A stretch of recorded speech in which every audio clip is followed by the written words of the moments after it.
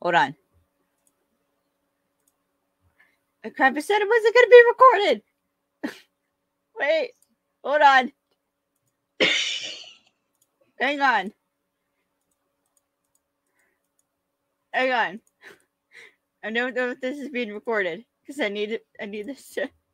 Oh, you know what? I have a different avenue I can use. It's fine. Okay. Sorry, moment of panic. Hi, everyone, and welcome to already chaotic episode oh. of Films and Fandoms with Kaylee. Oh my lord. You knew this was gonna happen. Yeah. Oh, because I went to hit the go live button on the thingy, and then it said it wasn't going to be recorded unless I like saved up space. I was like, oh shit, it's not going to get recorded. Then I'm like, wait, I can just download it off another thing. It'll be fine. So, all right, continue. All right. all right. So, as I said, welcome Oh, to another episode. Welcome to another episode of Films and Fandoms with Kaylee. And once again, I am joined by Alex. Hi. And today we are going to I be told talking. you something was gonna happen. Uh, yeah, yeah. Oh, we got. So, what are you drinking? Orange soda, and I have pretzels. Sweet tea. I bought this. I bought this at my last shopping trip at Walmart. It's got sweet tea in it and M and M's. It could hold up to thirty-two ounces, which for those adults is like a whole bottle of wine. So That's literally like a, a mini pitcher. Is what that is. That's It is. But yeah, I literally have pretzels. which that is a leverage joke.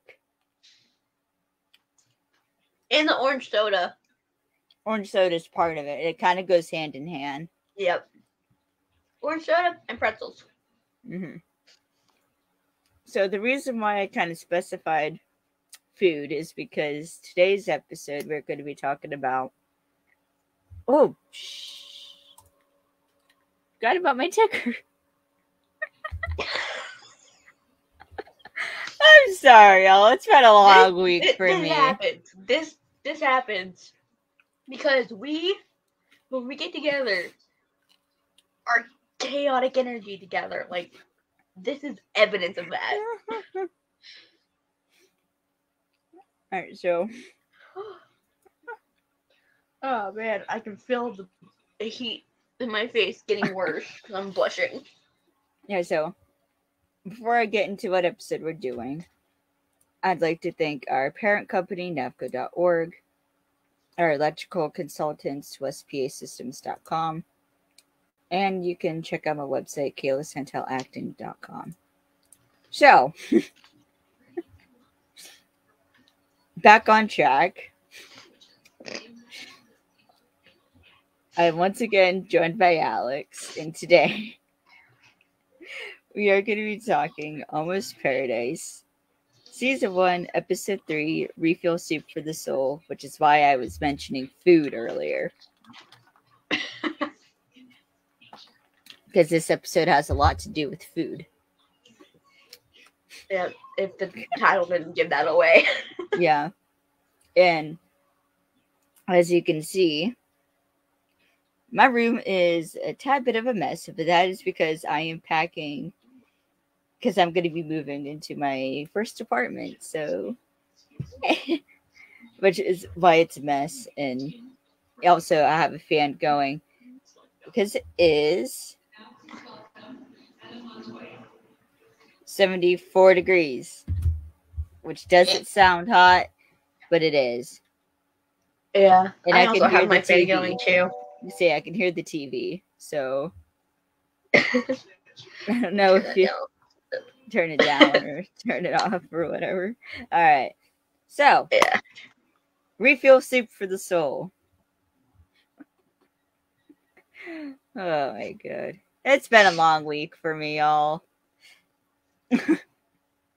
All right, so summary. I at least know that. So Yeah. of course it's gonna be a little, little crazy. Yeah. But come on, it's us. Of course it's gonna be Yeah. crazy. yeah. And I'm eating caramel M&Ms. So, yeah. All right, summary for Reef Eel Here. soup for the soul.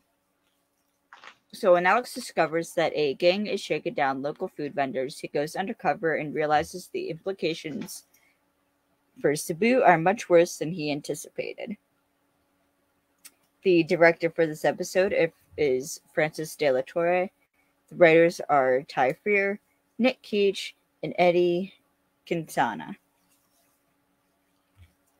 So I like how we get like time like we get like the time jump and then we get like the like we go back. So that's the first I think we've done that for one of these. Yeah, it kind Where we start at a point and go back. yeah, it kind of. When I first watched it, it kind of threw me for a loop, starting with a time like a uh, flashback almost immediately back in the Well, time, not and then it necessarily a present. flashback, but uh, Yeah, kind of in a way where it's like back then before you get to present day, and it's like at first I, I was like, what the heck? So I had to back it up mm. and watch that part again. Even going back and rewatching it, I was like, wait, what? I started over again. And then I figured it out. I was like, oh, okay, that makes sense. Uh, sorry, I'm But trying to just- pull up the Twitch stream or Twitter stream. Yeah. But just the writing again was incredible.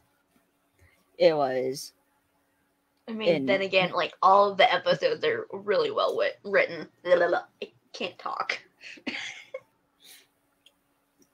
It, so, what I actually, or we're right, start. We're gonna start off with the opening for this episode. So we open this episode at the Cebu Capitol building on election day,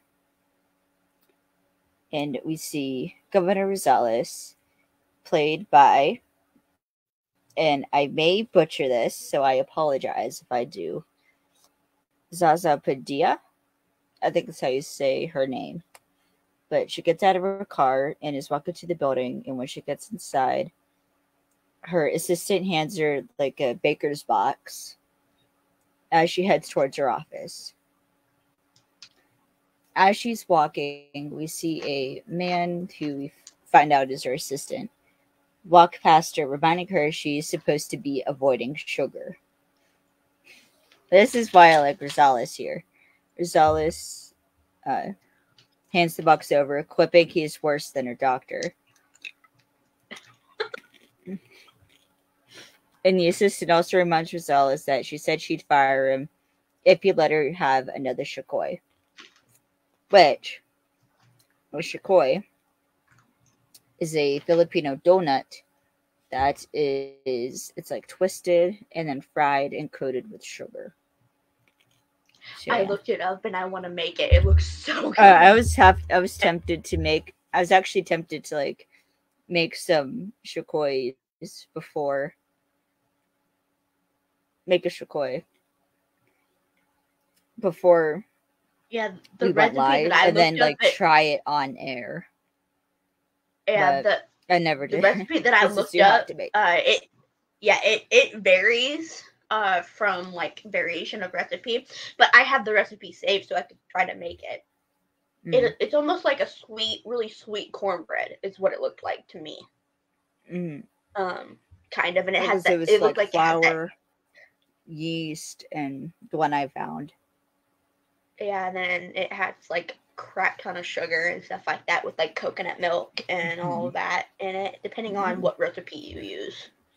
Um, but yeah, it looks really good. Yeah. In short, it sounds very good.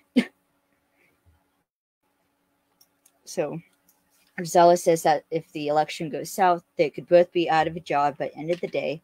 So she's going to eat her feelings, and her assistant and her blood sugar are going to have to deal with it.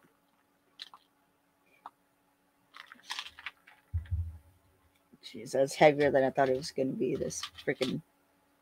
I don't even know what the hell to call it.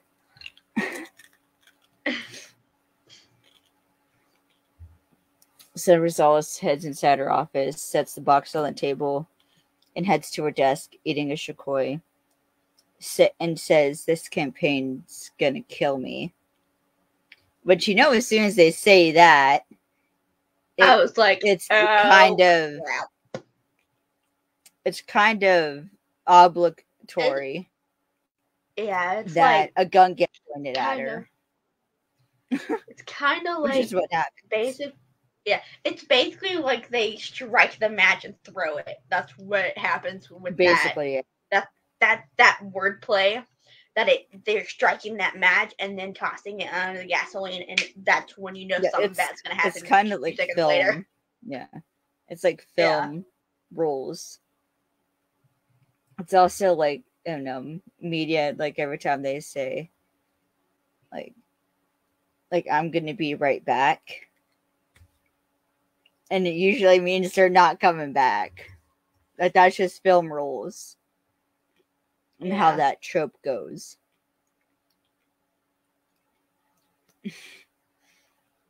It's like you kind of know something bad's going to happen to where they might not be able to come back in full capacity or they're not coming back at all, sort of, mm-hmm. character wise. I mean, yeah. But it's just it's one of those film said, things, those film uh, yeah, tropes.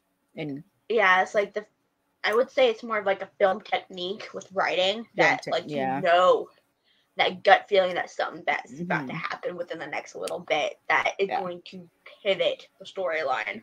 Mm-hmm. Which I really like that they've used quite a bit of that te- technique with this writing, with all of these episodes, mm-hmm. especially mm-hmm. this one, which yeah, the writer did incredible mm-hmm. again. I did, episode. yeah. so then, right, continuing on. So we go to three days earlier, and Alex is hammering nails above the door to like his apartment. It's like there's the shop in his apartment. He's hanging, he's hammering nails above there. Now, Alex here thought it would be a good idea to by himself pick up this heavy ass sailfish. He's like, he has like it on his back and is like trying to climb up a ladder with it. He's grunting a lot because it is heavy. Yeah. But then it kind of like, like he loses the weight distribution. And, and it because like, it's so heavy, it like throws him back and he ends yeah, up dropping the fish, falling on the floor and breaking it. Which, now that I've finally watched every single episode of Almost Paradise again to refresh my memory, the sailfish is a Chekhov's gun.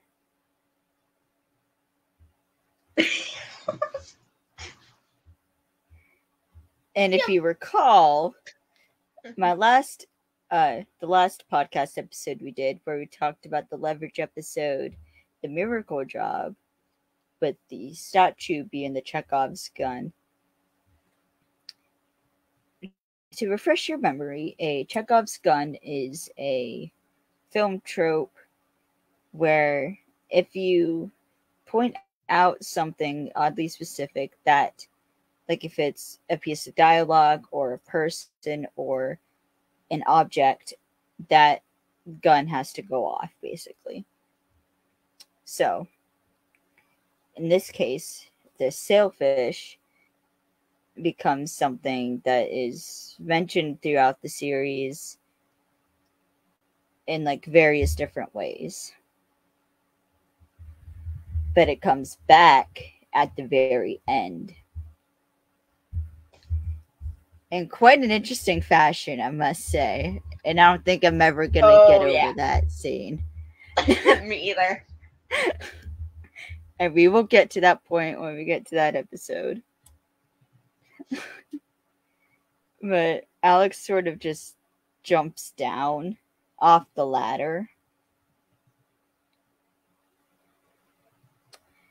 And picks up the hammer and then uses it to knock over a post rack and then throws the hammer down as his monitor goes off. So uh he's not having a good day. Not in the moment. slightest. I felt bad for him, but all, but yeah, but also I was like, uh, well, but considering why you're there in the first place, Mm-hmm. of course it's gonna be bad.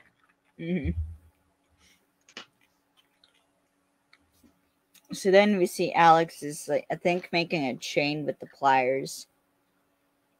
And you can see this is the first time I noticed this. I didn't actually go back to the first and second episodes and see if he's wearing it. But in this episode, he wears a particular necklace. You can see the silver chain of a necklace. And we'll go in, into a bit In more. the, in the second, in the second one, you can see it just barely underneath his shirt. Oh, okay. I never saw the chain. And I know what's on it. I know what I that necklace too. is. Actually, it's cool. It was a cool story, but you only see the chain. So, if you want to mention it when we actually get to the point where you can see the pendant. Oh yeah, I forgot this one. You can actually kind of see it because it slips out of his Mhm. shirt briefly. But uh, this is also because he's wearing shorts in this episode too. You can see his, we can see his tattoos on the back of his calves. I was Barely. not looking at his calves. Because there's I a shot ama- when he, yeah, when he turns around to look at Ernesto Oh yeah, Well, like, because outside. You can see it Ernesto comes out, in, out of his socks. sees the mess, and it's like, "You, He's you like, doing "Dude." okay, bud?" Like, you alright? And I'm like, in my mind, I'm, I'm just thinking, peachy, man. Like, dude, he said that in the most sarcastic way possible. It's like, I'm fine. he's not And I'm like- okay. I'm like, dude, no, you're not. Quit lying. No, you're not. It's funny because Ernesto's like, like he points out like this really because like that sweat stain on the back of your mm. shirt, and then like the postcards all over your shop. Suggest otherwise, but he is nice and picks up the postcard rack. I'm Yeah, just but here's the thing. I when he says that, he's like, yeah, you have the postcard rags knocked on the ground. There's stuff strewn all over. You're sweating, and I'm like, in my mind, I'm thinking, thanks, Captain Obvious. yeah, and I think actually when I rewatched it, I actually said that out loud. Uh, like yeah like we all know that ernesto We're not blind. We can see that there's something wrong with Alex. Court. Yeah. because alex is when like no, don't play detective with me like i invented detective like no the hell you didn't alex And I put that there. Um, in just a little bit. He does this trick, but Alex calls him out on it. and the face he makes too, just like literally had me dying because I I can picture it in my mind. You know what And then I'm talking about, don't you? i didn't really know oh yeah reverse psychology yeah Mm-hmm. But anyways, continuing on. And Alex er, suggests that Alex take a break, and he's got just the thing that cures all kinds of stress. And Alex says the only thing he's got to do is hang this fish. But Ernesto's like, no marlins swim. You know, mar- no marlins swim in Filipino waters, right?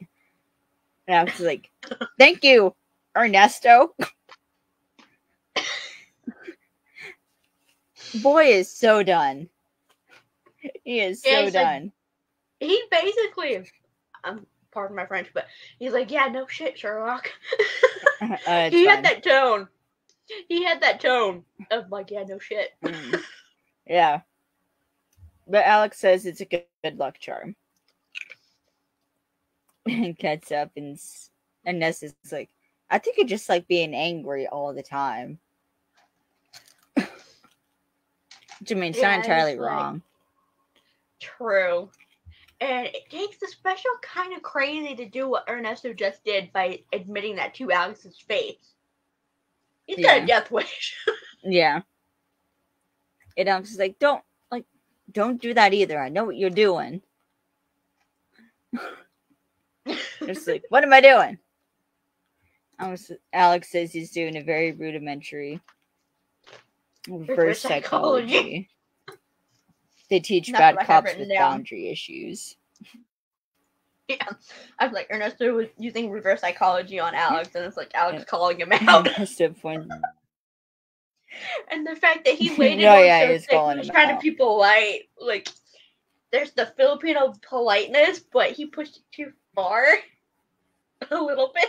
He Mhm. laid it on too thick. And Alex Yeah. got right onto it. Yeah.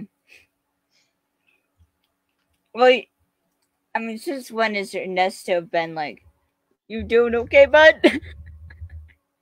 Never. since when has Ernesto ever done that? To be fair, Never. Well, okay, Sure. except when he was in the hospital. That was it. He was concerned, but not like this. Going out of his Which way episode? to check on him. Wait, which episode where he's in the hospital? the last one.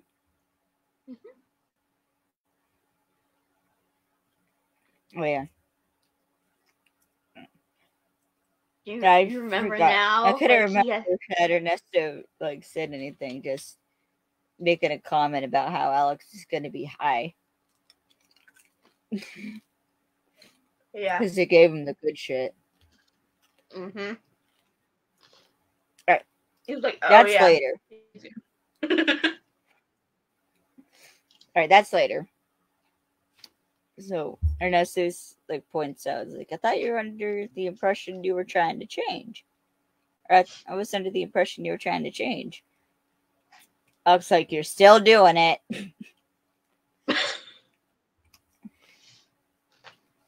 Ernesto's like, this will help. Come on. And Alex reluctantly follows him, like, if there's any chanting, I'm out. I was just like, what have you Yeah, got he- he against chanting? Which is that kinda like- librarian's reference? yes, I knew it it. is. I I I thought it was, but I didn't write it down. But I I saw it as like, wait a minute, that sounds familiar. And then I thought, ah, son of a bitch, damn it, damn it, Dean.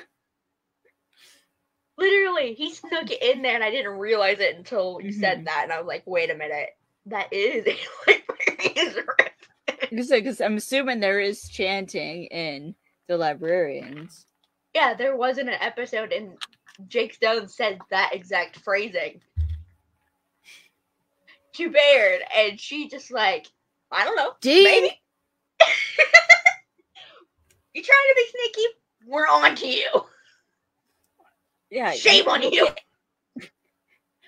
Name you also, or, yeah, yeah. You can't get one by us, Gosh, Dean I, I, Devlin. I hope he doesn't. we know your this. tricks now. We know your Oh, tricks now, Dean. I really hope he does not see this because I will, I will die because I'm already blushing. And we also get an extra long shot at the sailfish, which goes into the idea that this sailfish is Chekhov's gun. It was like, nah, that thing's gonna be important. at some point. Yeah, Which it like, It does in two ways, because like at the end of the episode, it comes back, and then like yeah, Yeah, because they Like, look keep up getting-. Yeah. like pointed out throughout the show Mhm. And because then we figure it, uh, out what the turns hell out there's a reason it's so it. heavy, and uh, Mhm. why Alex brought I it all the way. I didn't see it the- coming. When it was when it's revealed later, I wasn't I didn't see Mhm. it coming. And I kind of forgot. I was like, why the heck does he have Oh, this? Should I say what it is? Let's wait until we get to that episode. All right. So we go. It's unexpected. Let's just say that. Yeah. Unexpected. Uh, the one freaking line from that episode. It's something Walker this way comes. Is it's the se- season finale. Mhm. Alex freaking comes out of the gift shop. Daddy needs a ride.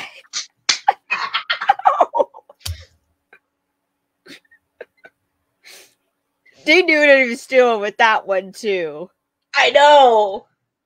And just the way that he was like holding it, I was like, it makes me think of that Twitter post. It's like, this is how you hold a shotgun. This is how you hold a kitty. Oh, wait, I'm sorry, I will never. It's like, this is how you hold a shotgun. This is how you hold a kitty. like A that. kitty? And he's like going like this because they're talking through, walking through where he starts firing off the, sh- the shotgun round and starts blowing crap up. Oh, walking through the that town strip with the gangsters. That's when they were walking through, and there's like one where he's like this, like holding it up, and then goes like that, wait, and it's like this is how you hold a kitty. this that how you hold a shotgun." no, it was like an edit that a fan did by taking photos. They Dean photoshopped it to say that, oh, and he posted it on his on his Instagram. Oh my And god, how did I um, miss that? I was dying laughing. All right, you'll have. All right, send it to me. Se- see if you can send the post to me. As all right, I'll continue on while you do that. Okay. Oh my god. okay. I'm laughing. So we're back at the police station. We see Kai's walk it- into Ocampo's office, saying like like he wanted to see me. Ocampo then asks which campaign poster she prefers, and basically the only difference between these two campaign posters is that one is on the like the one has a compo like shoulders up like more forward and the right one has like his arms crossed so it's like yeah, well, there's one where he's like kind of like, his doing a battle stance, kind of where his arms are like this at his sides, kind of, and then yeah, and he's then he's back got like more. Yeah, which is kind of hilarious. Okay, now I can't, I can't get that picture out of my head. oh my now that I brought god kai then tells him the left one and Ocampo agrees as he comes around the desk.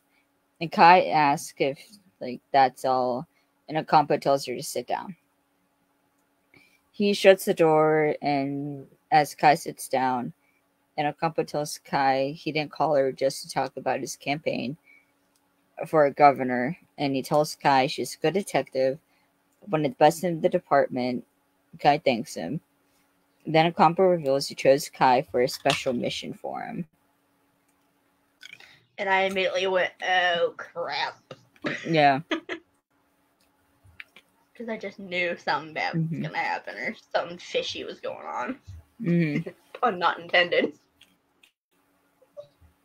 Yeah, but Kai's like getting all excited because she's been wanting an opportunity to prove herself since Alex kind of fucked up her last stop.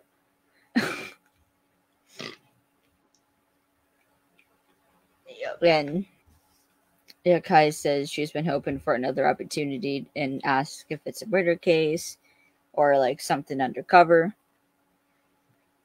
Sorry, Ocampo sits down and reveals to Kai that he's assigning her to the to Governor Rosales' protection detail. And Kai's like, And her face, her face just drops. "Yeah, that's a good governor's protective "Oh, detail. Kai." That's um." Ocampo's like, That's not what you were more junior." expecting. Yeah, it's like that's Yeah. someone more junior is what she says, and I'm like, you did not just say that that a junior cop is more because you're still new to the force, hon. You're still new. Yeah. You've been there for a while, probably. No, that's like two part of what's like still new. it's added to like the alarms probably going off. Like, okay, Yeah. like Ocampo wants me to do this special mission for him. I'm as a protective detail for the governor while I'm working for her opponent. Like something's odd here. Something's odd here. I was like, that's fishy. That's suspicious. Yeah. And then Which we'll see why. Yeah, in a little bit, like literally just Hmm. like a bit later, and I was like, Mhm. you couldn't have been more blunt about it, bud. Like seriously, Hmm. you're gonna do that? And the couple tells Kai that maintaining the integrity of their democratic process is most important to him. Kai's like, of course. And Ocampo says that's why he needs someone he can trust to keep a close eye on the governor and report anything that might be suspicious and report everything back to him. And then Kai asks if Ocampo wants her to spy on Rosales. Ocampo gets kind of defensive and is like, just because I run it against the governor doesn't mean I forgo my responsibility to keep her safe. Because, like, yeah, but and like, it's excellent, so you'll do it. I was like, I will, but uh, like she's like, yeah, she's like trying to. like, like, all right, all right, you can go, and like all of it like kind of shoos her out, and it kind of does. like- Yeah, he kind of like says, "Okay, well, you you agreed to it, so okay, you can leave now." hmm And I'm like, "Why are you in such a big hurry to get her out of your office?" But before she leaves, Ocampo tells her to keep it between them, and like she just nods and heads out. But like you can see as she goes out, she's like, you can see like on her face that she's like putting the There's something- pieces together. Yeah, like, she's like, yeah, there's something not right here. There's something I don't like going Yeah. on. yeah, something's setting off my instincts. Like something's not right.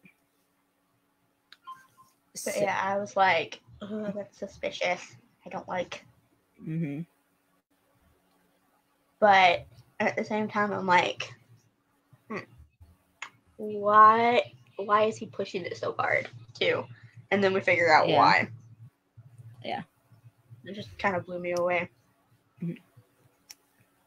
So then we head over to the Cebu Street Food Village. Oh, I found it. I found the pictures. Uh, no, send it to me. Send it. Send it to me. Yeah, I'm gonna send the I'm gonna send the screenshots to send- you. so I can see it.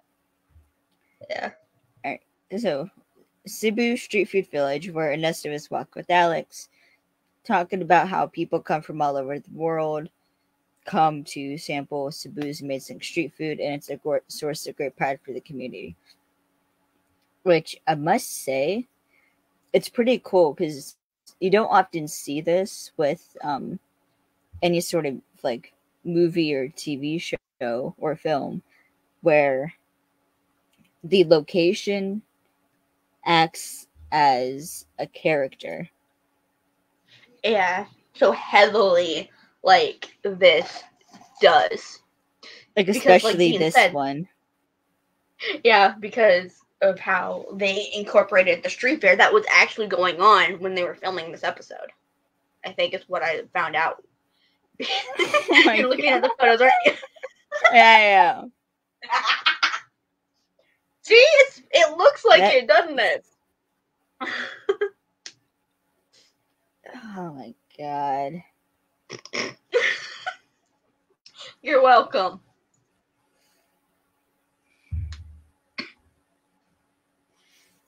Uh, my God. Anyway, You are very welcome, by the way. uh, thanks. Now you won't be able to unsee that, will you? Nope.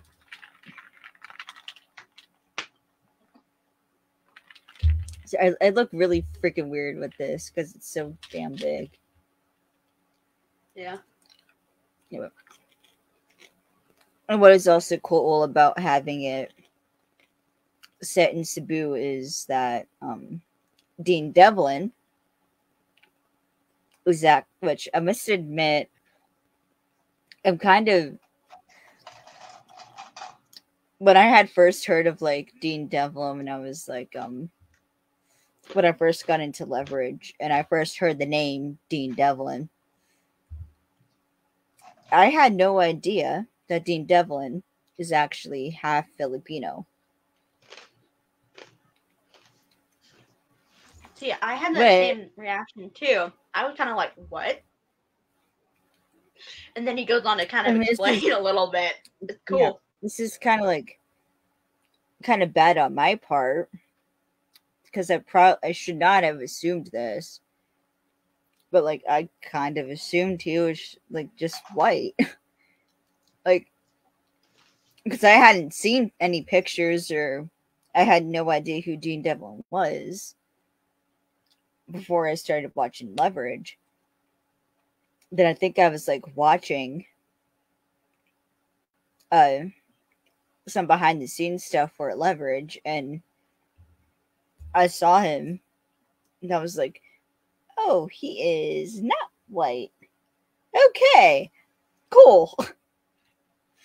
Yeah, like the fact that this is kind of honoring uh his heritage, which is incredible. yeah, Which it, Yeah. when he, talked talks about, that in the Facebook Live. yeah, and you can see him light up when he says that, which I thought was Yeah. cool. And it's just very subtle mm. with him. Like Yeah, you can't really mm. tell, but at the same time you can. yeah. I'm actually cold. Yeah, my AC is running right now, so I'm like freezing. Putting on the So jacket. I am like sweating. I'm freezing, okay? Uh, Anyways, Dean Devlin is half Filipino, so that did in the um the Facebook Live because I found I did watch the Facebook Live that went with this episode because basically after so it's kind of weird because originally the episodes first aired back in 2020. But what's interesting is they filmed this in like 2019. But that was also when lockdowns happened. So they had to like finish filming Yeah, because Like, they had and then get wrapped, everyone like, home.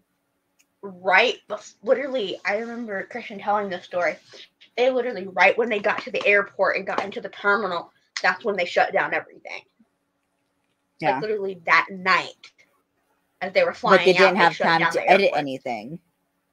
yeah So like ha- like part of like the sound mixing, I think Dean Devlin did. yeah like he, ended did up doing the sound mixing in his because um Grant because um this is like right when everything shut down so like no one was going anywhere.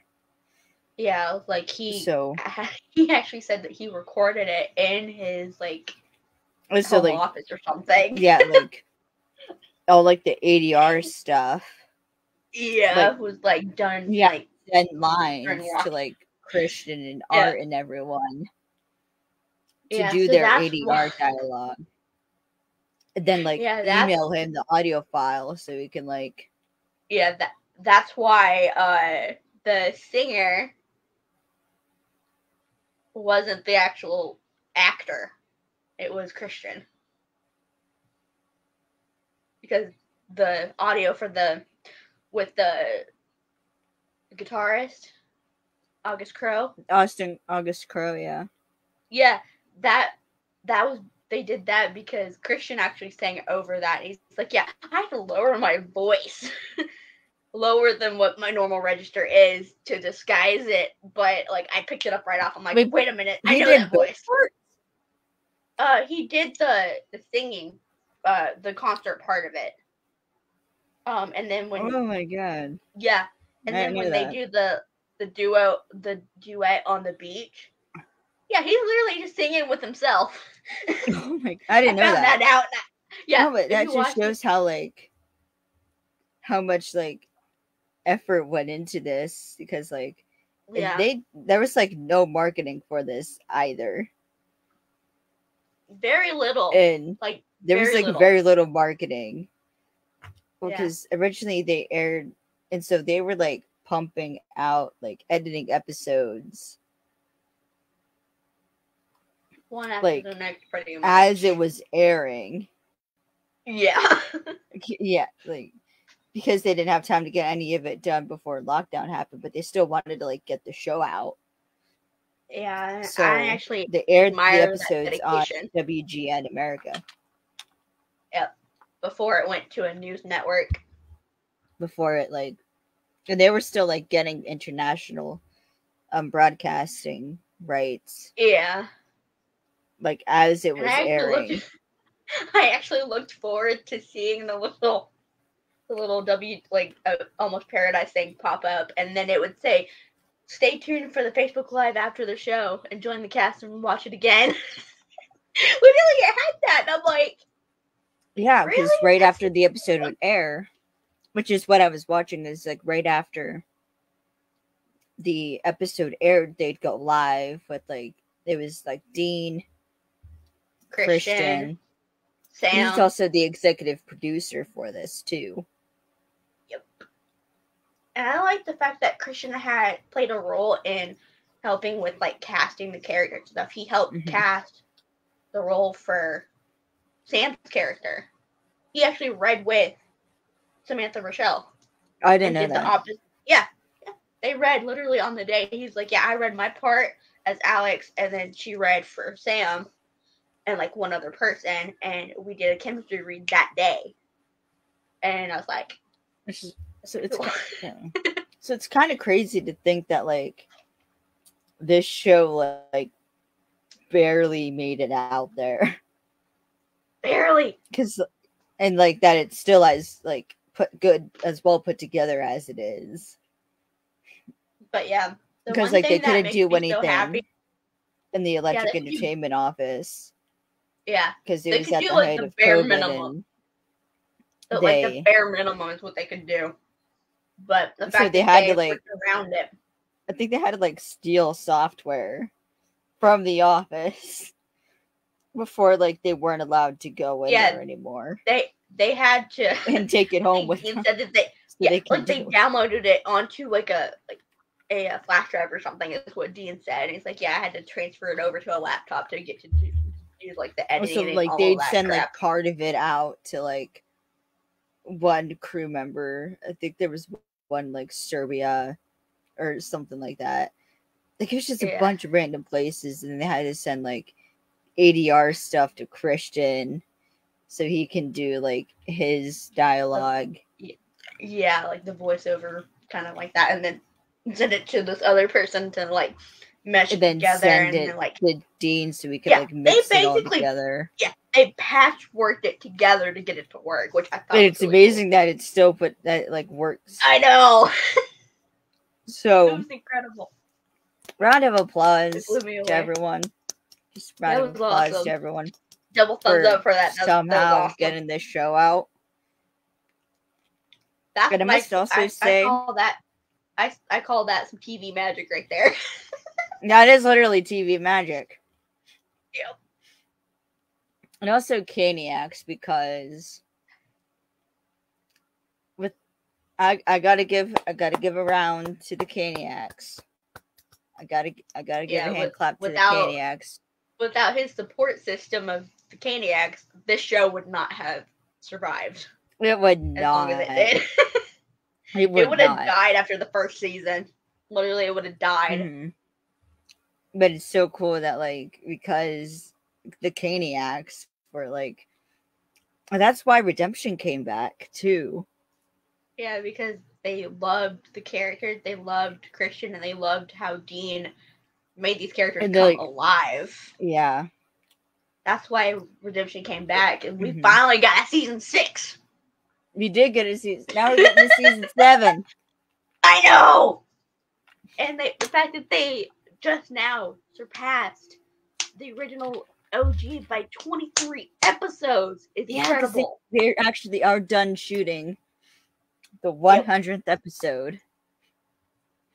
Yep, and they had a party.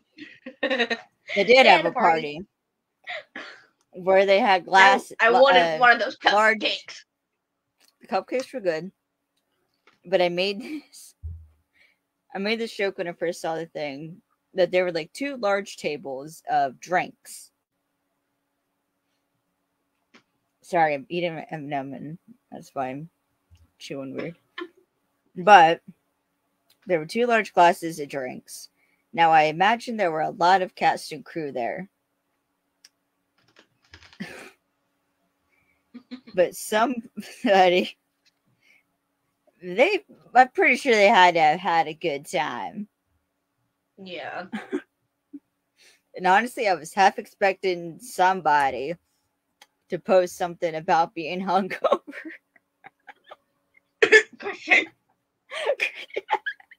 well, well, I mean, it, he's fucking Oklahoma, so of course he's gonna be hungover. Or, uh, 'cause or that was the thing. Or Aldis. Aldis, either one. no, 'cause, um, Oh, plot twist. What if it was Bethy? I mean, it might have been. I don't know, but no, because that Maybe. reminded me of how in this Facebook Live, because she was drinking a freaking Modelo. Light beer, and because they had fans mm. on, asking a couple questions, and one of them ha- was drinking out of a bottle of Jack. and he smiled. he, he like he like looked down and You- like, she was taking a sip, as they were taking a sip, and he's oh, like the one who called her babe." he does one of these. He just like he looks down at the bottle in her hand at their in their hand and looks back up at their eyes and smiles. Because I mentioned this story before. How he will Christian Kane would drink from a bottle of Jack during his concert. Great, mind you. Yeah, straight out the bottle. Yeah, I did. I took shots of straight Jack once, and I can't stand it. I have to have it mixed in with something, either Pepsi, Coke, or something fruity like uh like cranberry juice or something like that. Find my cur- Where'd my cursor go? Oh, I can't find my cursor. God dang! Why can't I find? Did my Hardison, we need your help. Oh, I'm pretty sure my mouse just died. oh no. It didn't. Hold on. There we go. Did the battery just come loose? Now I don't know where it went. Anyways, so. God, We're not even halfway it's through. been a week, dark- y'all. It's been a week. Ugh. Okay. So, continuing on. Because we are Lord. not even close. so, as they're walking through the street food village, Ernesto gets handed a campaign flyer. Alex gets comes is like, uh, like they've been plastering these all over my damn gift shop. Ernesto's like, not a fan of politics. Alex is. Alex says, politicians are like diapers, my friend. They need to be changed because they're both full of. And he's about to say shit. yeah, and then I, I wrote that But down. That's like one of my quotes. shameful. Shameful. he cuts him off. shameful how so many of the vendors in the prison knowledge. Yeah. I have a funny story about that scene. That was freaking hilarious. my- And he kind of looked. Christian looked offended when that happened. He's like, "How dare you?" It was like in um what um it was um yeah, I was literally in stitches laughing because I didn't catch that at first. Like it happened so quick, but when I watched it back, I was dying laughing. Because there was a um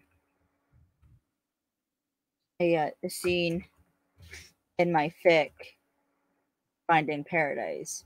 My fan almost paradise fan fiction Finding Paradise where um my character Evelyn Mahoney in that scene s- um I forget if it's before I think it's before yeah it's before Alex says his line about politicians I have my characters say. And if you've read the book read my story it actually makes more sense. But she says when you've been badly screwed by a politician or by a bureaucrat when you've been badly screwed by a bureaucrat in both sense of the words it tends to leave a bad taste in your mouth. Literal and figuratively. Ugh, I love that. because the literal is because one of her ex-boyfriends is agent Zivik from the first episode Jerk. He has a very punchable face. and then yeah he does but then the other is because she got is in a similar situation to alex. Because she got shot she was also shot by the partner. Though the, from that first chapter another favorite line the best line i think i kind of went all out with the lines. Like every single chapter has an f-bomb in it a couple times in some. First because the first time I think I actually like dropped the f bomb was when, as she um when they're in the van and I have Evelyn involved in this and or I call her Ev, but um, at like Zivik's like um uh like you're not gonna screw this up, are you? And Evelyn's like fuck you, and off. And just leaves. Yeah, she went all. No. I imagine Alex is probably looking at her like, well, damn. that was that. Yep. Kind of like. Because if What the there's one thing that is common between ZK's characters, and they are attracted to competent women. Yeah. When okay, I will say when that when that scene that you wrote that scene the the way that you did, and like I could picture his reaction in my head, I thought of uh I have The- so many good the- scenes though, like that. yeah. the it was with my Natasha and Elliot when she calls him out on his bullshit. and he's like, The hell? What the heck? Or Hmm. like you Uh, The other one. kinda like the The other one is also from the first A chapter of my shock. fic Finding Paradise, or based on um Finding Mabuai. Is not only when she tells Alex, like, this wouldn't be a problem when they're after they leave the hospital. She's like, this wouldn't be a problem if you had just taken the damn meds, like the doc and I told you to. Now it's like, and I and I done told you, ain't no way. and she like, gets "I a look on her face. Alex is like, no, stop it. And I was like, you're 48, Alex. Is it really that important? and when he says no. When he like when he said that to her, I immediately pictured him going, "Mm-mm-mm. behave yourself. Uh-uh. No. I will right, hurt you. one one last one last line, and then I'll continue on because I have no self control here. also from the first chapter, Is it the line that I'm thinking of? Because I think it might be. when they're driving down the before they go to meet um Dio. And they're taking off the wires and they're talking with Zivik. And Ev makes it. it's kind of like a top joke. But Ev's like so demanding. Like and no wonder why I didn't like sleeping with you. or like just like so demanding, like something like that. So it was Yeah, like, something, something along those lines. and so it was like, um, it was like about it wasn't that bad, like it wasn't that bad. And I was like, No, oh no, Somebody got their ego hurt. like, no, nah, that's why I slept with women. And I literally went, I was like, Best that line right? I have ever written. yeah. And then I literally Oh, had to no. scroll back Yeah, up and read that again. That's why I slept with women. Yeah, I literally had to reread that to get it. And I was like, Okay, I was, yeah, you broke me with that line, by the way. sorry. It was funny, and he deserved it. True. He's a jerk. He has a very punchable face. And I think I told you when I when I said, "Can I?" It's like, "Can I tase him?" And you're like, "Okay, fine." Just this once. Uh, 'cause there's, there's a bit in the second episode where Evelyn you know Oh tries God. to salvage the cover with her and or with um Kai and Alex. She's trying to like salvage it because Max isn't buying that like Kai is Catherine. So she partially because I thought this would be funny is why I did this and it did actually kind of make sense. Was like ever like take her shirt off and like just in a bra or she has her pants on at least and then steps outside puts on a british accent and acts like she's like catherine's like hookup. Because logically i would think that like having somebody else call another character or have calling somebody else a name would like cement the idea that like they're actually that person. Yeah, it's a, a it's but it also just is funny because then Kai's like, "What the fuck was that?"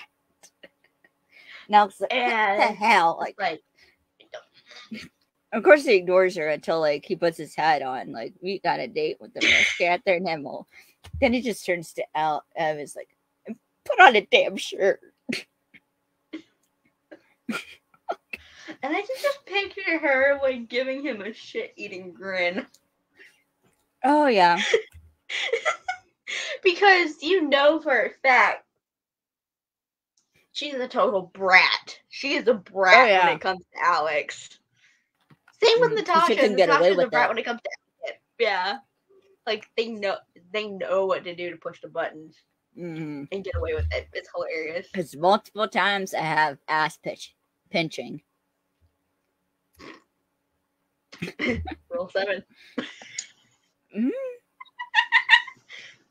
Yeah, they don't follow Rule Seven. uh, Christ. Okay, continuing on. Oh, Oh. Lord. For but you could read our fix on AU three.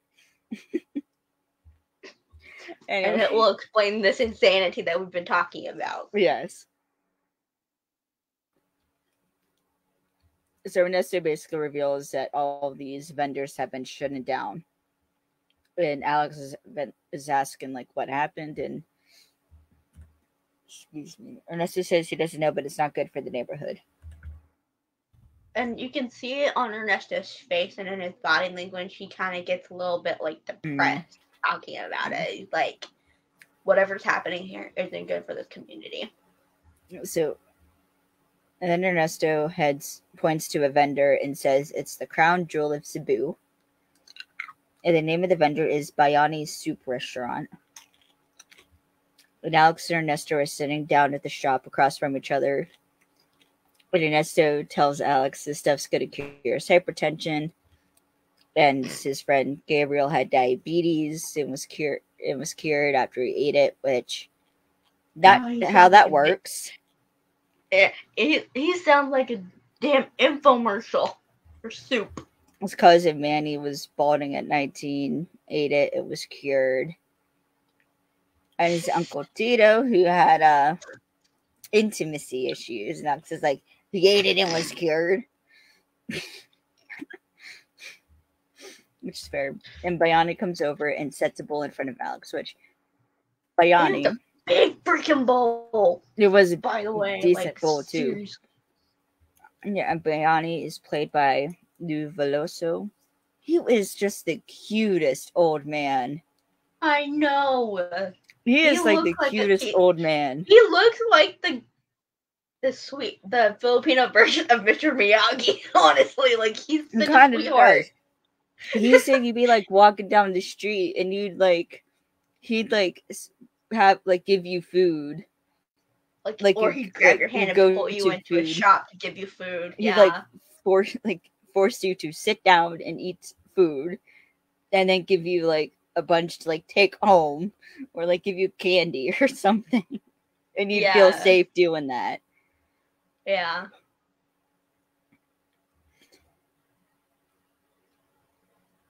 Uh, Sorry. Frick- M&M's were a bad idea. Oh my god. this is why I don't eat sugar, people. oh my god. So Alex, er, Bayani tells Alex it's because of the special ingredient. Like Alex is like, what the like what the hell is it, and what the special ingredient is. Bayani says it's And the is it- of the community. is is it dead? Yeah, that's what next after Ernesto speaks. It's some Tagalog and hands Alex a spoon. Alex take takes it and he says, "Yes, two questions: What's in this, and is it dead?" But Ernesto tells Alex that it is Reef Eel soup. Out In the ocean behind the restaurant, what's fatty? it's funny as Alex. Hold on. Imagine this is the bowl. He, uh, Ernesto, you're Ernesto. I can't do it. No, ju- no, it. just say that it's like Reef Eel soup. That's all you gotta say. You can do it. I'm sorry. it's free feel soup. you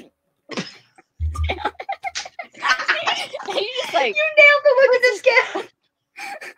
He's like, he does one of these. like, are you fucking kidding me? Yeah, he's like, "Ugh." And Ernesto says it's dead normally. Alex is like, ew, ew, soup, nor- ew, soup, man, like sea steak. And what do you mean normally? Which um, It- little when he gross says he- it's like when he said that, his his Texan came out full force. Oh yeah, Mm. Literally, like I could hear it. Like he, I can't get get over his freaking just the way his freaking body. He just goes like, like Just recoils back. It's like, But weird science fact. That's a little gross.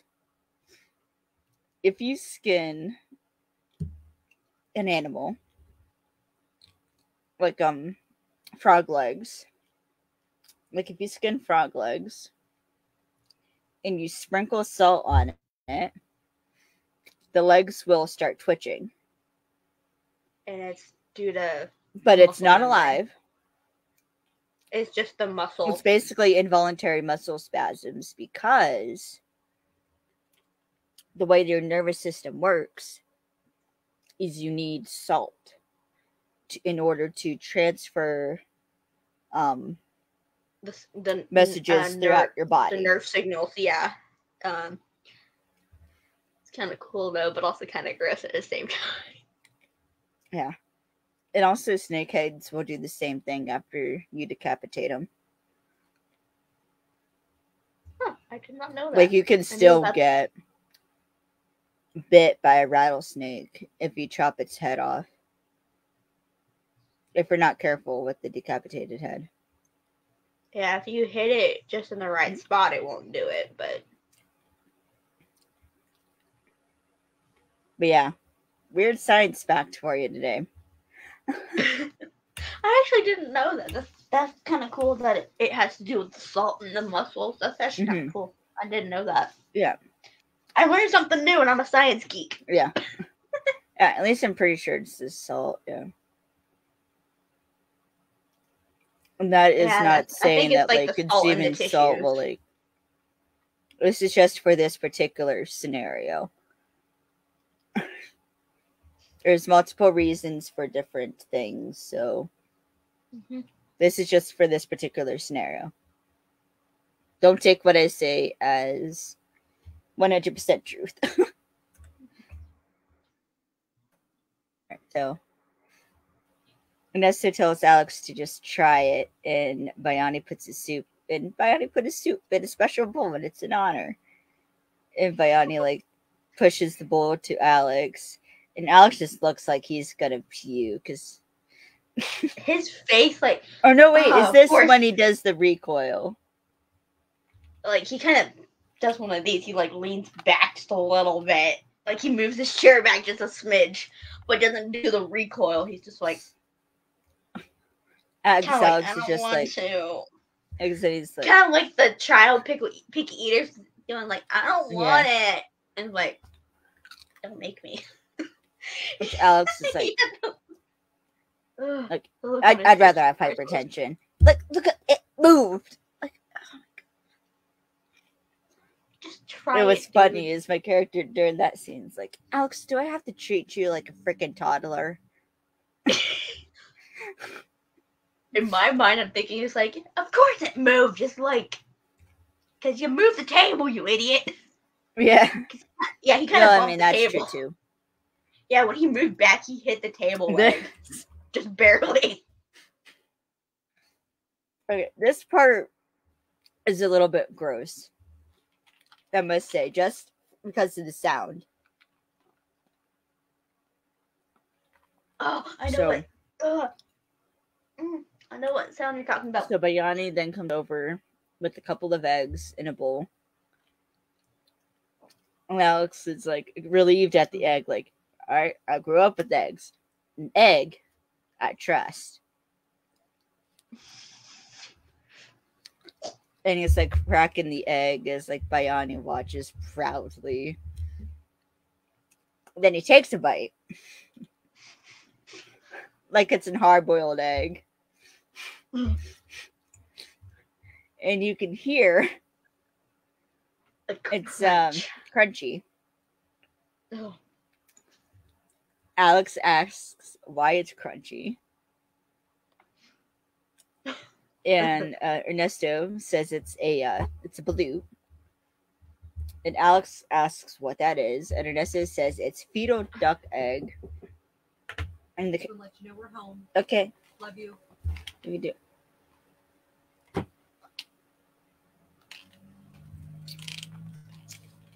Sorry. I got busted.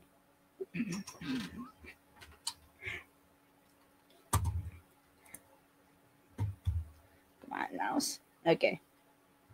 So I have to keep my mouse off because I don't know how much battery I have left, and I don't want to get up and get new batteries. All right. So, anyways, and so Ernesto says that it's a that it's fetal duck egg and the crunchy part's the beak, but eats that it's gonna feel strong. Alex all but like throws it back in the bowl. He says He, he, like, feels betrayed, and you could hear his stomach's not agreeing with it. Yeah. And so he just Can I- gets up. Can I interject the, Yeah, the fun yeah, yeah. fact before you go to the next part? Yeah. DK ate three of those things. Three of them. he said Get that five. one take. Yeah. Well, in that up to this point, it was three, and then he ate five total. He's like, "Yeah, I ate five of those. Five. And you can So- see Art laughing. Or- He ate five. It was a real balloon. It was like legit. though I guess like he ate like it kind of this is gonna sound so gross when I say this, and it's gonna sound horrible out of context. But he he didn't eat the beak end.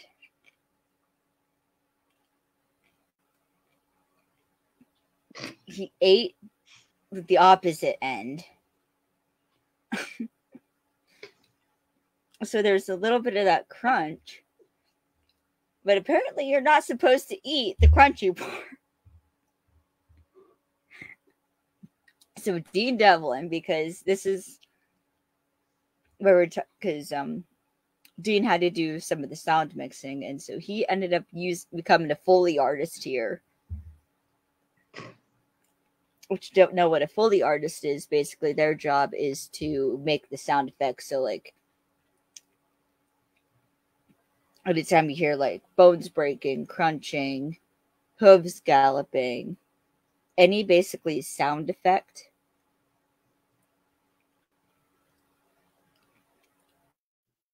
Is a Foley artist using random objects to um make those noises. Recur- yeah, so Dean make it a little bit Devlin used a walnut breaking. And apparently they shot this whole thing in like three hours. So not only did he he ate like the five blue, hmm? but then he had to eat the Reef Eel soup. Oh, gross.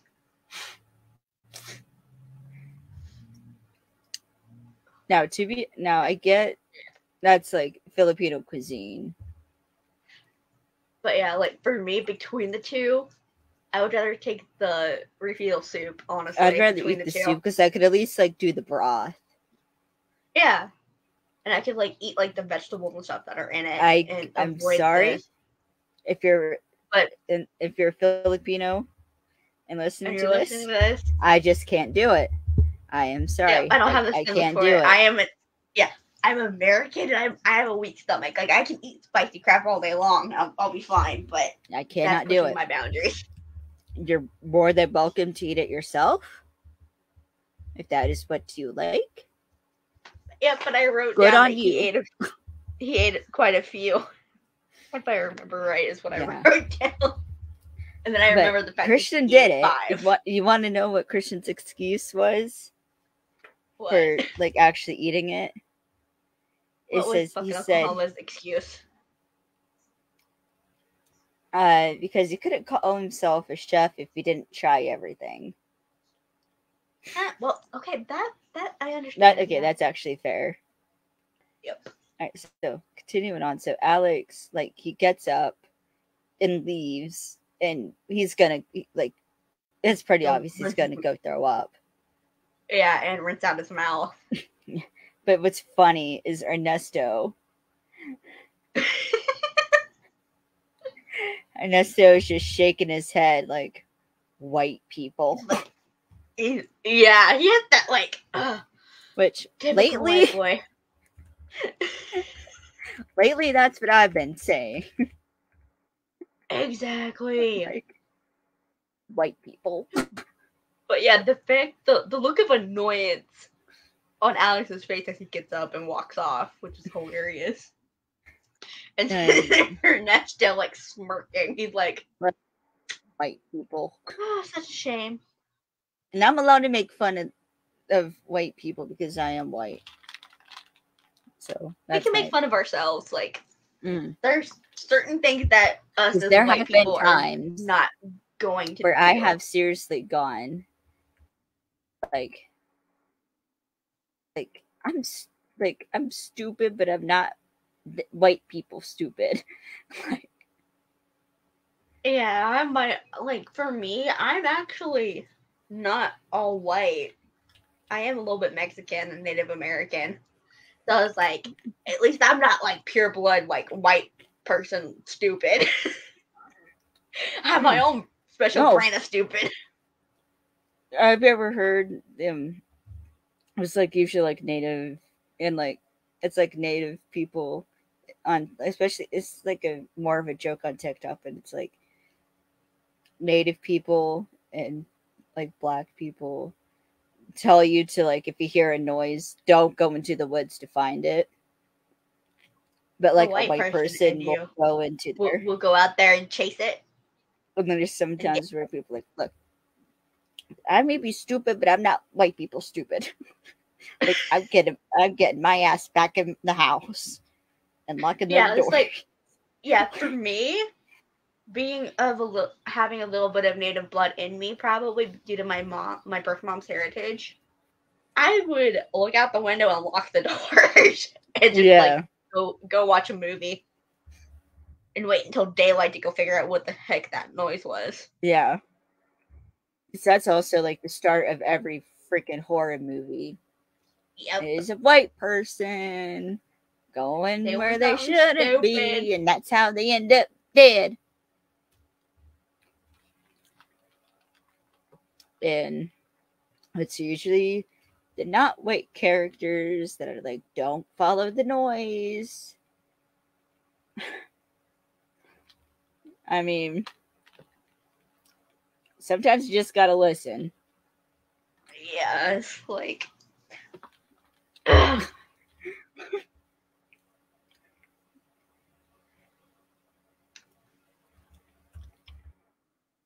So,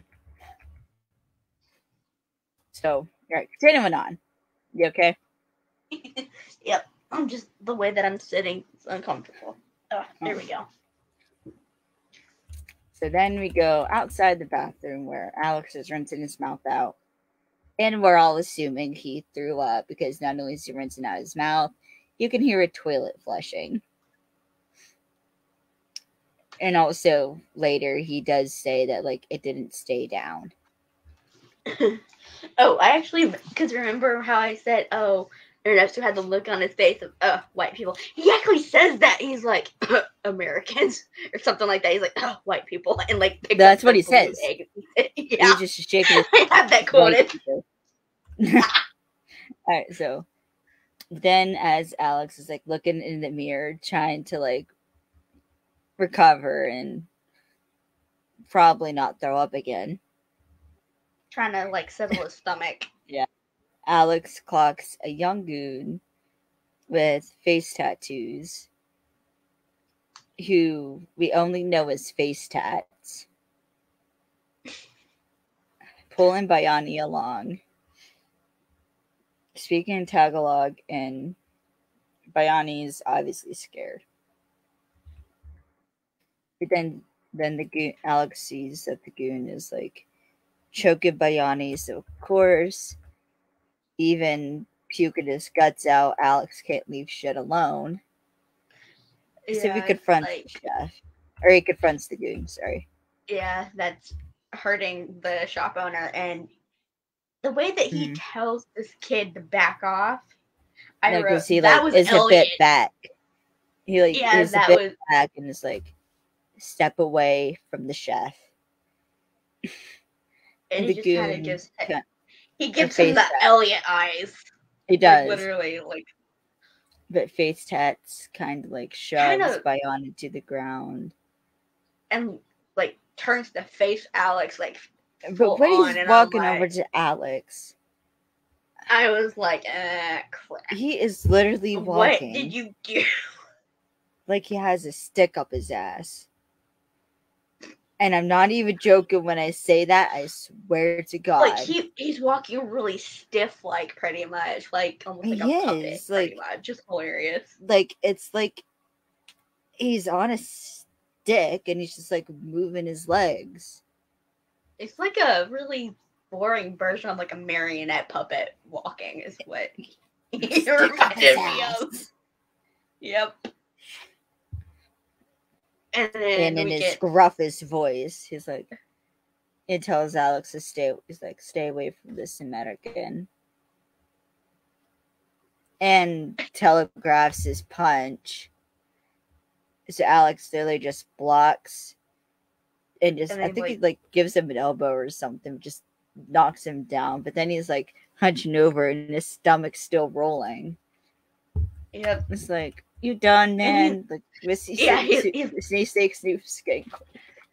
Yeah, he's like like bent over panting, and I I wrote that down. It's like you done, man. And he's like the way that he says that, he's like you done. I need to go like Like, try I need to go throw up. You done? it's like you done. No, all right.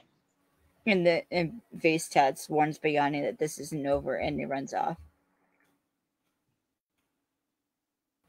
So Alex gets Bayani up, tries to help get Bayani up, but asking if he's okay, but Bayani moves his hand out of the way and tells Alex he should have stayed out of it, and he walks away.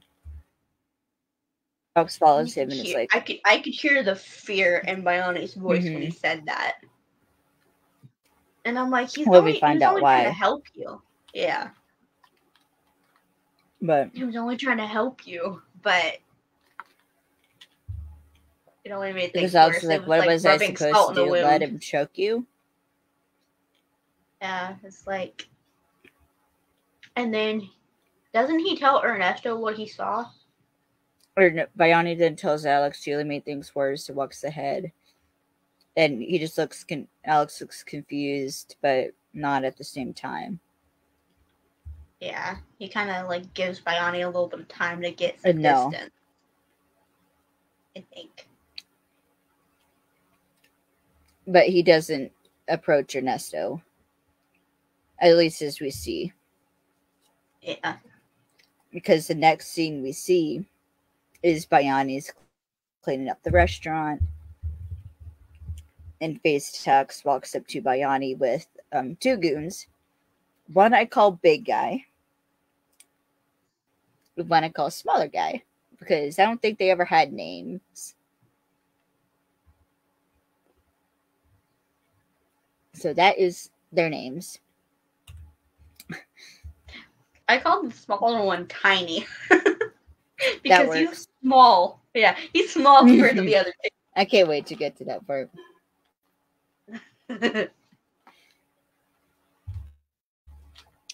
are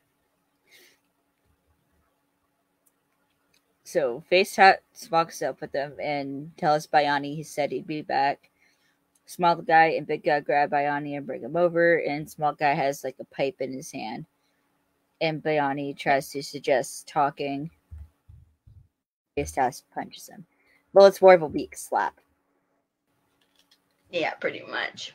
Um, it was more of like an open hand hit, basically. But to me, at first glance, the pipe or whatever that that guy had in the taller one had in his hand looks like a tire iron, like a uh, really bent up, really dirty tire iron is what it looked like. Yeah, first maybe. Hmm. That's what it looked like to me. Here's but I immediately when I Mhm. when I saw that like drop out of his sleeve, I'm like, oh crap. hmm Yeah, Bayani goes down and they all laugh. Face Tats gets handed the pipe and is hitting Bayani with it. Then they're splashing gasoline all over the restaurant. And Face Tats, because he has a trail of gasoline from the restaurant to the trail, which all right, I'll have a PSA here in a minute once I finish this. But he like face tats kneels beside Bayani, who's on the ground and has been yelling this whole time. Yeah, basically. Face tats, he has the match in his mouth and then uses the book to light the match. And then tosses the match onto a trail of gasoline. And the restaurant burns to the ground. And they all laugh.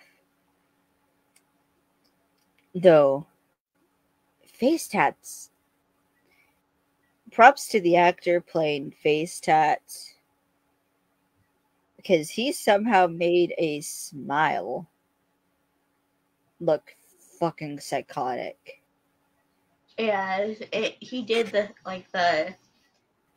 He did like the it was like a you joker know, like the yeah the kind of like it's called the Kubrick stare, but with a smile instead. Like he dropped his eyes, and looked down. Oh yes, the Kubrick stare. yeah, Which he did those that of you don't know what the Kubrick stare is, hold on, I'll see if I Oh, can that thing is creepy. try and demonstrate it. Basically, here, let me take my glasses off so you can see my eyes better. Basically, is you look down, then you look up. No, nope, mm-mm, nope. Don't do that. All right, I'm done. I'm done. I'm done. I'm done. that That's the Kubrick stare. did. Yeah, he basically did that, but with a smile. Yeah. Before he tosses the match. No, PSA. It happened so quickly. the thing with gasoline, and I actually do have some knowledge of this as my dad was a volunteer firefighter. So, when you pour gasoline, it emits fumes, which is why you're not you're not really supposed to store gas in like an enclosed space without proper ventilation. And Yeah, also kind of why you're not supposed to start your car in like a garage because that's how you get carbon monoxide poisoning. Yeah, the buildup of fumes. Yes. So, when you pour gasoline, it emits those fumes, which are also highly flammable. So, if you you do not want to let gasoline sit. If you are going to because it is almost campfire season, where at least where I live, it's almost campfire season. You do not want Yeah, to let here. gas lay. You dump it, strike, go. Don't let it sit Because for too long without igniting. if you let it sit, those the fumes, fumes build up. build up. Even if you're you- outside, even if you're you outside, those get fumes a build what's called a flashback. Um, fire flashback, ball, which is and basically people could get hurt. because fire travels with oxygen. So, And with with the gasoline, it because you have those oxygen- fumes circulating Yeah. the air all around you, as soon as you strike a match, that match will ignite the fumes and wet back. And I actually know a kid who got like second and third degree burns all over him because of that flashback. Because he Okay, dumped, ga- mm-hmm. and you also don't want to dump gasoline on an already lit fire because flare up. the it, it'll it'll flare up and like cause that effect and you can get seriously burned. So be careful with fire. Have That people remi- around. Have lots of water to put out your fire. And also or be careful with using or- gas.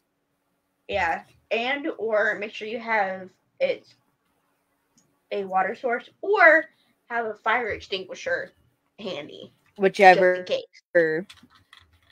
case, or both, whether I it's like a, a five gallon bucket of water. Or a fire extinguisher handy. to keep by like the lawn chairs or the table or whatever for after you're done.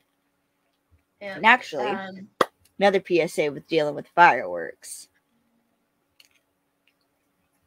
So, especially with fireworks,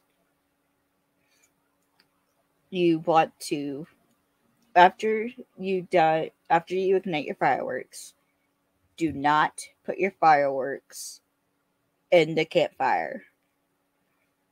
There could still be powder inside the firework that has not exploded.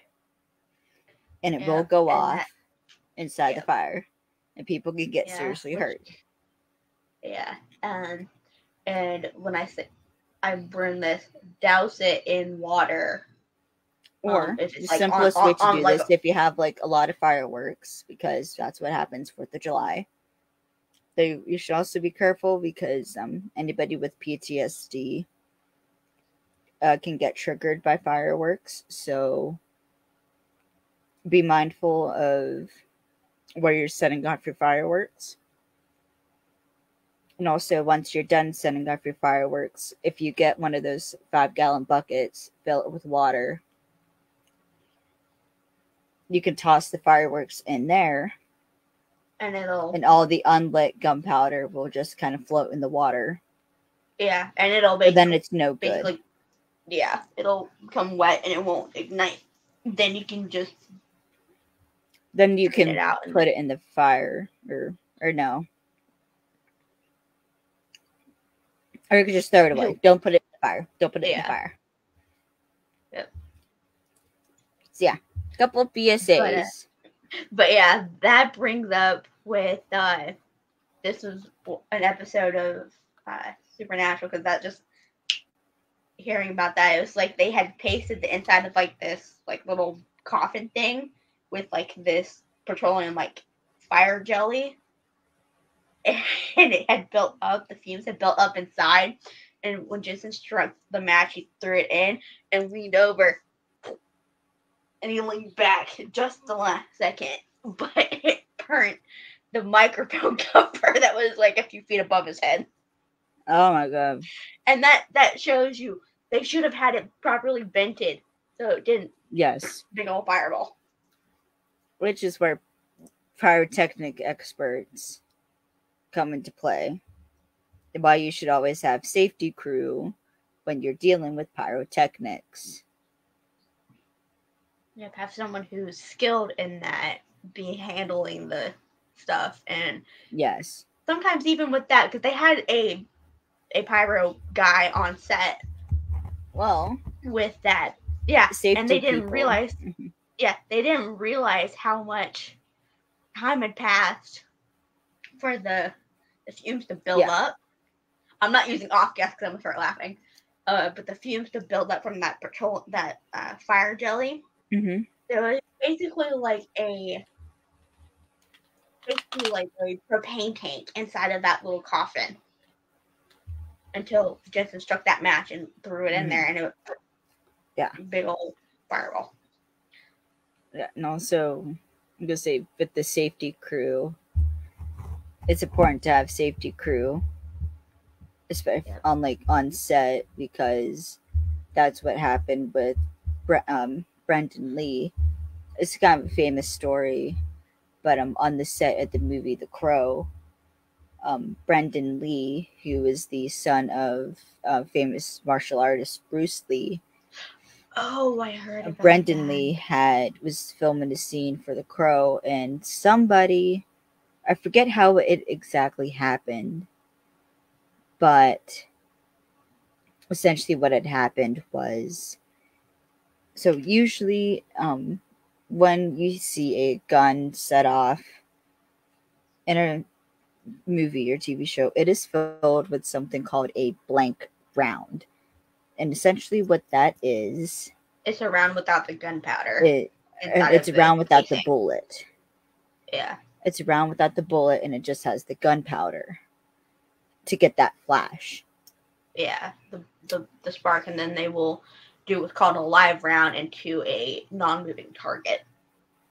Yeah. And that's the one with the actual full metal jacket with the Yeah. bullet. Well, somehow the live a live bullet had gotten stuck in the gun and it when they put the half load in or when they put in the blank round to uh, film the scene with uh, Brandon the gun went off and it because it doesn't matter that the bullet was attached to like the casing wasn't attached to the casing the uh the gases and the force of the gunpowder going off down the barrel Of the blank round. propelled propelled the bullet out the projectile out. Wow. That's why you check your guns, people. And that is why gun safety is important Yeah. and you That's why you should always have a firearms expert on set. yeah and the bullet killed brandon lee and there's also a reason more recently on the set of rust Yeah, Alex Baldwin accidentally With shot that. a live round through oh a building, hitting Mm-hmm. one of the background I'm artist. not- I think I believe he he he, he said I like, yeah, I thought it was.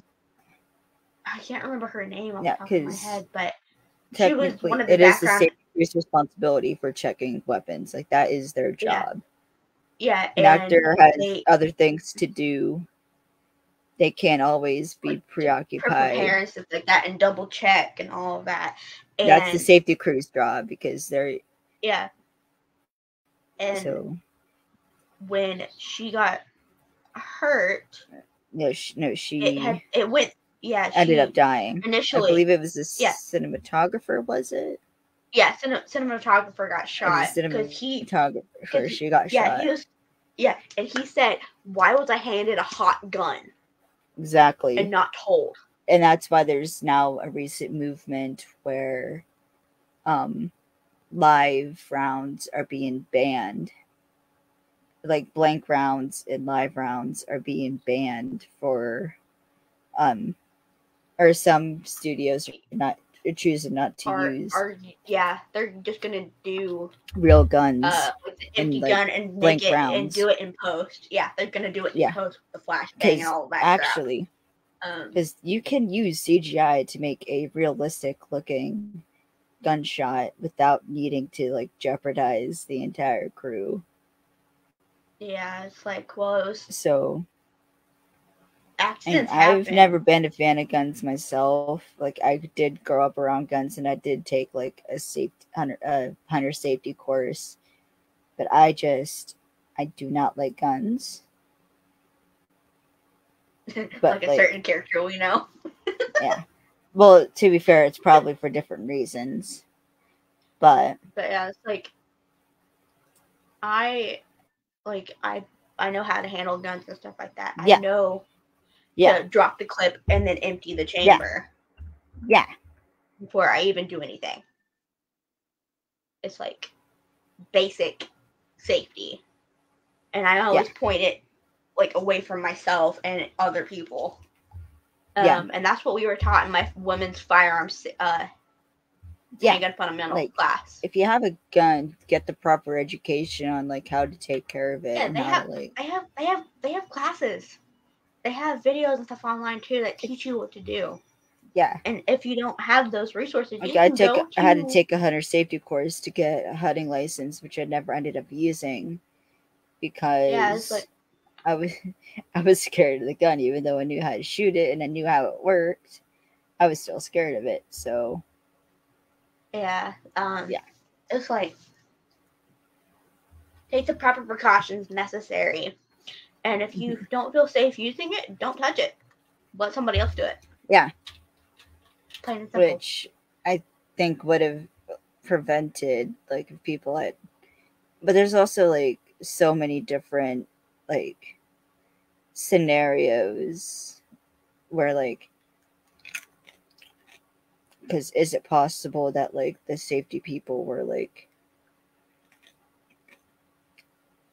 overworked and like were tired so like they just couldn't it was just human error because they were Yeah, like tired mean- and overworked. I mean, it happens like, uh, or even like in the props department and stuff like that. yeah. Like so with there's just a lot of different things. Yeah, it's like accidents happen because it's it's if humanity's involved, accidents are gonna happen no matter what. Mhm. Um, Mhm. but that makes me it makes me think of uh the But- uh, Supernatural season fifteen episode seven fight scene with Christian and uh Jensen where Christian uh breaks the pool cue and Jensen goes like that, but when he went like that, he got cut by the splinters on his face and on his neck. oh yeah it's, He- it's like yeah, he ball- got supposed to be wood but it still splinters Yeah, and he got cut up with it. He's Yeah. like, "Oh yeah, I still have the scar to prove it." hmm But yeah, even in props and stuff, you're still gonna get hurt no matter what. yeah Even if it's like with a uh, a dull knife, the tip of it's still sharp. like Yeah, Jared stabbing because- Jensen in the leg. no jensen stabbed jared did stab Jared in the, in wait the- no yeah, jensen stabbed Yeah, jared yeah, Jensen had the the first blade. it was the hand, Cain blade.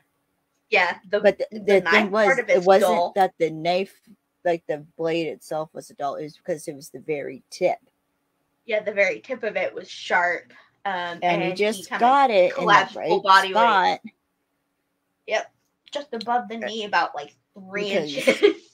How the scene went is Jensen is supposed to collapse into Jared, yeah, and no, Jared is taller, not by a lot, but it's He's a couple inches taller than Jensen. yeah. And this is relevant. Four. He's two inches taller. Yeah. So because Jensen like lowered himself in order to like collapse into Jared, Jared had to bend his knee to like hold Jensen up. Yep. And that's Well- when the knife tip went into And that's when the thigh. knife tip went a good it was like a good like, Like- bit. Like yeah, it was like this- story. It was a good bit. it was like this much into his thigh. Yeah. Just flew into the meat of the so thigh, and you Yeah. can see Jensen's face. He's like in his eyes. He's like, "That's in his leg. That is in his leg. Crap." yeah, I mean But yeah, granted, that's happen. probably mild end of like what could have like gone wrong as like people Yeah. talked about. yeah. It's like accidents happen. but it's important mean- that we like do like Yeah. especially for Jensen like even, props and like, everyone on set a- to like Yeah, Jensen to uh, prevent that from his- happening again and Yeah. to prevent It's like this from happening I mean, Jensen whacked his eye with a sawed-off shotgun, cut himself Mm. right above the eye with the sawed-off shotgun, Mm. getting it out of out of baby's trunk, Oh yeah which is hilarious. all right s- all right we should all right before we go on this subject longer we should probably continue on. we're not even cl- we're still not even close to being done with this episode so all I so now it is to it get is to my favorite bit, i know. The Facebook Live talking part.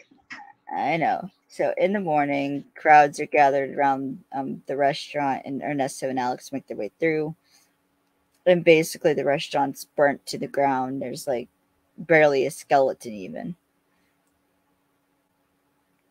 And alex says they know why now they now know why the other cards closed and it's because someone's shaking them down and then alex like he's like getting upset at himself and it's like Bayani warned me to stay out of it and Ernest is like he thought you were protecting him and alex like picks up the bowl and is like yeah hell of a job i did and you can see his like lips quivering He- a bit. Yeah, he feels guilt. which is how you know he's pissed yeah, and he also feels a mix of anger and guilt. Yeah. It's anger that like this person got beaten up. And then the guilt that like it was he thinks it's his fault. So Ernesto and Alex meet Bayani at the hospital. And Bayani's all beat up and he's laying in the hospital bed I was like, We're sorry to bother you, Mr. Bayani, but we need to ask you a few questions. And he closes the curtain. And Ernesto asks him, like, what he can tell them about the attackers. And Bayani staying silent. Yeah, and he kind of like turns his head away and like his, angles his body away from them a little bit. Mhm.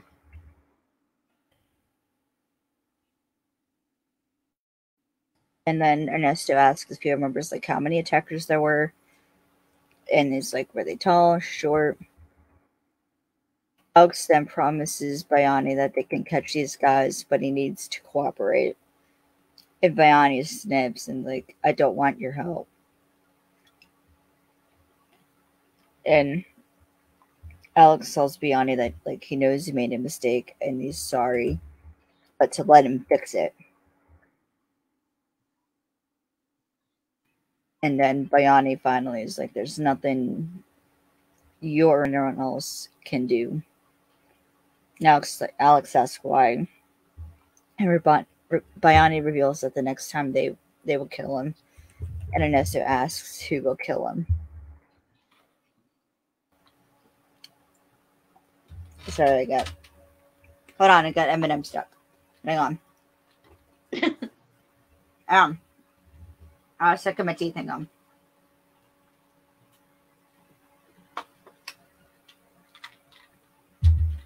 Okay, I am good. Okay. Sorry about that. So, Bayani's sort of like nodding his head no, but Ernest is like, Chef, please. Like pleading. And Bayani like looks away, and Alex is still like shaking. And Ernesto finally has to grab him and like pull him away.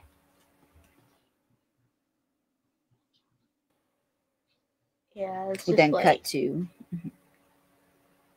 it kind of made me go, oh man. mm, no, because Alex is like feeling guilty. Yeah, see it.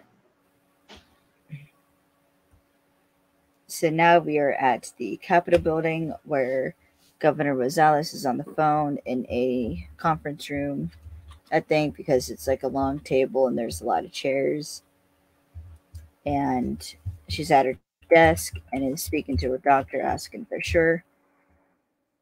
And they're telling her she has to choose between sugar and and if they're telling her she has to choose between sugar and death, she might take death.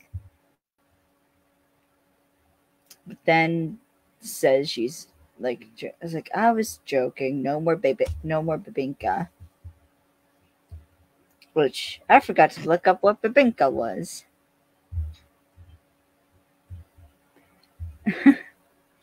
Yeah, it's basic. I looked at what of what it is. It's basically a. Uh, it's like a really sweet like potato cake type of thing. Mm, It's basically a potato version of like a beignet, but really really sweet. ah, okay.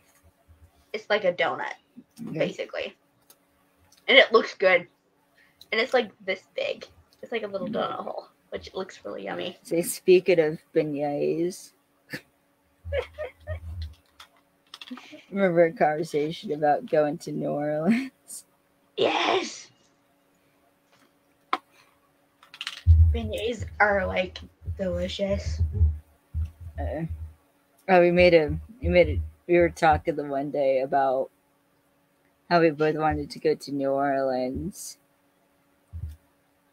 to like not only meet up in person but to like see if we can catch like the redemption crew and if for some reason we could catch like the cast out like Yeah. the cast and cr- or crew even out and inv- and and like, Like- invite them on doing like a special episode in New Orleans and see if we could get like the cast on. Yeah. It's like we could like like I in my mind I'm thinking like we could probably like lure them over. They're like, hey, come on, let's go let's go down to Cafe Du Monde and like have some coffee and have some beignets. News. And I then we tell them about the podcast. Be like, hey, so Yeah. And then I had a dream literally that night. Um, okay, quick side note.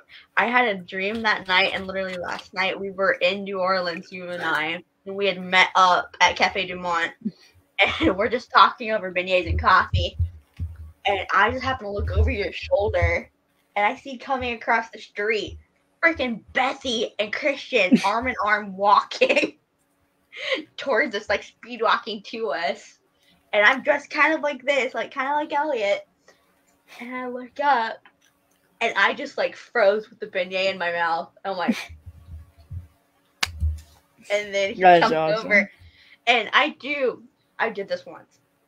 I used to have, we used to have this restaurant in Wichita, um, where I live, uh, that had beignets that were like really big, and they were coated in powdered sugar.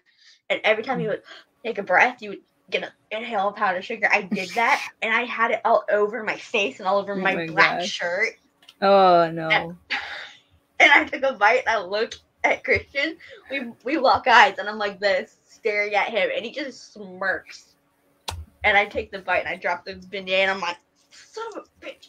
And he's like, Oh my god. and you know what he says to me? He says, hmm. "Watch your language." And I'm like, oh, "Bite me," and that that makes Bethy like giggle, and you just look at me like dumbfounded, and I'm like, Oh my god. that, and then then I hear Aldis freaking Hodge coming behind me, and tr- he tries to take one of my damn beignets, and I slap his hand away. He's like, Oh no. Oh my Give me god. Yeah, like they all like swarm us for some reason. They they wanted to talk to us for something. Oh. I literally did one of this. No, Oh, that's no, awesome. No, no. With Aldis, and he looks so offended because I have like a pile of beignets with the one that I took a bite out of on the Mhm. top, and he's reaching for the one on the very bottom of the pile. And I just slap his hand away like five times, and then I finally do one hard slap, and he pulls his hand back, and he's like, looks at me like dumbfounded. I'm like, ask nicely, and I will give you one. And I just God. smirk at him, and you just start laughing. And Christian just gives you the eyes, and you just you just like ignore him and start laughing even harder. And then, then Aldis and Christian both beg me for one, and I just look at you, and it's like I just give you the look of like, should I? And you just like nod your head, and I was like, all right. And I just picked them up, and I was like, here. And I Oh my god. and they both take it simultaneously, and I'm like, boys. Oh my god. and, and they just look at me like I'm insane. but Bethy starts cracking up even harder, and I'm like, what have I gotten myself into? Orange soda Alright. number two. Oh my god. Alright. I'm almost out of my tea. Jesus Christ. Alright, let's keep going. So Kai walks up and um the assistant gets um Rosales' attention and gestures Kai to go over. Rosales hangs up the phone and says that Kai must be the detective accomplice sent over to join the security detail. Kai introduces herself and they shake hands. Rosales then asks if Kai is there to spy on her campaign, then asks if she's his mole. And Kai's like, I know how this looks, but I assure you I have no agenda. And Rosales makes the comment of like, not yet. I like, I'm sorry. Rosales says that everyone has a pure heart until someone offers them something they want. Kai says all she wants is to keep Cebu safe. And Rosales is like, You're an idealist. Yeah, she I like, she sounded Say that so like it's a bad genuine. thing. Yeah, she sa- sounded so genuine because it was like this is her home. Mhm. Cebu is her home, and of course she would want to defend it. Yeah, because I'm like, like, she tells Alex in that first episode, like, I don't care about the politics. I care about these Yeah. five blocks. This I care about these islands and the people there, people here, starting with these five blocks. Yeah, and you can see the honesty on her face, and I'm like, Yeah. he realizes that they all have a common goal. There's they like Yeah, it's they want to keep people safe. yeah. That's the important part. Yeah. Not the bureaucracy, not the like backstabbing, any of it. The mm-hmm. people is what's important.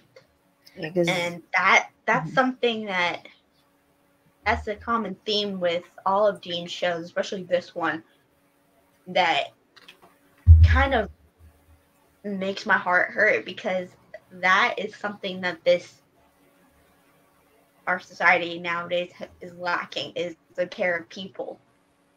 We used to care about people. We used to be like wanting to help fellow neighbor and stuff, but now it's more about political views and all this stuff. But it Mhm. brings this brings that up a little bit, but it has the people aspect more yeah, pronounced, which is good writing on his part, by the way. it is. like Yeah, ideas like that. It's like Mhm. I would like to see more of that.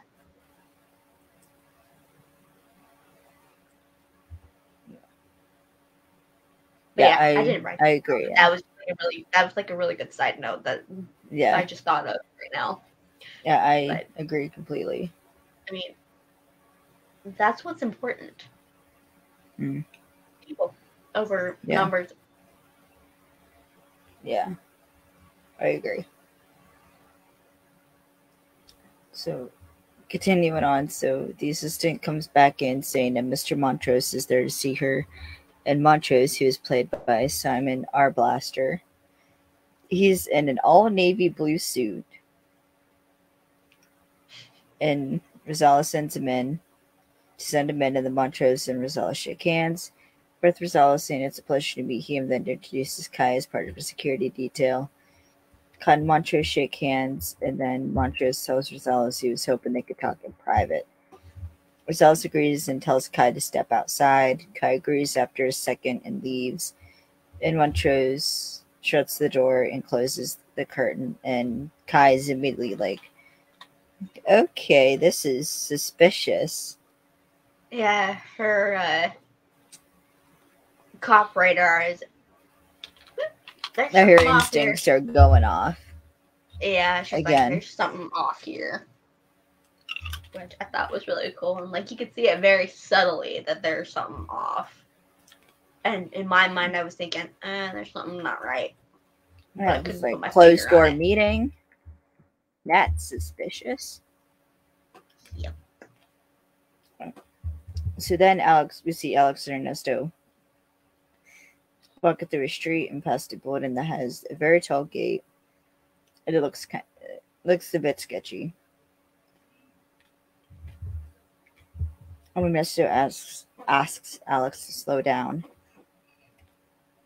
and Alex tells Ernesto he came to Cebu for the culture and not to burn it down.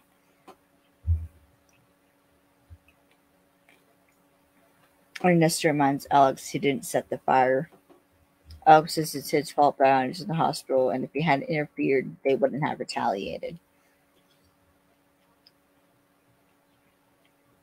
Ernesto says they have no idea why he was targeted. And Alex says they know what he looks like, and he knows what he looks like. And if they find him there, they can arrest him. Alex then asks Nesta if this is the unofficial like bad guy bar of Cebu as they stop at the gate. Sorry. And as Ernesto is trying to tell Alex that he should know before they go in that they don't like surprises, Alex gets bumped by his sta- face tats, gets bumped by face tats and spots him putting his hood up. And it like it, it freezes for a sec, like it slow mo's. Like you see Yeah. Alex turn, spots face tats, putting his hood up, and then it, it comes back as Ernesto says, "They don't like surprises." Then, fucking dumbass starts yelling for face tats to freeze.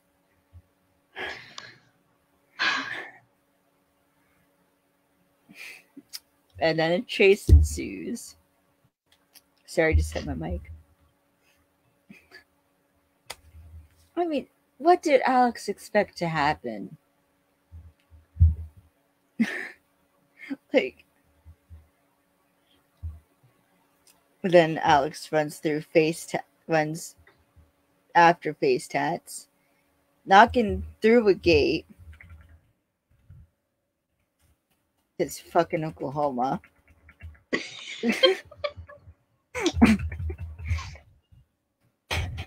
you can't tell me that Christian didn't purposefully see that gate there and tell Dean, I'm going through that gate. He probably did, knowing him. Fucking Oklahoma, man.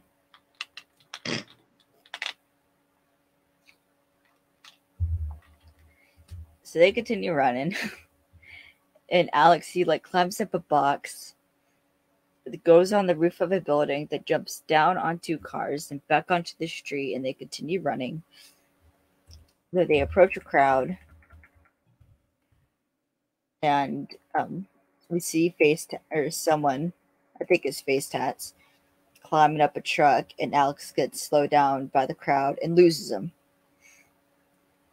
So then Alex turns and sees a little boy, and he's like pointing to one to like the other side. Alex like goes in at that direction, but then we hear the, a dirt bike start, and Face Tat starts riding in from the opposite direction. And Alex just it's funny. He just he points at the boy and is like, "You," and the boy just shrugs, and Alex runs after the dirt bike.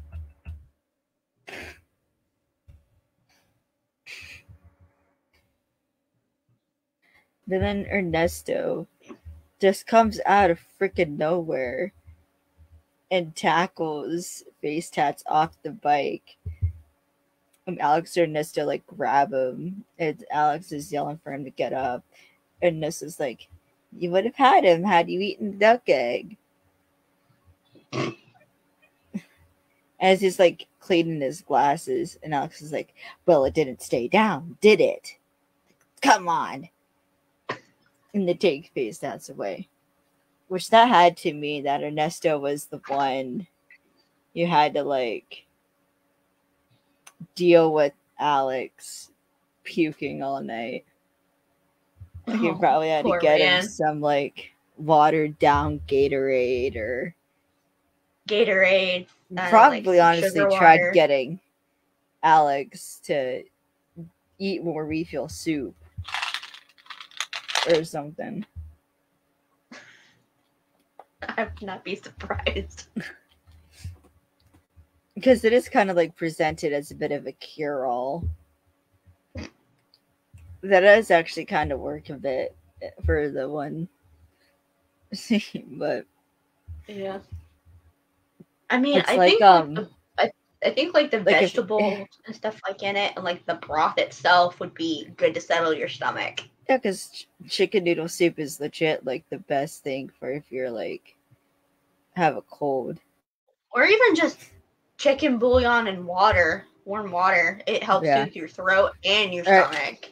Or easier on the stomach is usually like Gator watered down Gatorade is what my mom used to give me, I would do. My mom would give me uh, or ginger ale. Water down, yeah, watered down Yeah. ginger ale. Watered down uh, ginger ale.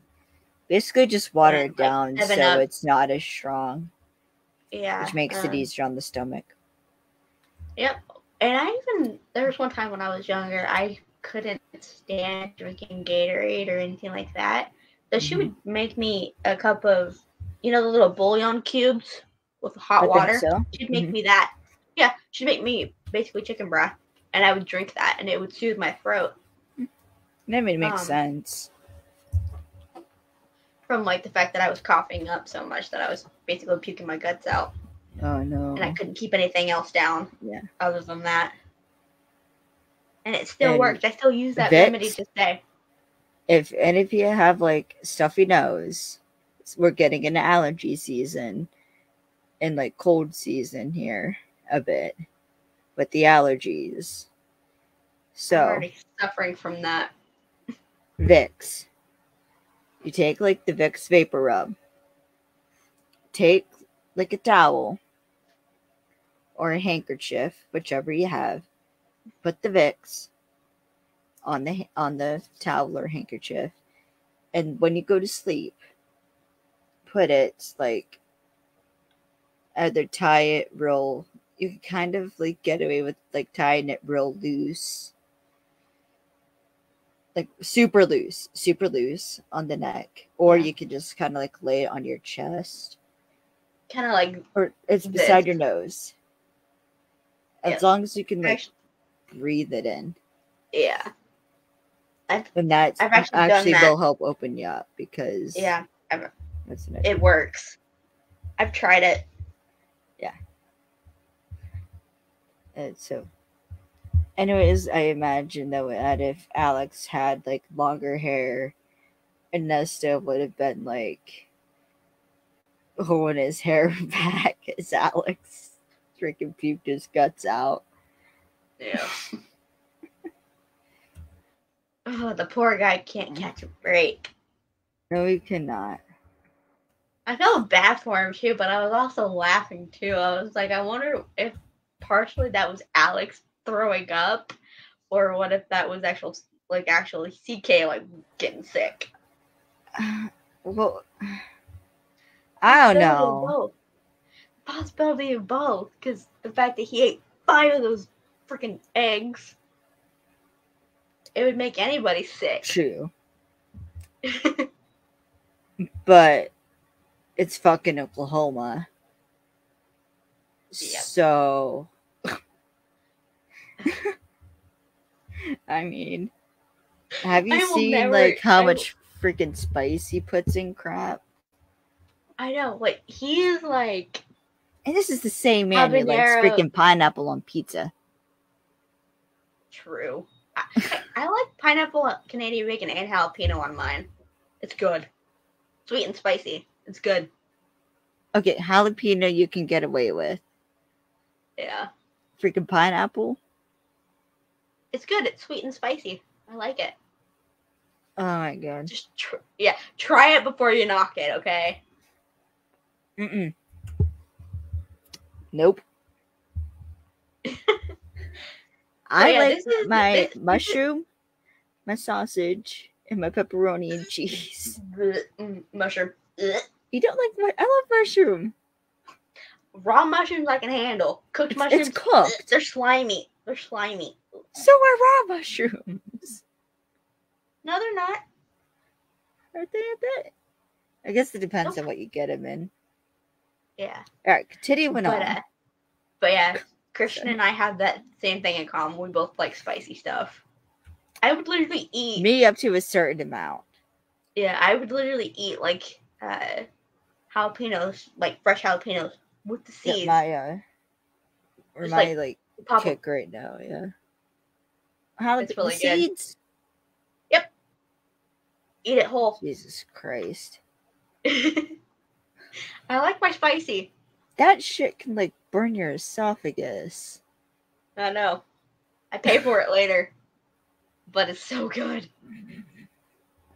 Now my kick actually right now is you um shrimp with pineapple, peppers, onions, and sweet and sour sauce. Then you c- put that over um rice, just white rice. That And that is literally like the best actually- meal ever. yeah, that's actually really good. It was like that's basically like a. It's like they have. There's this Chinese place that we have here that's got like this. It's like a. It's like that, but it was like with Yeah, coconut. I've been trying to expand my palate because It's good, and I mean, it's like um, I have the stuff to make that, and I think I might make it uh, one night. it is good. But instead of using shrimp, because I'm not really a big shrimp fan, I'm gonna We try can it probably chicken. use chicken. Yeah, you I can was gonna just say, I was swap shrimp for chicken, chicken. and it'll be the same thing. That'd be good. All right, That sounds continue. good. Dang I'm making myself hungry. all right, continuing on. You got snacks. Continuing on. Not anymore. Right. You ate all your snacks. Darn. It's fine. Continuing on. So we go back to the Capitol building where Kai's waiting outside the office. So Montrose is yelling about this being a good deal and storms out of the office. And Kai is like perked up, like, oh, yelling. Not good. Rosella steps out and sees he's gone.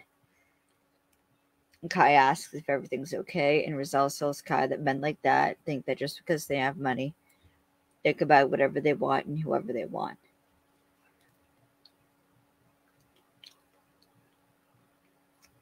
Which I can't tell.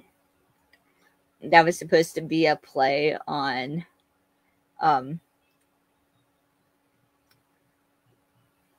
like um people like that corporations like that they have all the money they have all the power and they use it to make people like or if that was like a play on a like that famous line where it's like the leverage where it's um, people like that corporations corporations like that they have all the money they have all the power and use it to make people like you go away right now. You're suffering under an enormous weight we provide Yeah, leverage yeah. I actually think that that. Um, there had to be a play yeah, definitely. because i heard that line i was like I was like, this feels that sounds like something nate me. said oh then we get a bit um intense because then we cut to the police interrogation scene.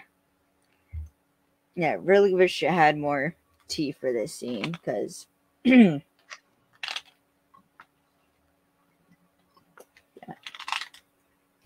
Because whew.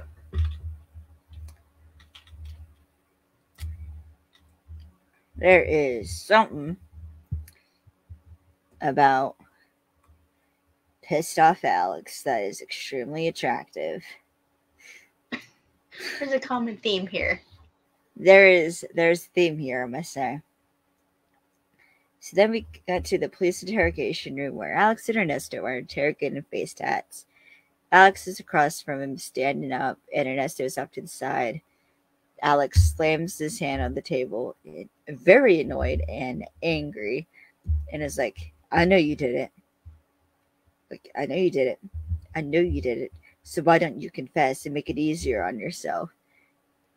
Face Tats then starts laughing manically, telling Ernesto his friend has anger issues. Ernesto says he's working on it, and is huh, Alex. He like he slides, he slides across the table, then gets in Face Tat's face and is like, "You think this is angry? You think this is angry? I'm not even annoyed, man. You want to see angry, punk?" He's like, I'm not even there yet, but you're pushing it. But it also reminds me of the scene from like Avengers Age of Ultron where Bruce is like where Bruce Banner is like he tells Wanda like you think this is angry? I could choke the life out of you and wouldn't change a shade. That's dark.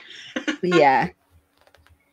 No, but like that's because like the idea of like you think you've seen angry, like I like you have not seen angry out of me, buddy boy.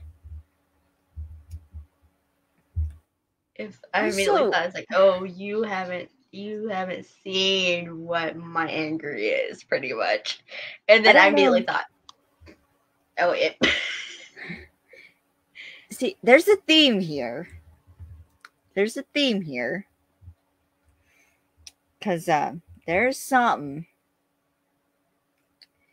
I don't know if this is like what this is exactly from. There is something about CK playing pissed off that's a little sexy. Because when he's pissed off, the gravelly in his voice comes out a bit more. And I love that gravel in his voice. It's like and the slide was just was hot. Like, it was like- okay. I kind of want to see if there's a gag reel of him like sliding completely off the table onto Yeah, his butt. So hold on, hold on. I have about the gag reel. no, one does exist. Okay, according to the Facebook Live, and Dean Devlin. I know! I've taken it as w- true because it's from Dean Devlin himself. There is in some vault somewhere there is a gag reel.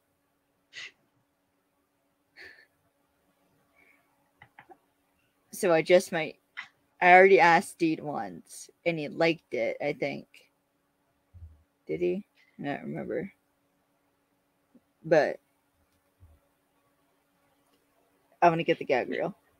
Yeah, he, like he, he- I I asked him like when are we gonna get in, getting the gag reel? Like when are you gonna release the Almost Paradise gag reel? He's like soon, and he said that to me. I was like, son of a.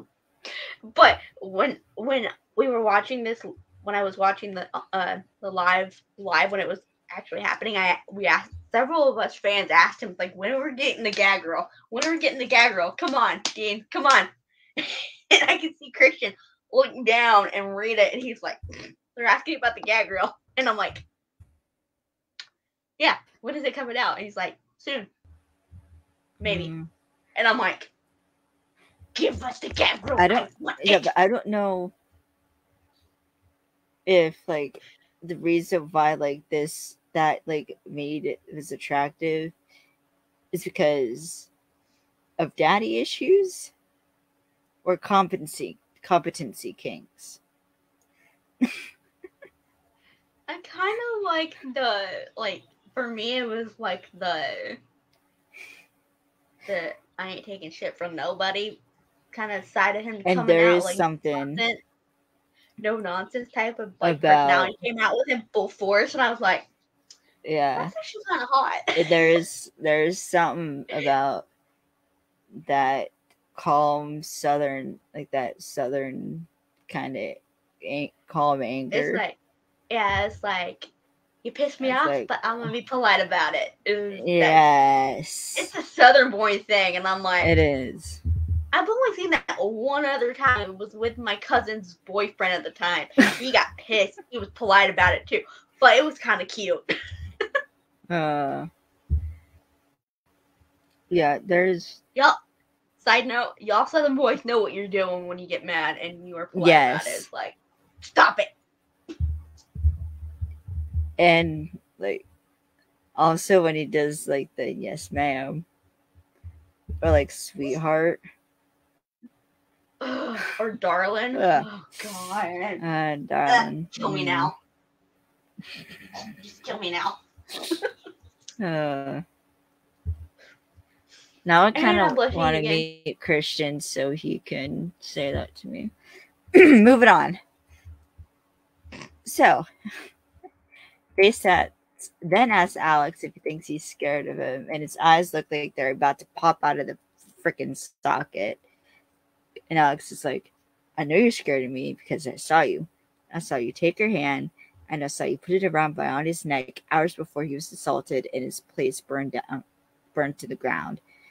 And his hands, like, oh god, this is gonna sound. This is gonna just sound dirty, so I'm just gonna go at it full force here. oh god, call me now. So, like at first, like Alex's like hand is like close, but there's you can still see that there's a bit of like a gap. Then he's like shaking it, but then there's a point where he's actually like touching. Like by the end of that, like whole thing, he's like touching the throat.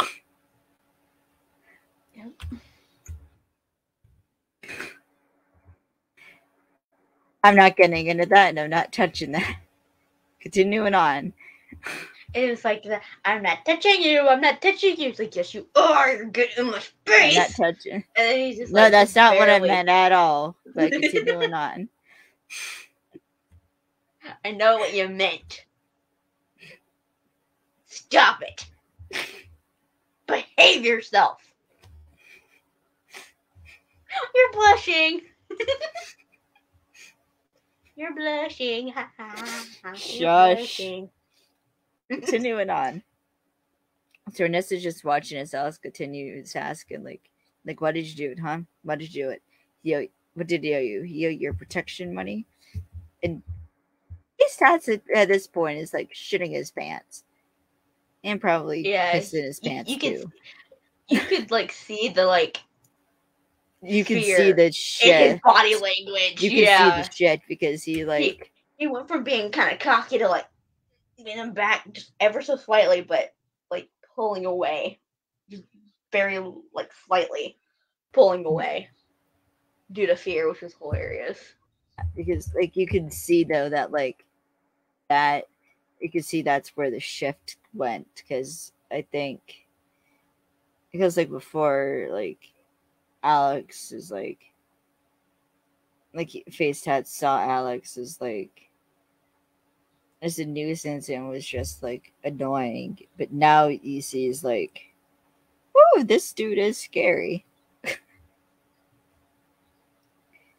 And like he nearly got away with like choking me. And is like actually angry right now and is like in my space.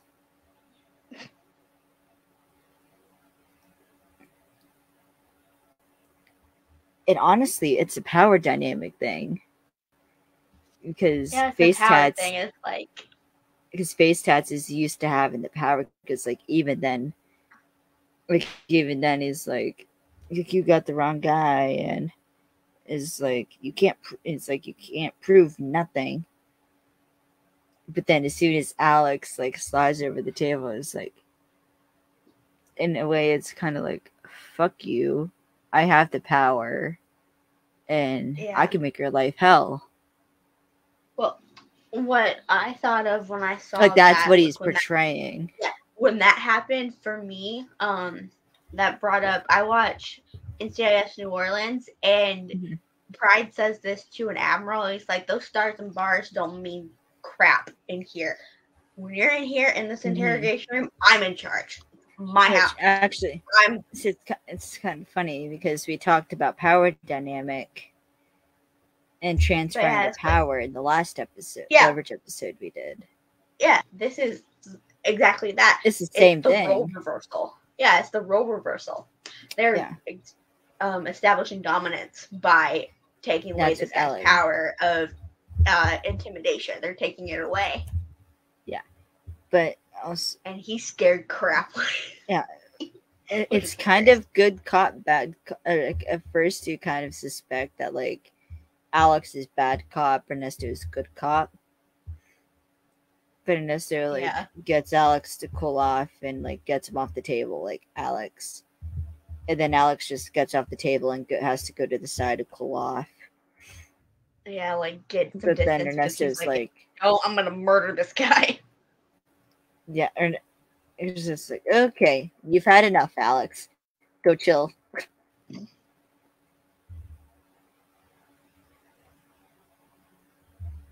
and Ernesto's like, we get one witness. You go to prison for a long time. Not the local jail, like big boy lockup. And that's also where like Ernesto gets the power. Like, we just get like one person to like testify. Like, we get one witness. Like, you're not going to the local jail where like you probably have buddies. To like protect. you You're going to the big boy lockup. I like how he phrases that. He's like, It "No, is, You're going to big boy jail. You're going to big boy jail where you're defending yourself against but a I guy think named Boba. that's why this works. yeah. But that is how that works. It's just like, funny. like you're gonna go to prison for a long time, but it's not gonna be the local jail where like we can enjoy it, or you'll have a more pleasant Be, experience. yeah, be safe and stuff like that. It's gonna be where you're fighting for your life to stay alive. Yeah, it's like like you're going to the big boy lockup, like you're screwed. And Yep. because he's running, because then Face Out starts running scared after that, and is like, "Yeah, nothing on me." And this is like, "Oh, Mr. Walker here was the witness, was witness to your assault and attempted extortion." And that's- tries to backpedal and lie his way out of it, but it's not true. It's not working. I mean, Alex would technically count as a witness. I mean, Yeah, because he saw it happen and he stopped it from getting worse. yeah. Well, So- sort of. Well, he counts as a witness. Yeah. so I think at that moment, Face Tat's like, shit. Because, like, he has that one witness. Yep. It's like crap. And then he's like, they're then reveals they're not going to stop nothing. And he's just a guy who takes orders. Alex starts from who and face ta- uh, Alex asks from who. And Face Tats asks, or Face Tat says, if he tells him that he's dead, and Alex just sits down and stares. Like, like it's the way he like slouches down in his seat and starts like looking at Face Tats. It's like, you could end up dead anyway, so you better start talking. a bit. Was that not what it was? Yeah, a little bit. He's like, kind of had the like, Like well, you're damned if you do, if you're damned if you don't, buddy. It's like, well, it's your funeral, bud. Because that is kind of like the situation they put Fate's stats in. I- I like how he is kind of damned it- if he does and damned if he I don't. like, I like how Ernesto played it, where they had the shop owner as being dead, but in reality he was just fine. So they're playing with his mind a little bit. They're implying that he killed him. assault. No, they just say Very. They don't mention anything about. Like, Yeah, they're implying that they know something that he doesn't. They're implying that Yeah. they know something he doesn't, which I thought was really kind of cool. And that's a psycho that's a psychology like hack. You try to Mhm. make them kind of doubt what their perception is, which is really Mhm. really cool and really fun to do. I've done Mhm. it to my characters several times in the in my stories. It's hilarious. All right. All right. Continuing on. So, all right. So Alex and Ernesto were done seen walking through the hallway of the police station. Alex says they have to find out who he's working for, and Ernesto said the free and it's like you said, a few cells have been shut down all over the all over the town recently, right? This is like, yeah, and Alex guesses that Face Tats isn't the only thug shaking down chefs, and Ernesto it's like, why does it? It's like, it feels like you're headed towards one of those ideas that puts me in mortal danger. It's like the, I'm in danger. Yeah, it is kind of what it's like. Is like, oh, you're gonna get me involved in something that's gonna put me in danger. App. mm-hmm. And Alex says that if like he ain't gonna give up his crime boss, they're gonna they'll see if his crime boss will come to them as they exit the station. So basically they're gonna their plan is to like put a little bait out there and see what who bites, essentially. So we're gonna which I mean Nate uh did say or as Nathan Ford once said when asked how they were gonna find someone's secrets, Nathan did say they're gonna crawl into that rock with them. So yeah.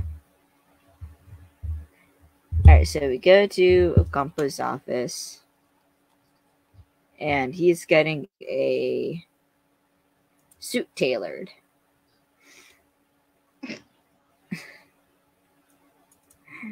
and for some reason he's obsessed with the padding in his shoulders.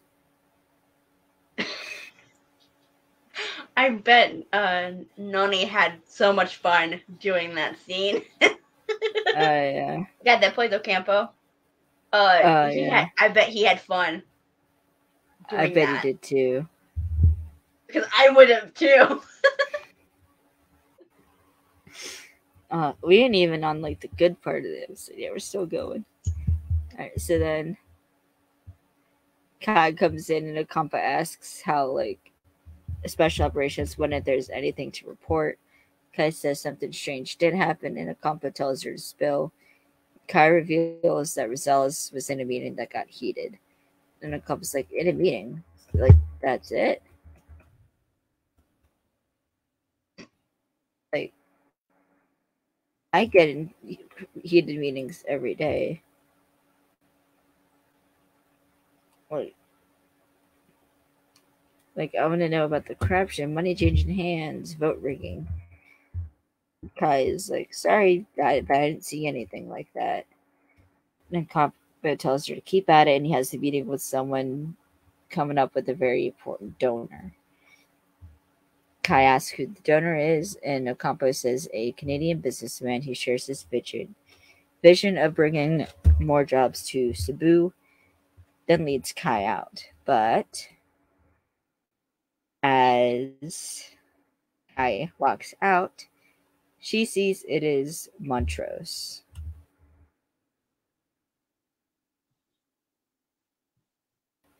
So they sort of share a look of like, I know, and I know you know.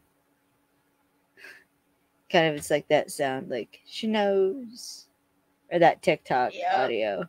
Like, Mhm. She knows, It's and I like know she knows.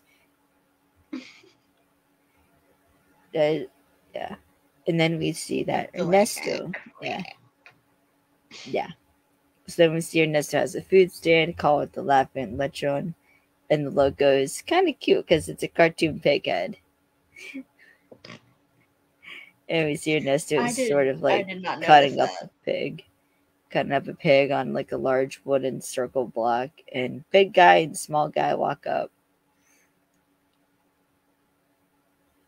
And small guy says "You must be new around here, and Ernesto tells him he has the finest lechon in the Philippines, and it's fresh off the spit.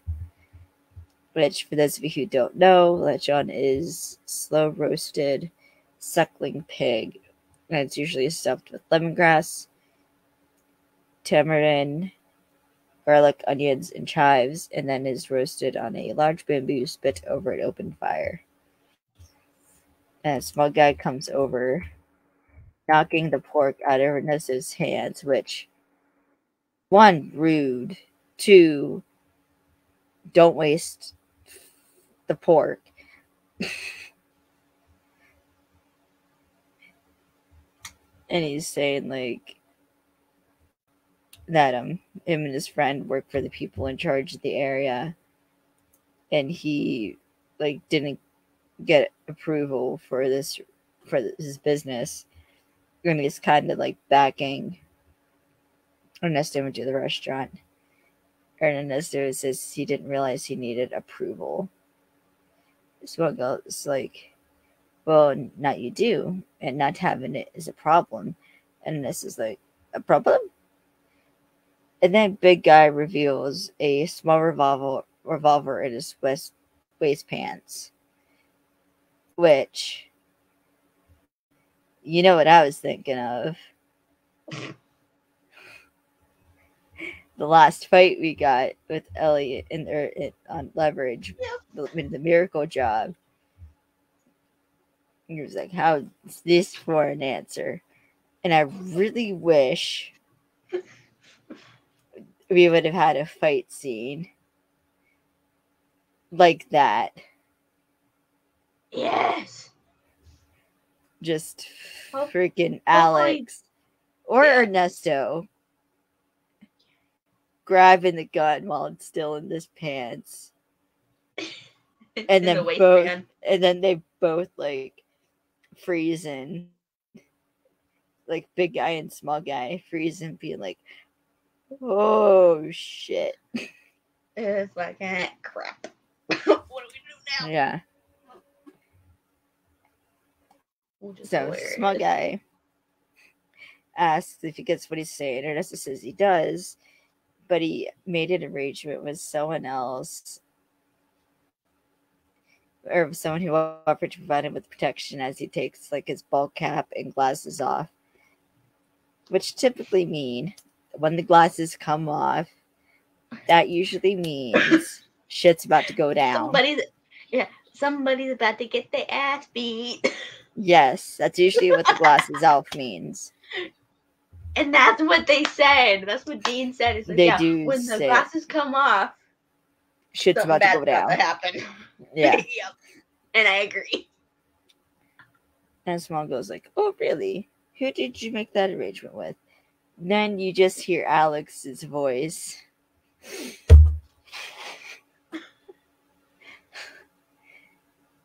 And he's like, "Senoras," with the Spanish accent. And then we see Alex. He's sitting down. He's in like, he's in like all white. He has like a white dress shirt, like a white. I think it's like a white wife beater underneath, and then white pants. And he has a long Chilversay necklace that has a guitar guitar pick pendant, and a tan hat with like a black stripe, wearing chin fluff. He has freaking chin fluff on, but it's not even like make his beard bigger. It's like literally his chin, just to make like his chin, be, like his chin beard, like longer. Yep. It's like, uh, why? there, okay, there there's a there's a funny little like tidbit. Uh, can I share? I know exactly what you're talking about because this this Mhm. this freaking makes me crack up every time. Um, but the adhesive that they used stuck to CK's actual little stubble beard, and so so when Kai pulled it off, He the ripped out his actual did- hair. the little yelp he did, the little like like that little grim the grimace that he did, that was real. It pulls his actual chin hair out. The You stubble, yeah. serious? Yes. Oh my god.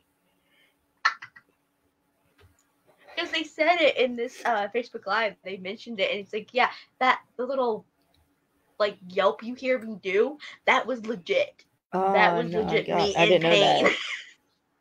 I didn't well, know you that. But uh, here's also sipping tea. They're sipping something out of a cup. And it's like, Alex tells him he's the man he's looking for. But see, this necklace, we, br- we talked about it earlier, but this necklace is actually something that CK usually wears for his roles. And Yeah, it's something that he, he's worn it when he's played Eliot. Yeah, and it's ac- it's actually I actually found out uh, what it was 'cause he talked about it in an interview. It's a uh, You see, there's a story French. behind the necklace. it's I a, know. yeah, it's a it's a French uh, coin in the shape of a guitar pick in honor of his mom and his Oh, it's a fur- New Orleans heritage fleur-de-lis, ain't it? Yeah. Yep, in the shape of a guitar pick Ah, that oh, that's Uh, cool. That's friend in of honor his of his mom. him. Yeah, that a friend of his gave uh, him. And I was like, oh, that's really sweet to honor your mom That that, way. cool. And when he talks it, usually he looks down at it and like kind of think plays I with know. it. Uh, mhm. it's- I know he wears cute. it as Elliot, but does he wear it as Jake and Lindsay? Mhm. I can see the chain. It's tucked. Did he wear it in clothes. Think so. I'm gonna have to rewatch that movie now. That's that's actually on my list. Is Hide, which is it's it's a really fucked up movie, but it's good. Anyways, continuing on because we're almost two hours forty minutes into this and I'm only about halfway done with my notes. So Alex goes up to the goons and is introducing him. He introduces himself as Diego Caballos, and Ernesto is under his protection, and he kind of has his hands on his hip. Ifs and they're all like, like what, what, like what, and they all just start laughing. But then, like the big guy but then big guy pulls the revolver up at Alex, like smacks it out of his hand. like I think he like what he like grabs the wrist. Like he grabs like the wrist with his one hand Yeah. to like keep the gun away and not on the to the ground, like pointing to the ground, and then like smacks out of his hand, but then gets tossed into a crate. And Anissa takes on the small guy. Alex gets tossed up against the fence, but he drops his accent. This is like, "Ah, I just bought that hat. and then Ernesto uses the like the wooden block to like take down the small guy. He does Alex does this really interesting like gut face punch because he like jumps up a bit too. Yeah. Yeah. Okay. So the only like he, the only like, movie that Punches him in the gut and then hops up to get the yeah, and does like the he doesn't hit him with his hand. He hits him with the side of his arm, like in the face. oh, Yeah. yeah. Yeah, he does what's called the tooth fairy with the arm, and it's like no, I that. that's actually a really good spot to hit. It's like with your forearm or your elbow, and hit somebody in the No, well, face. that's um, The- that's Muay Thai, ain't it? Like elbows and knees. Uh, that's uh Kali. It's all elbows Ah. and you block. Uh, Muay Thai is more open-handed and throwing punches. It's kickboxing. Ah, Uh, Kali okay. is blocking. Sure. I do know a little bit about um stunt fighting and different fighting styles, but I never actually like trained in any. So, apologies. But, anyways, the fighting continues. Ernesto's like getting stuff thrown at him as Alex gets tossed into his shack. Ernesto's doing better than Alex. I'm sorry. Alex is just getting tossed around like a freaking rag doll. Yep. And then this is just freaking weird. Because then big guy. Oh, what did you freaking send me? In that picture, you can see the Oh, chain. Chain. you can see the yeah, chain I of his necklace. Yeah. I know. You could usually see the chain. Anyways, Oh, yeah. There's only a handful of Alex. episode of. Uh, er, the, the big guy like like picks up a pitchfork and stares Alex down. And I'm like pretty sure he's like flexing like the pec mus- muscles. I Okay. swore I saw I, I I saw it go up. Just Down now it's just like he but he like he puts back on the X. like but what are you gonna do with that?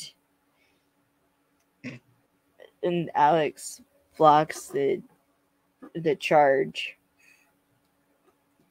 Pins big guy against the shack, and Ernesto dodges small guy's charge and hits him with the chair. Big guy tells Alex he's gonna burn. Then Alex is like, "No, we are going to burn." And he like it's actually kind of cool because he uses he used leverage. no, because think about it. So he, so he has like, he has like the pitch. He's holding like the pitchfork, right? Mhm. Dudes against the shack.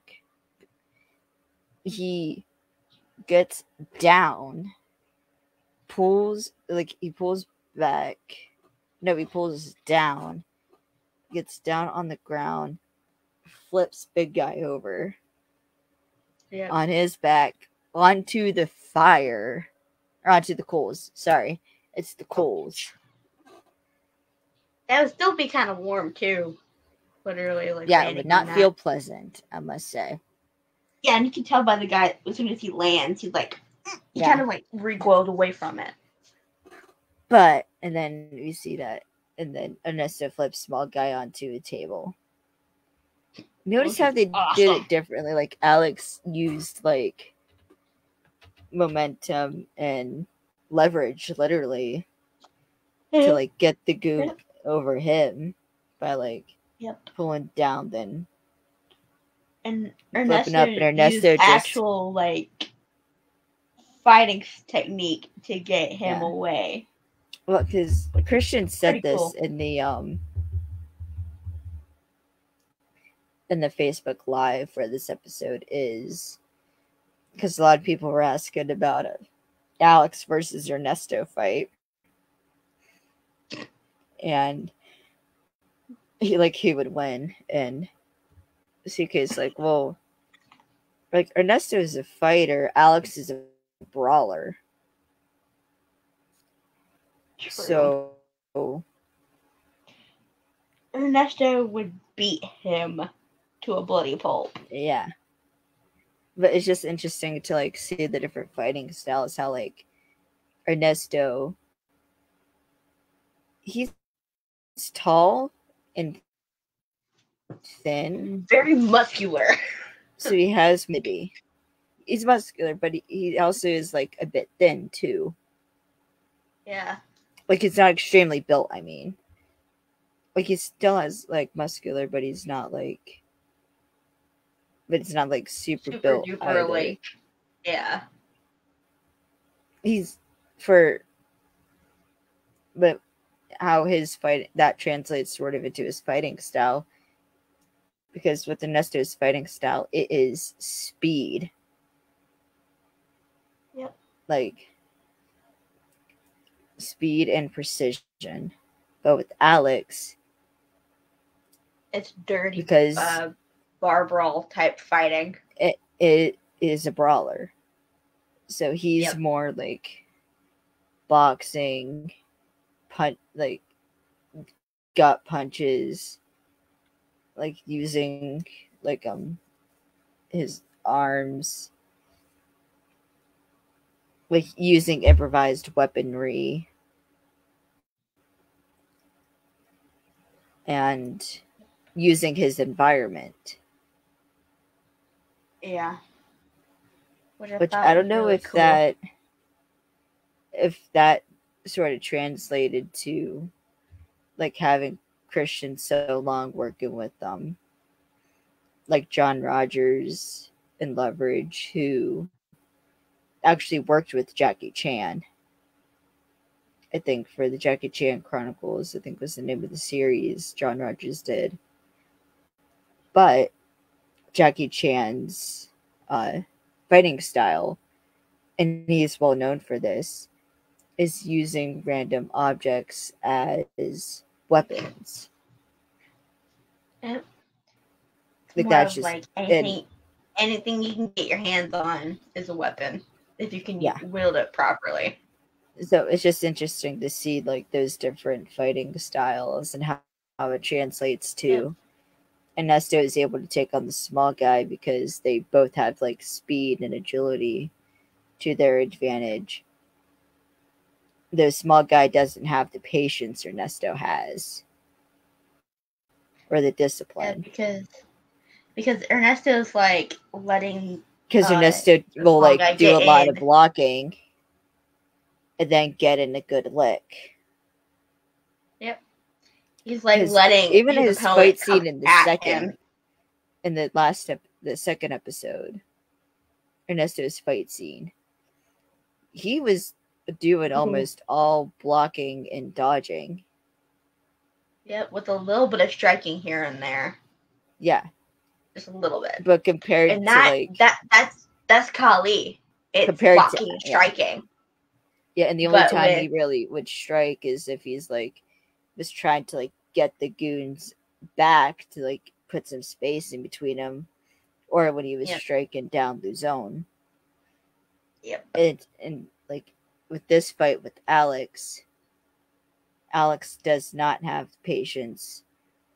At any fight Alex is in, you can see he like he does not have the discipline. He's going like punches. He's Bare knuckle, like I wanna I wanna get these guys down as fast as possible, sort of yeah, way of fighting.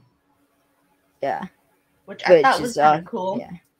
And that's uh, because, and that's uh, because, you know how CK's been a brawler and stuff on most of his like shows and stuff that he's been on, and um, on on this he's fight coordinator and stunt coordinator, so he's Yeah, he does have to work. choreographing all of this. So yeah, Yeah, he kind of it does. kinda- he coordinates yeah. with the stunt crew and stunt coordinators. um, but he's like the head guy that they go to for like advice. Um, but then like on Angel and stuff like Yeah. that, he had a fight coordinator helping him plan out the fights, but he was doing his own stunts. Same with Leverage, and they kind of took his his background in college. like he does have his stunt double, yeah, but they he rarely uses him. but yeah, just barely. Um, Yeah. But it's cool to see that they brought the different variation of fighting styles. Yeah, because like I mean Ernesto, I think might have been able to take on Big Guy. Maybe. But like but because you would think like you would want like your tall guy because Ernesto's kind of tall Yeah, tall and skinny. i think A little bit. Ernesto's a bit tall he's he's a bit on the taller taller skinny side which is perfectly fine but you would ex- almost you kind of what I've expected like Ernesto to go up against big guy and Alex with small guy. Because just height wise. But Alex, because right off the bat, Ernesto is blocking. Like he's blocking and dodging. And first thing Alex does, disarms the gun. Yep. But because as he disarms the gun, he gets tossed into the shack. So that does it does make sense with their fighting styles, and I just find that interesting.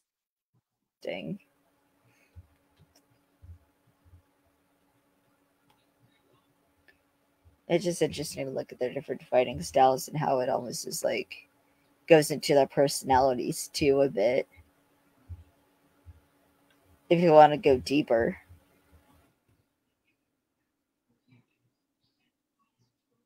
Are you frozen?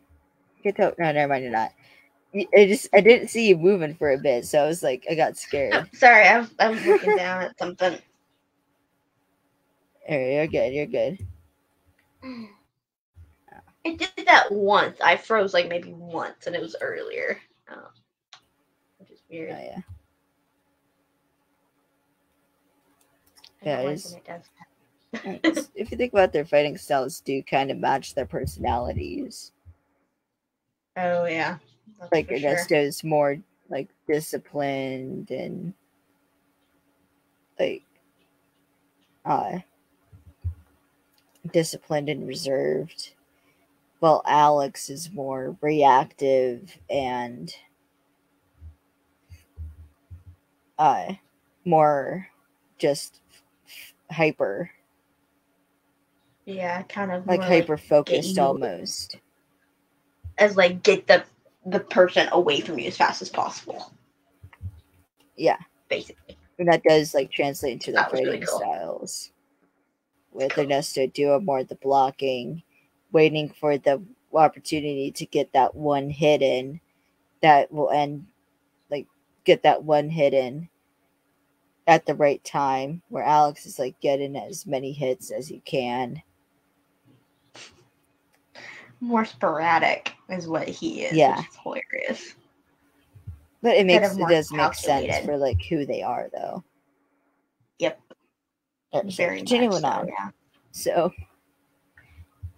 we then see that big guy and small guy are tied up. Big guy on the spit pole, and small guy on the support beam. And uh, I have to bring it up. CK's Alex's Spanish accent. Because you can hear the Texas drawl. Okay.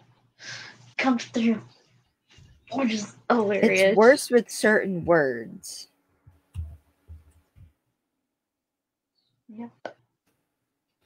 I could just hear like the Texas come out. And it drives me nuts. It's I find it funny. I find it funny. Yeah, But also it's it is like funny. It just drives me nuts. Really? Really, man? Really? Alright, so Alex keeps the accent going and tells the goon their boss is gonna have to pay for his dry cleaning as Alex puts his hat back on. And small guy tells Alex that their boss is gonna have him killed, calling him Spanish fly. And Alex is like, You're in no position to make threats. Which I mean, That's funny. Then Alex asks why they're trying to shake down his clients. And Big Guy reveals that they just want to make people move along and they don't want money just for them to leave. Alex asks who their boss is, and Big Guy's like, You know, we can't tell you that. So Alex, Jen, this is funny. Alex then turns to Ernesto and is like, Well, it looks like we're gonna have to slow roast them, chef. Tell me, how would you like your low level criminals cooked? Your low level criminals cooked. And that's just like, well done. And that's just like, all right, well done. Let's start with the big one. and he loses his shit. It was hilarious to see that, and I was like, "How did y'all not break character?" Because they probably did. They probably broke character at least twice. That was so Probably. funny.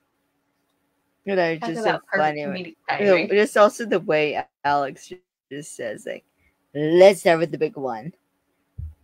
And like he starts freaking out as like they Yep. because they go to like move the spit. The big guy fesses up and is like, All right, we'll tell you what you want. And Alex just cocks his head like, All right. Start talking. Then Kai's at her desk and we see Montrose walk out of Ocampo's office and he's laughing and they say goodbyes as Montrose leaves.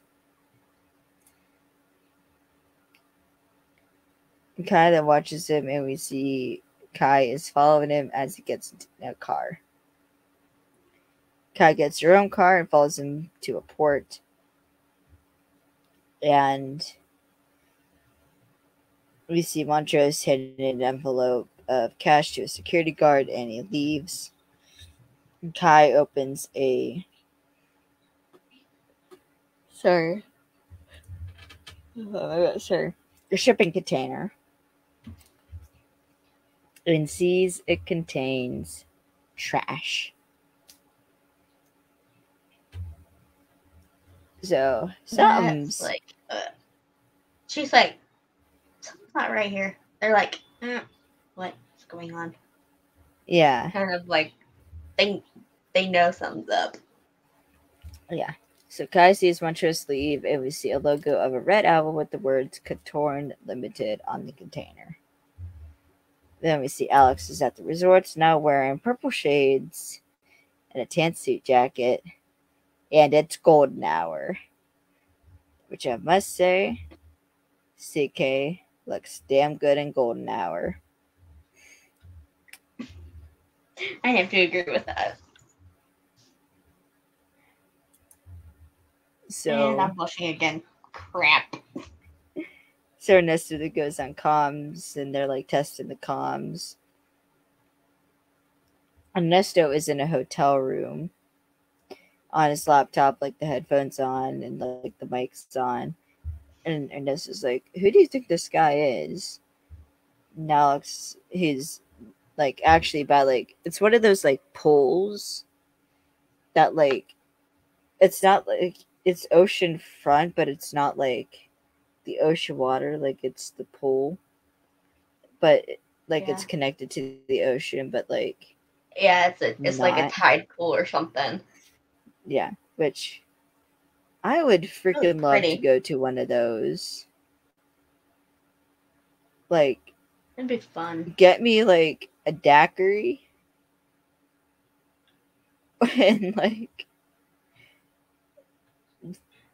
give me some like music. I would Yeah, be like in heaven. hang out. Yep, I would need a book, a daiquiri, and just some good music, and a place to hang out. Yeah, that's That's all all you I want. need. That's all you need.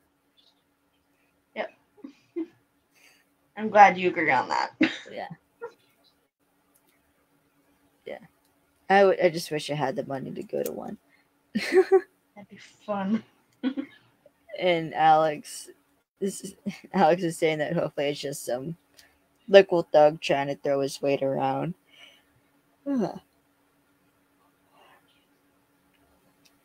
And then um Ernesto sees on the security footage that Montrose arrived and you see like in the camera footage Montrose is uh Montrose goes in and you see Kai pull up right behind him. And then Alex reports that cavalry is coming.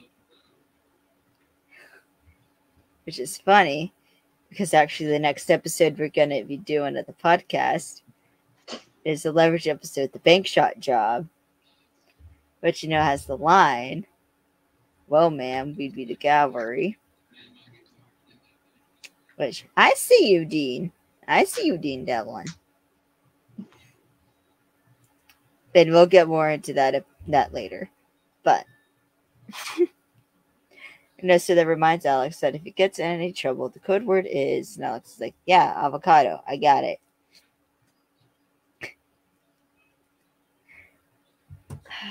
avocado, I swear. Then big guy and small guy walk up. walk up as Alex puts the sunglasses away, and big guy says he's on his way. Alex, like he has to like clear his throat and puts back on the Spanish accent. It's like, I'm in, in no rush. Uh, then a waitress comes over with a drink on a tray, and Alex accepts it. It's like, gracias, bonita. Which translates to thank you, beautiful in Spanish. And she just walks away, and so do the goons, which.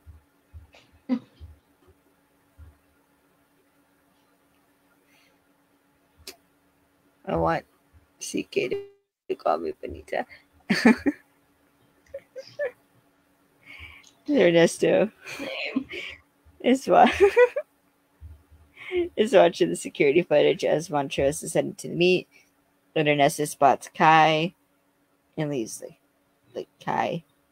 And then Fran's like, shit, you could blow this. And then so he leaves the hotel room and Kai heads to the main lobby while Montrose is flirting with some women. And then Montrose then walks up to Alex and Kai sees it's Alex and is like Walker? And then Ernesto like like he grabs her like he he like comes from like he grabs her shoulder turns her to him like puts his finger up to his like puts his finger up to his mouth and then is like Just like, it's like nodding to like like he's like basically like, telling her, quiet me, be quiet." like quiet. Follow me. Let's go. Then there's like the come on finger. As Montrose sits uh, beside alex. So basically ernesto stopped kai from blowing the op so Montrose says he hears alex is the man that's trying to mess with his business alex says no he's messing with his business and he runs the area where his two compadres where he met his two compadres and has no idea who Montrose is. And Montrose is like, Who am I, Mr. Caballos? And then snaps his fingers, and a red laser dot appears on Alex's chest. It could kind of see him like tense up a bit. As Montrose says, he's the man in charge. As three more dots appear. So there's four total dots. And but you can see that like he looks up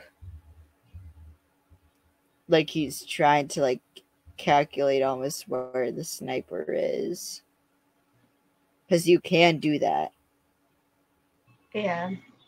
Depending on like the angle of like where the dot is. there's a lot of there's a whole lot of math i don't know because i suck at math.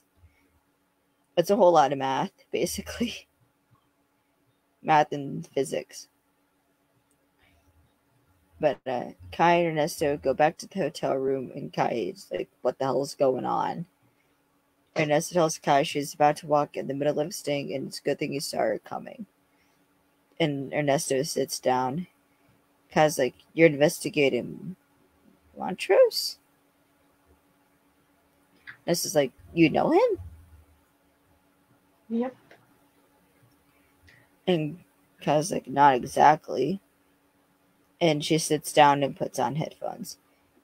Alex tells Montrose, still not dropping the accent, that there's no need to the- for theatrics and to tell his snipers to stand down. And Alex or Ernesto has his headphones on, and him and Kai are back at the hotel room. Like, did he just say like? Did he just say snipers? Is there more than one? Like, Alex, are we in an avocado situation?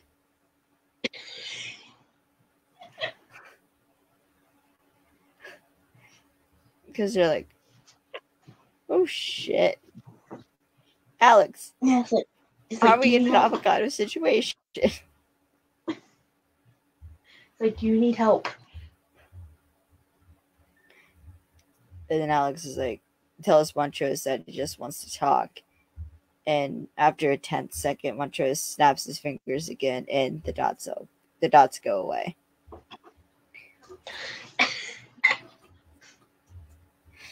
So Montrose asks all kinda- Ale- Yeah, they kind of like panicked. Yeah, not he's like, hearing him say anything. This dude. So Montrose asks what Alex wants to talk about, and Alex says he wants to know why. Yeah, sure. Why Montrose and his goons, um, or, or as Alex calls them, pandilleros, or pandilleros, which is just Spanish for like a goon or a thug who chases down his clients. Montrose asks like what clients and Alex is the chefs. Like the one uh they tried attacking today.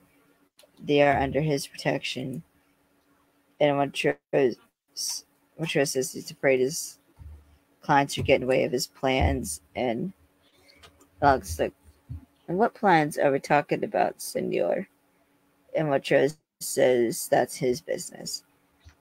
And back at the room,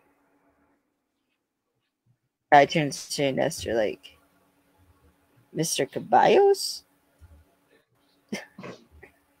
and she just like puts her head on her or puts her hand on her face. And it's like, yeah. I thought was funny. hmm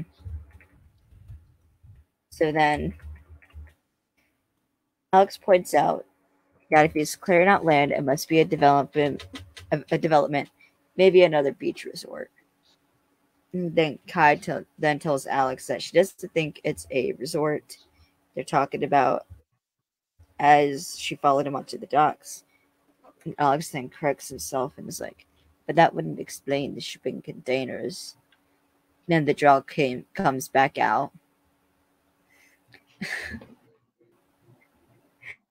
Is like, excuse me, how did you? But Alex is that one, like the ones Montrose expected earlier today, the ones filled with trash. Yeah. Oh my god. It is midnight where I'm at. It's 11 o'clock here. Oh my god. Okay. So the, the container is full of trash. And then another waitress comes by with the drink. Then she has her hand on, like, puts her hand on Alex's chest as she leaves. Which, uh, I must say, she does look pretty, pretty because she's in this, like, nice white floral bikini top with, like, the dark blue boy shorts. And, uh, roll number seven. Am I right?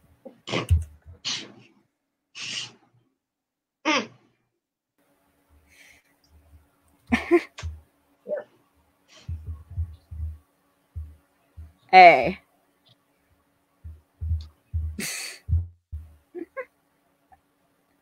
We've all we've all thought about breaking rule seven at some point.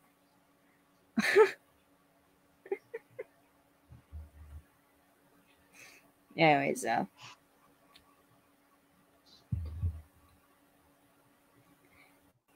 Kai then explains to some, er, but don't actually break rule seven. Okay. don't actually. We've had this discussion. It Goes both ways, people. I know rule Yeah. number seven. We all know rule number seven. If you forget, rule number seven says you can't touch the women, but they can grab whatever they want to. But that goes both ways.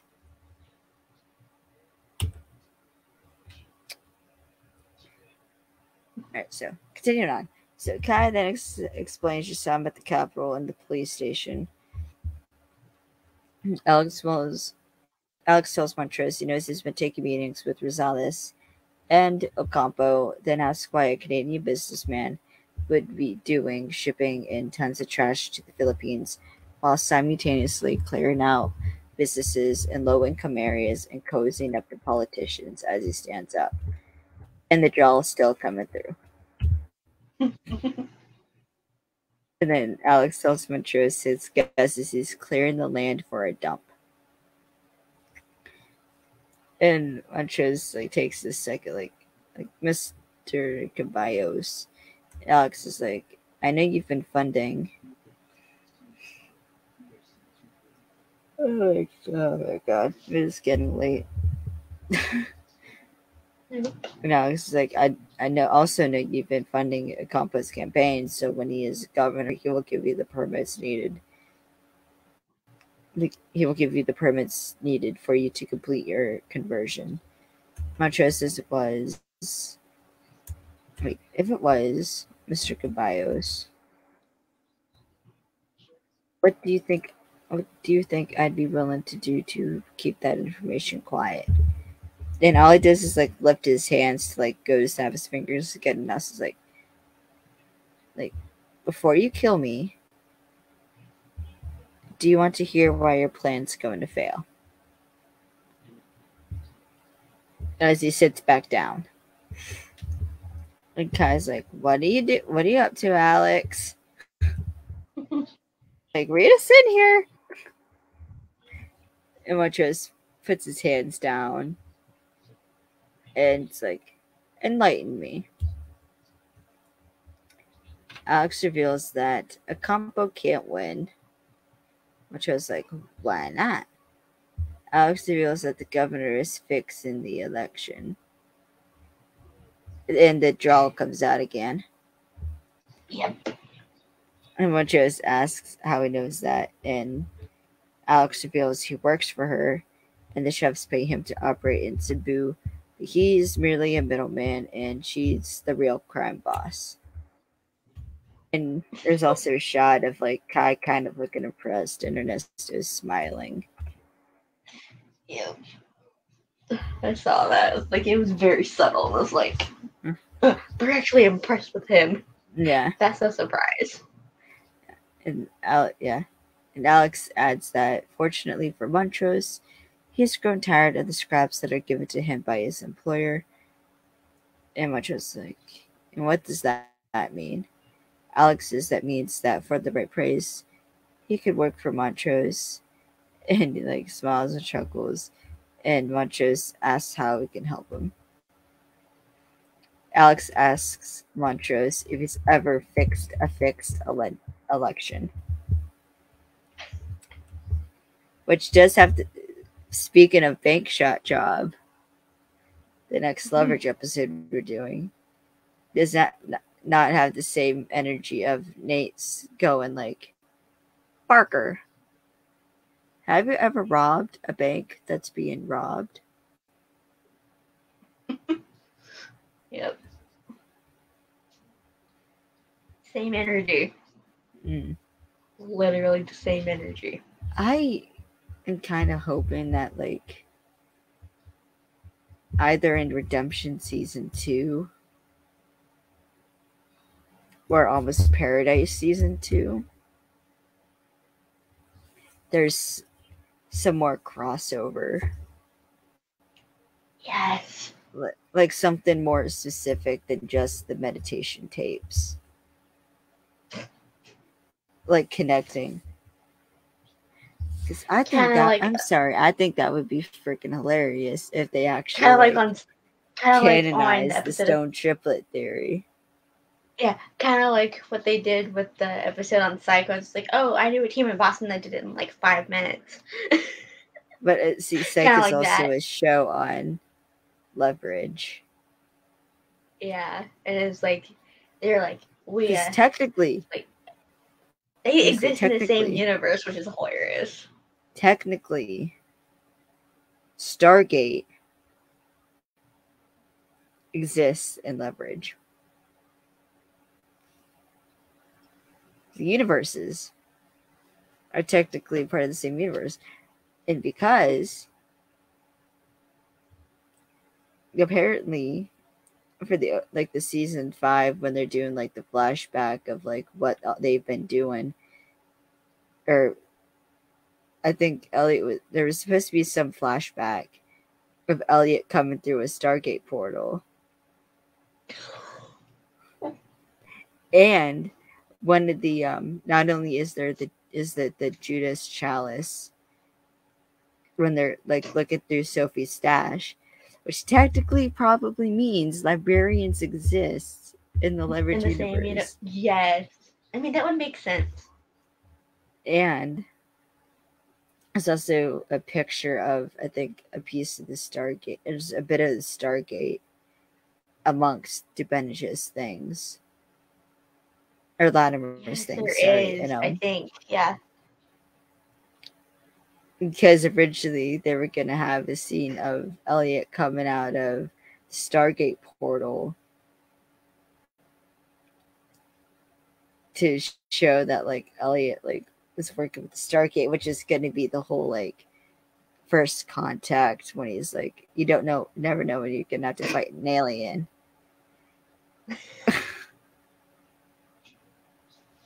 but I, I, I don't think they. I don't know like why that never happened. Probably copyright issues or something. There, I think there was some. I don't know exactly what it was. But at least we got many, many Star Trek references. Yes, which I'm still. Um, I still because in Doctor Who, because technically Doctor Who exists in Yep. Leverage too. So, now Mark Sheppard plays a character on Doctor Who, Yep. which like, means earlier Hardison when I've seen it. So, yeah. And so I just imagining, h- like there, because I imagine it was like Hardison Parker and Eliot begrudgingly watching it because Hardison forced him to. Yeah, and maybe like, they see that like. They watch see the episode. There, it's like um. It was it was like the impossible astronaut. I, that's one of the episodes. I don't remember the other one, but yeah, it was one of the earlier episodes. I can't remember. I know it was off the top of during um it was during eleven. I know that. Yep. And is during the whole silence thing too. And Ugh.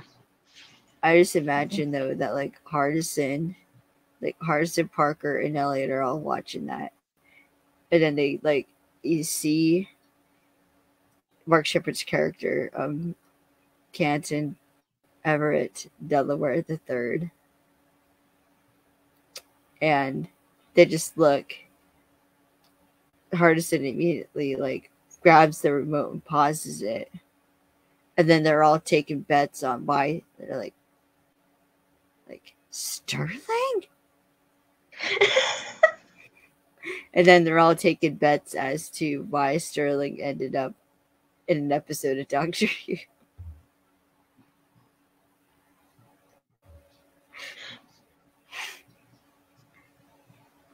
Oh, Uh. man. That would be freaking hilarious. If they make some like joke of that in season two. Oh, I want them to bring Mark Sheppard back. He said he would if we annoyed him enough. If we annoyed Dean enough about it. Yeah. But sadly, that didn't work yet. Well, we don't know. Maybe. I think someone wants your attention. Oh, I think I think my dad's home is why my dogs are barking. Okay. All right, continuing on. Sorry. So, Alex walks into the hotel room. And Kai tells Alex he can't fix an election. Alex is like, We're not fixing anything. What was funny is as he's saying, like, then Kai pulls the chin flap off. And when when it's he like, I was like, we're not fixing any thing. And has to close his eyes and shake his head. Yep. And Because it's that was legit pain because it was That's you literally stuck saying. to his yeah his chin fuzz, which is hilarious. Which I giggled a lot harder than I should have.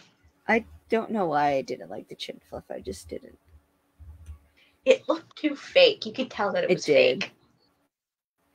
So Kai then sits back backs down and at and says like we don't know anything about, about this guy. And like all we have is a name. But Ernesto is able to find him on the laptop and reveals his name is Paul Montrose. His business visa lists him as a lobbyist, a former political consultant out of Canada. Alex explains that Montrose is a corporate fixer. Because like I've heard of a fixer before, but not a corporate fixer. Fixer lawyer. You saw you you knew you knew what my face was. Uh, our Mr. Wilson. He's a, well, he's a corporate fixture lawyer. Yep. There's a difference. Pretty much the same thing Yeah, just in this context. Yeah. Yeah. Yeah. And Alex explains that when a multi billion dollar international corporation wants to bend the law to get what they want, they send somebody like Montrose, and he functions as a go between for companies who don't want to get their hands dirty. And this is like according to the data says according to the database, Montrose has been accused of working for a blood diamond mining company in Africa and Amazon Deforestation Corporation and other bad guys. Alex is like, we need to find out who he, wor- who he works for. This is like, I have no idea. It's like, I have no idea. Montrose has been off the radar for a while.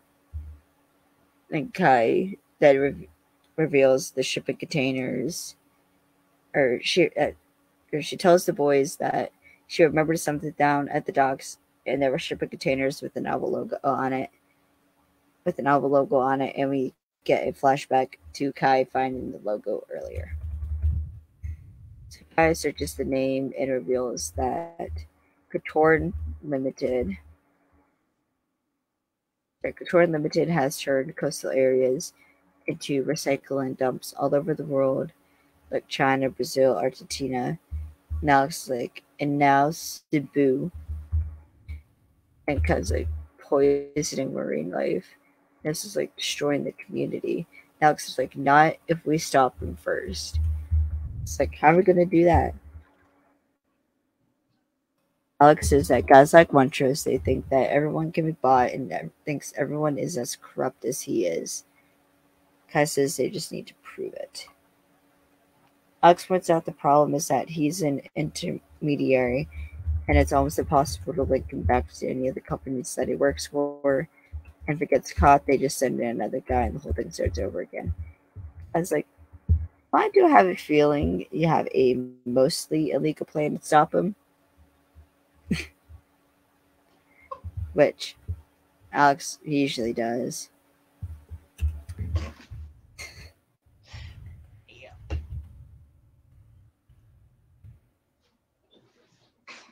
So we go to the Capitol building, and it's now election day. Montrose, Alex, and the goons are at the back of the SUV. Montrose is like Mr. Caballos, the plan. Alex takes off his glasses, or takes off his shades, sorry, and tells Montrose that working for the governor, he has access to her security cards, which allows him into any locked area at the capital. Montrose is like, explain how this is going to work. Sorry. Alex explains that in the Philippines, absentee votes are manually tabulated, and with the military base on the island, there are enough absentee ballots to tip any election.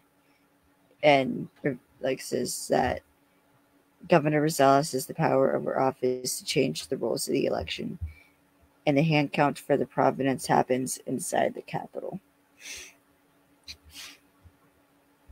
And what Joe's makes a comment about how that's smart.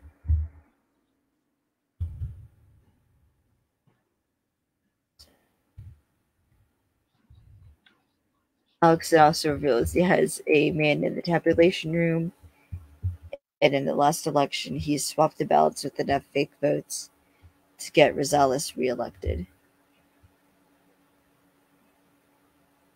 You good? Yeah. Okay.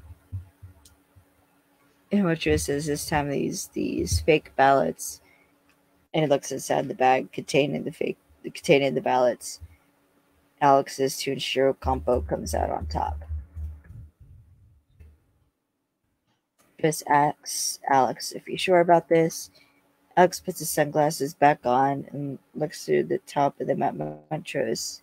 It's like, just let me know when the van arrives. It then gets out. And then we see I'm trying to like go through this kind of quickly because we're way past the time we should. we're going way too long on for this. So we see Alex coming out of the elevator with Big Guy behind him. There, they're walking through the halls as you see the truck coming. Alex goes on the walkie, like asking how they're doing. And Montrose reports he's on his way as you see a man hitting the truck.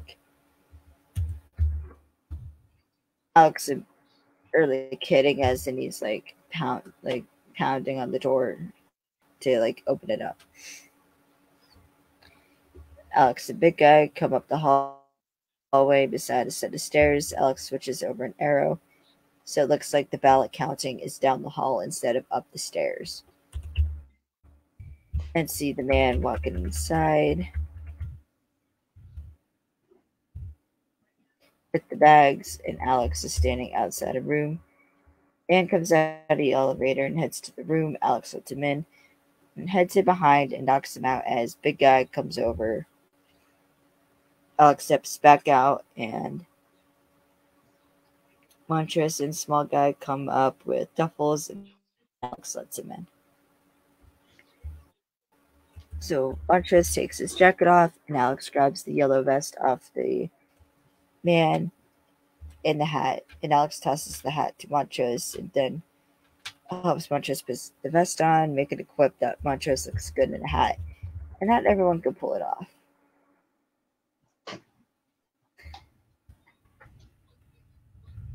Like, he needs fashion advice from you, Alex.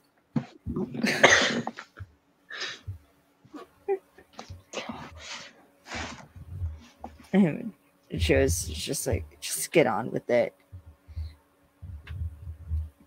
Alex is like, okay. And they grab the duffels, and Alex and Montrose walk out. Alex switches back over the sign, and they walk up the steps. And Alex and Montrose walk out.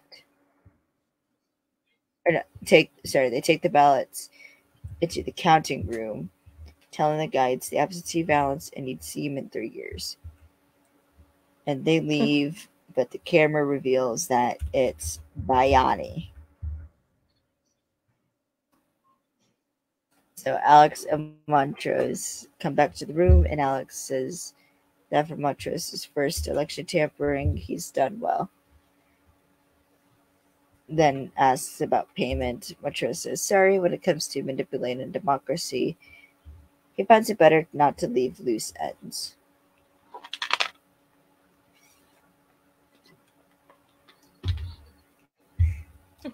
Montrose grabs the bags is so disposed to them, then orders his goods to kill Alex.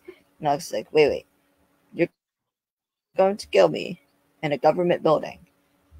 And she's like, oh no, we're gonna knock you out and then kill you somewhere else. You'll never be found. The big guy, big guy, or Montrose leaves, and big guy has a taser in his hand, and it's like circling Alex um, putting his back to the door. And the guy like sets up the taser a couple of times.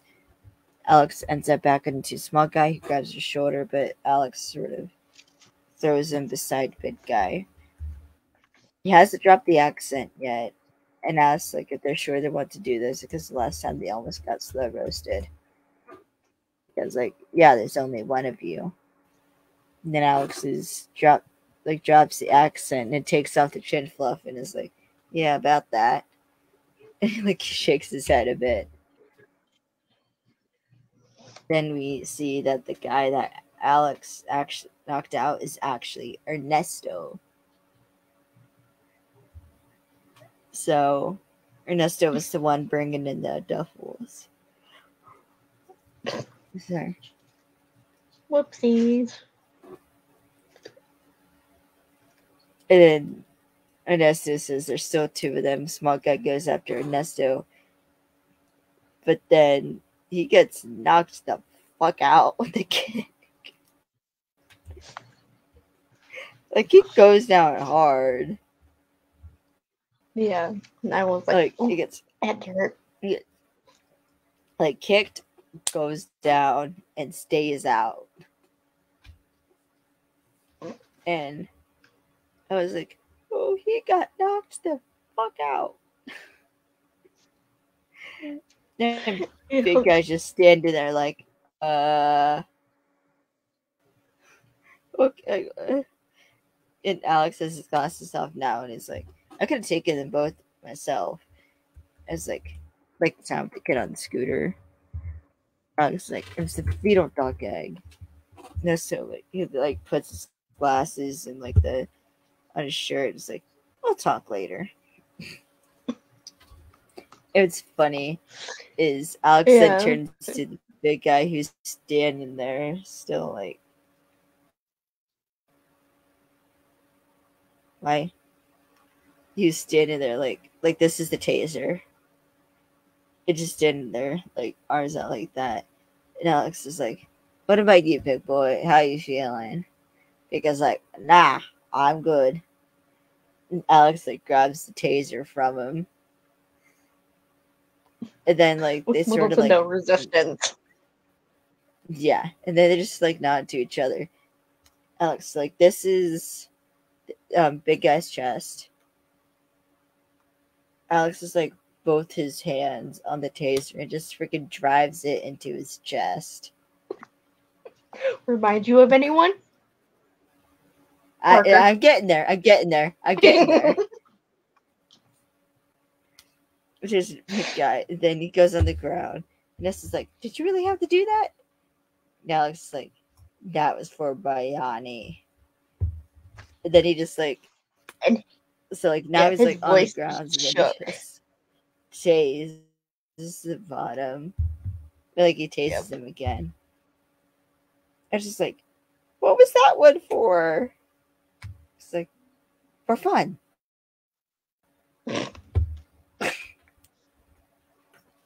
they're gonna leave, which I really wish they would have had just like a moment when they're leaving.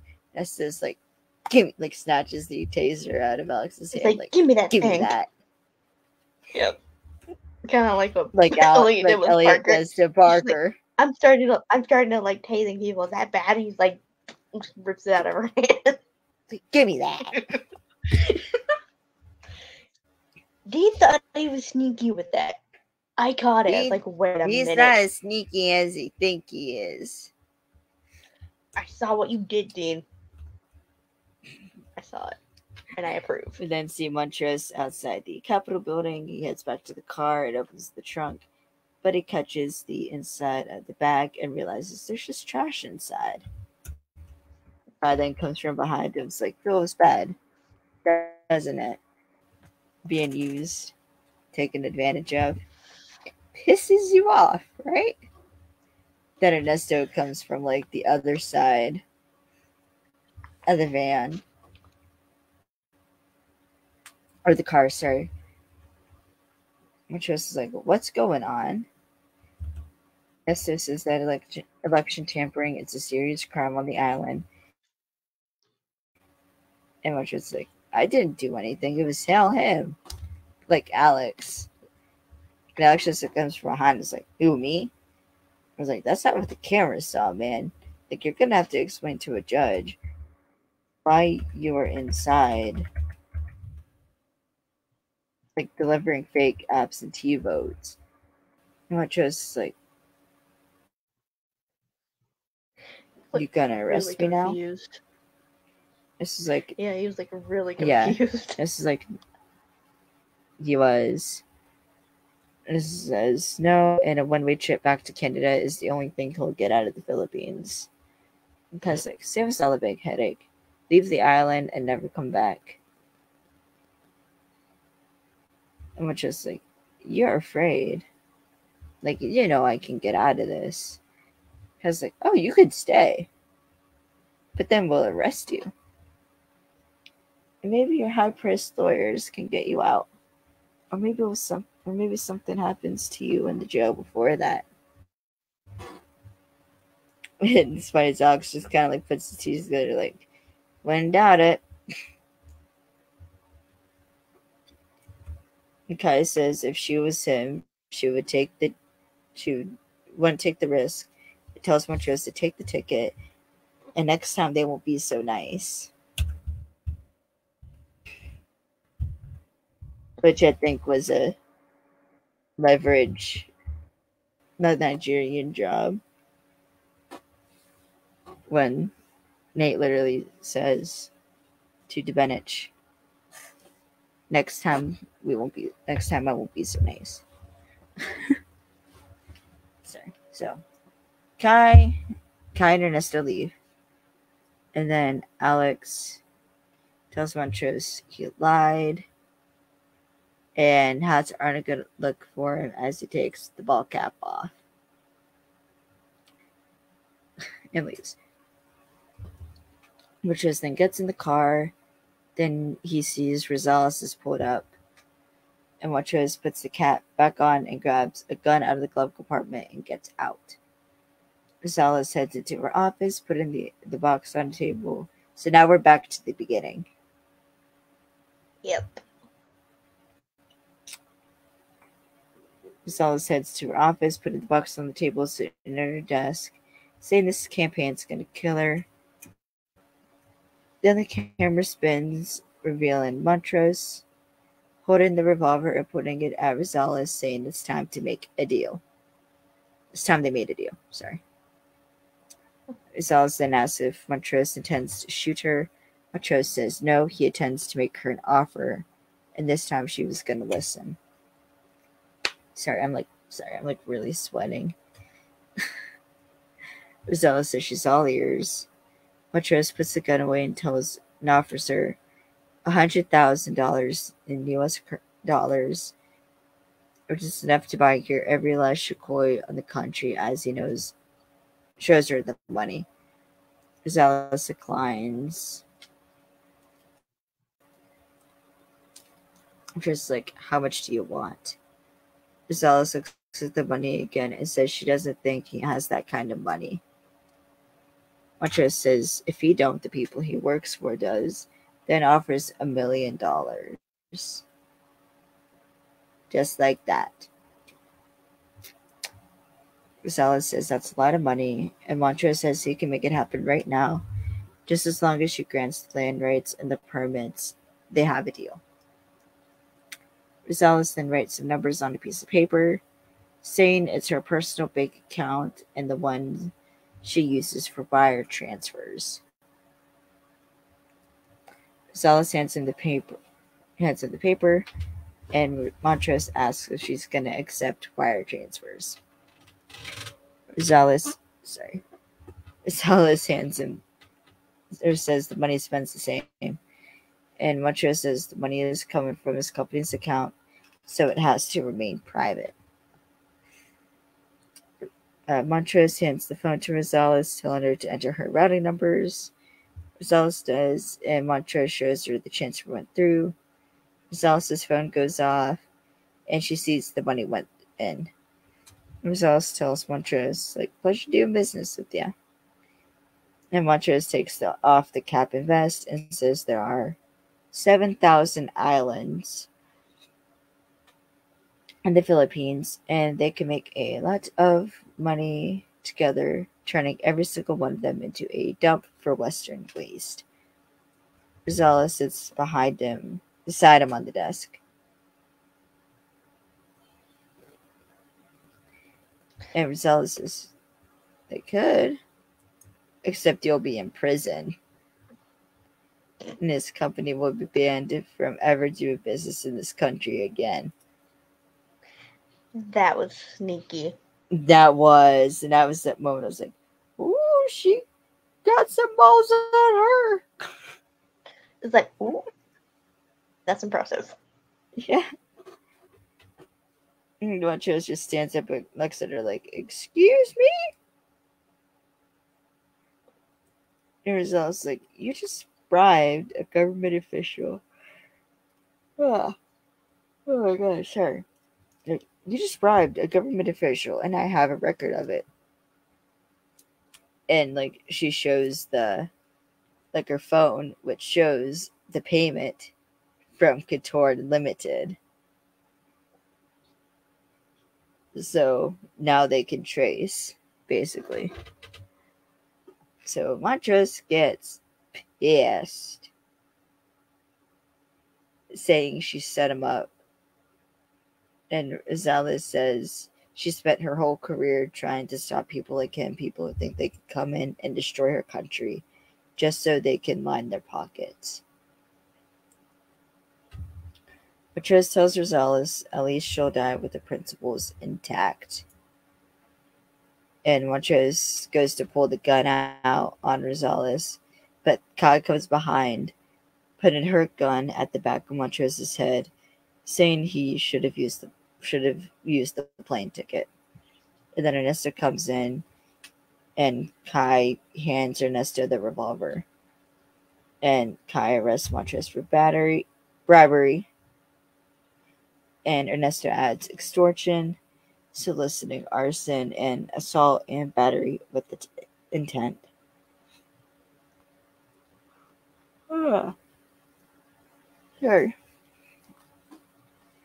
Khan continues saying that by transferring funds over international lines, Couture Unlimited has committed enough financial crimes to be permanently barred from operating in the Philippines, and all they needed was the paper trail. That was actually kind of sneaky on their part. It thought really was. cool. Big Hyde and Nesto take Montrose to the cruiser outside. Which, if you think about it, this does. I've said it before with um leverage how Dean Devlin is insistent that the bad guys get taken down by their own sin. Which is awesome. It's like you you did this to yourself, so you're your own downfall. Which I Yeah. thought was really nice. And I just I I mean, like in a way they that- are. I like how that continued with Almost Paradise. Because think about it, like, uh, like Tio was taken down because of his own impulsiveness, And his own arrogance, I guess you could say too. arrogance, yeah, his own arrogance and impulsiveness. Because his impulsiveness is what caused him to agree to Alex's deal to begin with. Then the impulsiveness to like take Alex to the boat and like everything was fast paced with them. yeah, but not That caused the downfall. And then the last or the second episode with um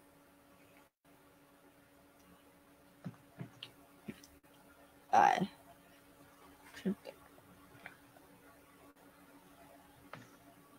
the, uh, each the bad not each actually episode. everything.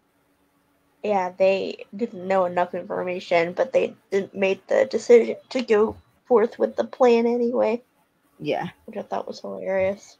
And this one was sort of Montrose's own philosophy that like everybody can be bought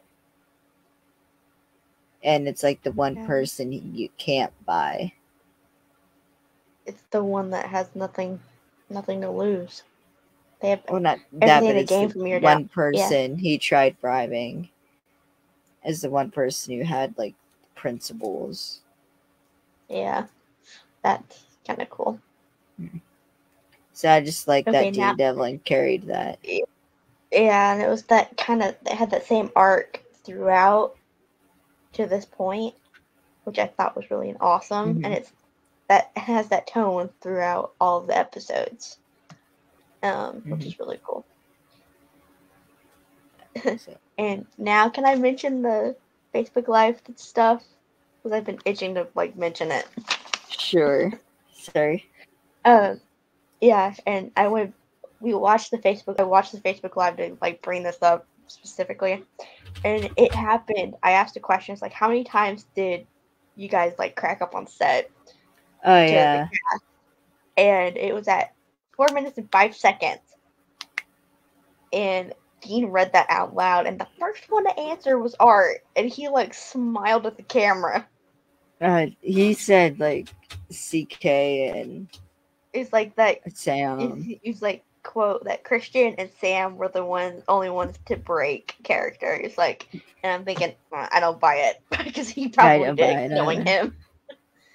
Yeah And yeah, my stomach went from here to into my I- into out my butt. Like my heart dropped when he read my question out loud, and I could see TK Uh, like look down at the monitor and read along with him. yeah no he was gone Yeah, it's like, what are you doing? And then, like, I saw, no, it was Sam. Sam looked down at, at her computer Yeah. screen and looked down just briefly. No, she wasn't in that live. Well, she, well, no, she one wasn't of in the, that live. uh, she, it would have made it, it would have been funnier if she was, because that would have been hilarious. And But yeah, Christian, Art looked Christian down had gone. yeah. yeah, he, like, got up briefly before that, but he did get a I, I don't know how many of you heard ever heard the "Where's Misha" song.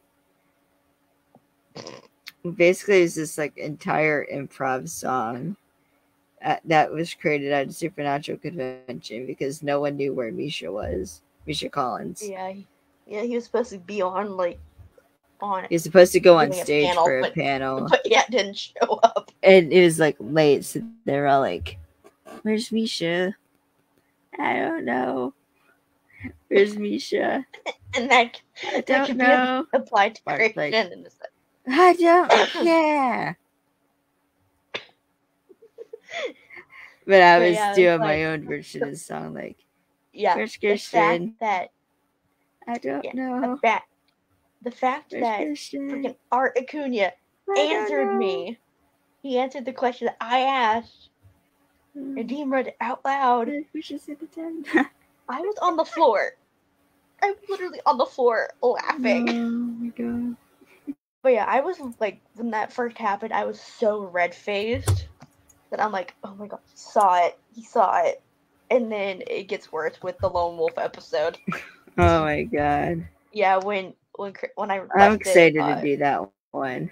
Yeah, I requested a song and he Yeah, did it. He like, yeah, he did. Uh, I'm strong on my he said, back. yeah, I was like, You've been part of the yeah, he, yeah, he he plays the little, he sings a little snippet. I love that song. And then he does an actual song to that. He Like does he uh, like because he started off are kinda- singing Lone Wolf. Yeah. Yeah, and then I requested how a different You kind did of night. Different he- kind of he night. Read it. Yeah. He yeah, did. He read it. And he busted it. and out I the guitar and started doing Yep. And I different kind of recognized it right when he did the upstroke. I'm like, Can I cut yeah, in the- on the dance? But yeah, the fact that Dean freaking read my question out loud. Yeah. or answered like has me dying still.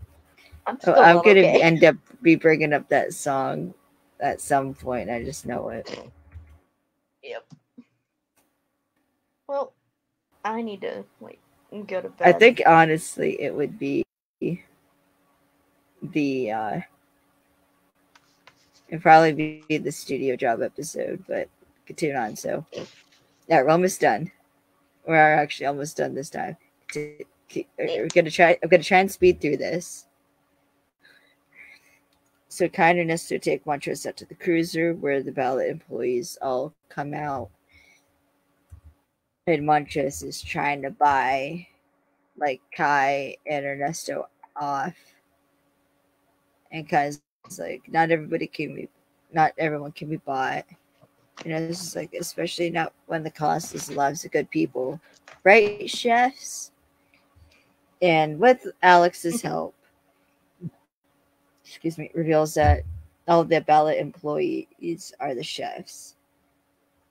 And basically, Montrose gets put in the cruiser, and Alex has his arm around Bayani, and Iron has to like have a fist bump. So back at the Yeah, governor's, was- It was funny. I was like, it was really? cool. Yeah. Alright, so back at the governor's office, Ernesto is sitting in the chair. Rosales is leaning on a chair on the side of the table, and Kai's in front of her. Alex is off to the side, just rubbing his chin.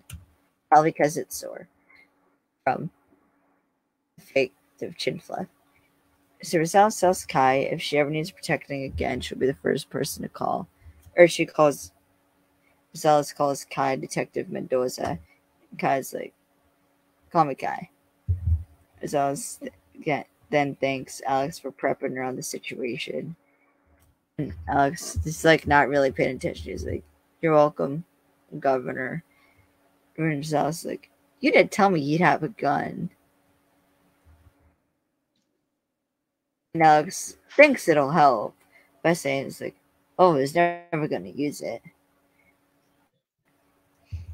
And so I was like, How did you know?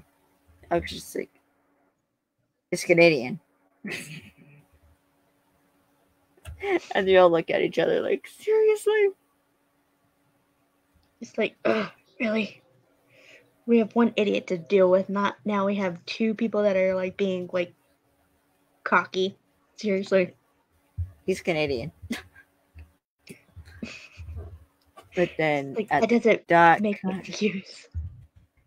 guys and Ernesto are there like the binoculars and see that the uh, barge, the Couture Unlimited barge, is leaving with all the trash.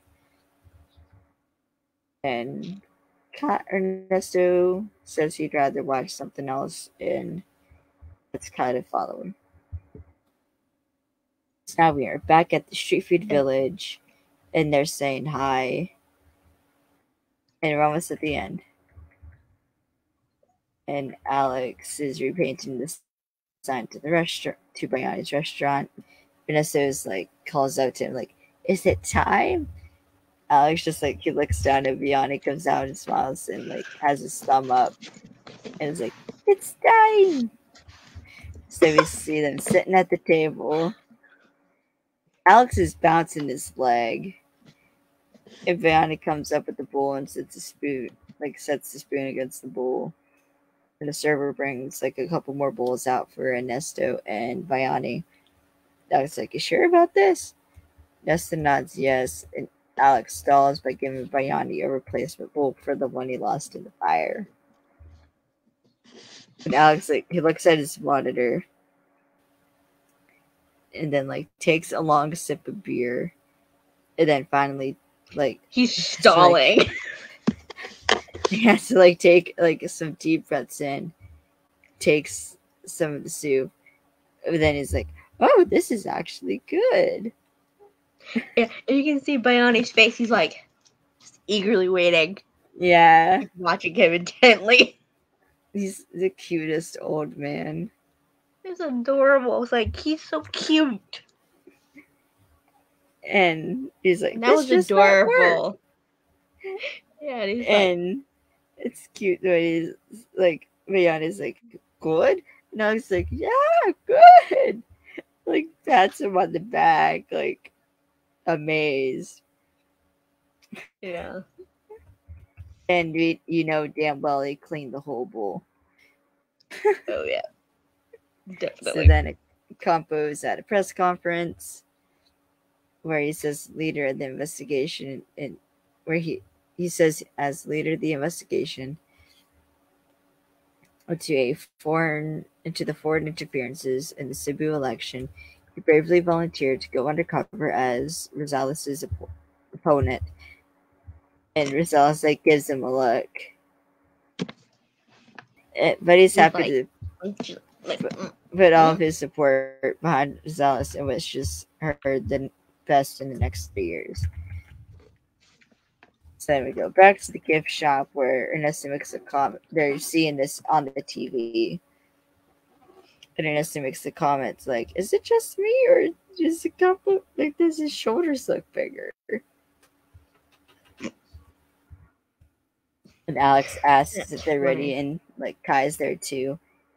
And Kai looks at the fish. And he's like, marlin. you Marlin, yeah. It's like you brought this thing all the way from the United States. Alex is a good it's a good luck charm, and the three of them lift up the fish. And they step on these like wooden crates. As Kai says, she never took Alex for a superstitious guy. Alex says he has multitudes. It's like, no way you know what that means. Which is Alex funny. is like, I do, like either way, I like I appreciate this. It's nice to have a. I don't know. So finishes by saying community. I was like, let's stick with that. Cause Yeah, I'm it's like, what basically another- stuff this Yeah, with? it's another. she stuffed us with concrete, and he just looked at her like, yeah, maybe. But we know what's inside of it. Or I have a theory at this point. I'm like, it's really heavy. It's probably full of bricks, is what my mind went to first. I'm like, Mhm. or something else. And I was right, it was something else.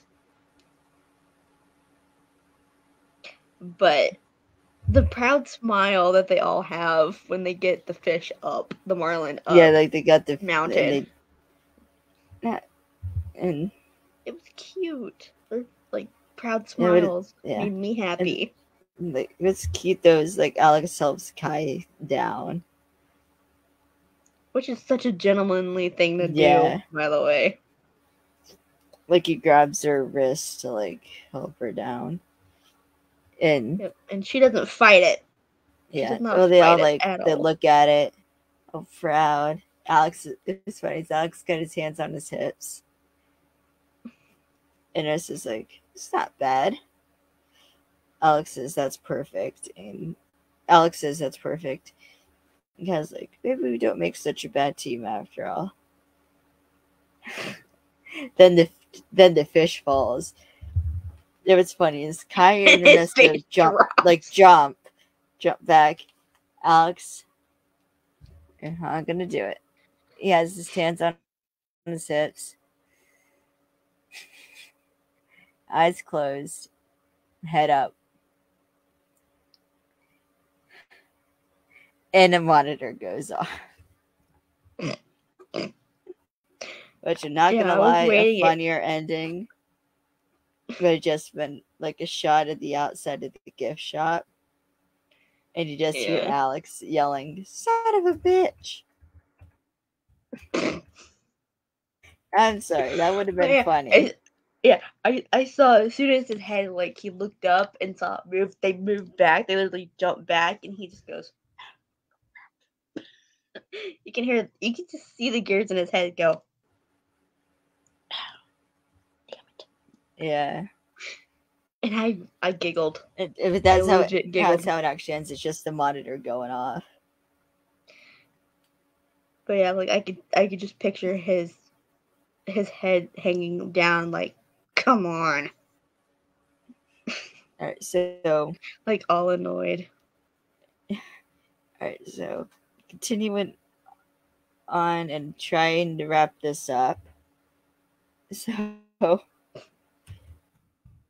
last thing, because a lot of my behind the scenes stuff is just stuff I've either already said or just I don't think it will have enough enough time.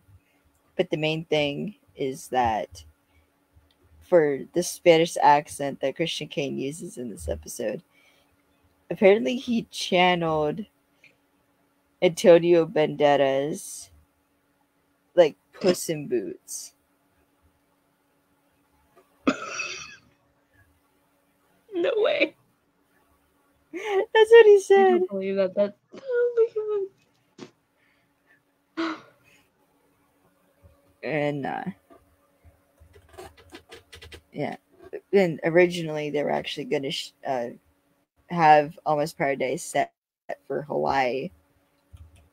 But because as i mentioned before dean De- devlin is half filipino uh he he had never explored that part of his heritage before. And like once they like moved it to the philippines it made more sense Yeah, it felt more like homey. It's like yeah felt welcomed, yeah which is awesome. and i think this is one of the few like films i have seen where the location is a character Yeah, and I like that they kind of involved the Philippines as the Culture. heart of the show. Yeah, yeah in the, Filipino culture as a culture and not just a location. It's yeah a character all its own, which is awesome. It is, which is cool. So the only other thing I know of that like had something as a character that wasn't a person was on Supernatural. How they the um, Baby. baby. Wait. Well, they, well, they did a literal episode in season eleven called "Baby." Yep. Yep. That's set Season entirely 11, from the episode 4. Yeah. Yeah. From the I knew it was season perspective, which 11. thought was cool. Yep. Episode which is 4. very interesting to shoot, I must say. But I I do appreciate when like going off to Yeah, these different yeah, like this. styles, like switching it up. Yeah, instead of having the location be a background, it's It's a character. show, it's a char- yeah, and you can see it and feel basically you can feel the culture, hmm which is awesome. That's the thing, like Alex saying how like he came to the Philippines for the culture, yep. and he And felt like he was made almost like destroying that in a way That made me think because the the video of when they're filming and they have it's got the drone. This is on CK's uh, Instagram. It's got the drone hovering, and you just hear the roosters going like going crazy. oh my god, And that's what they had to deal with in the Philippines, where they were filming in Cebu, which is hilarious. And I'm like in Mactan as well.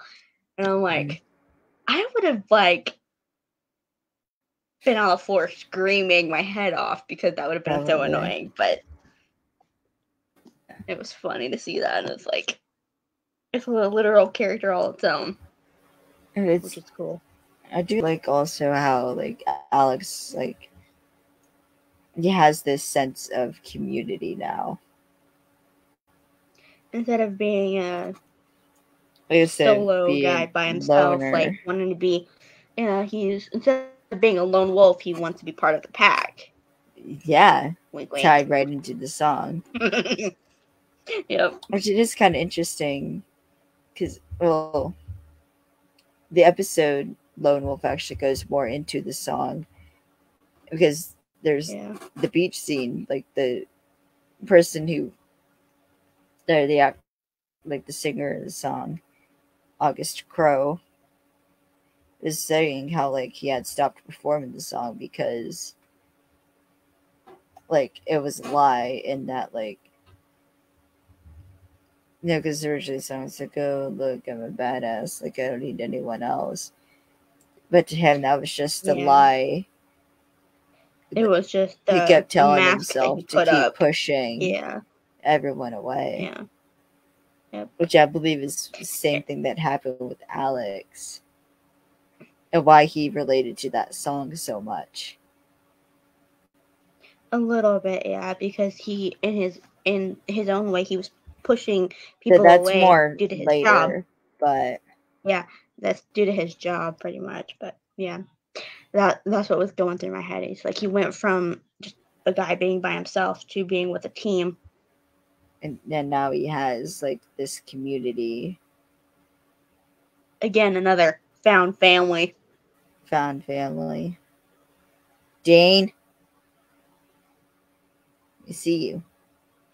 Yeah, we see what you're doing, bud. We see what you're doing. You're trying to be sneaky. In fact, I actually called him out on it. I know you did. I it. remember that. Yep, yep. But I'm like, again, this that same dynamic, and I'm like,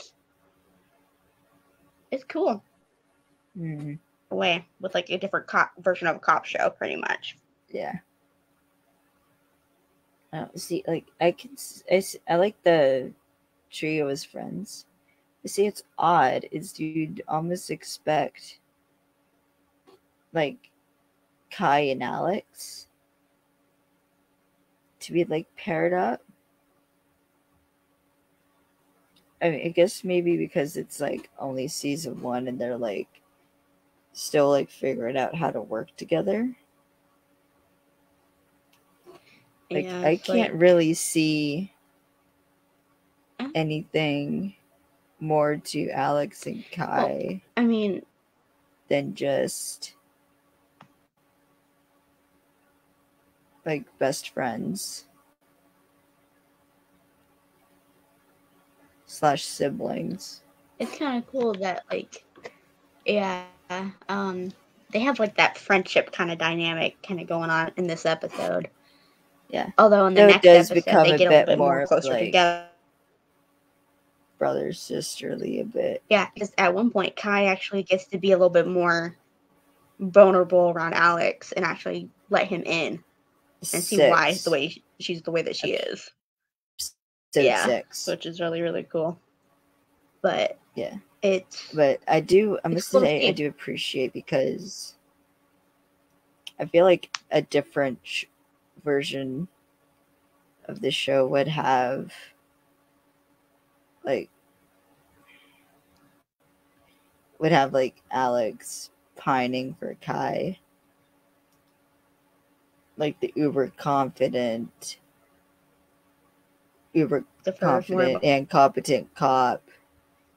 You don't need no man, but then like all of a sudden like realizes she needs Alex. Like I don't like that trope yeah. because it I like that implies they that, went like with, you Uh, need Dean went with someone more of like a friendship in order to type like of trope right carry- now. yeah. But also you don't get It's like more of a instead of, lot of just male female friendships in general.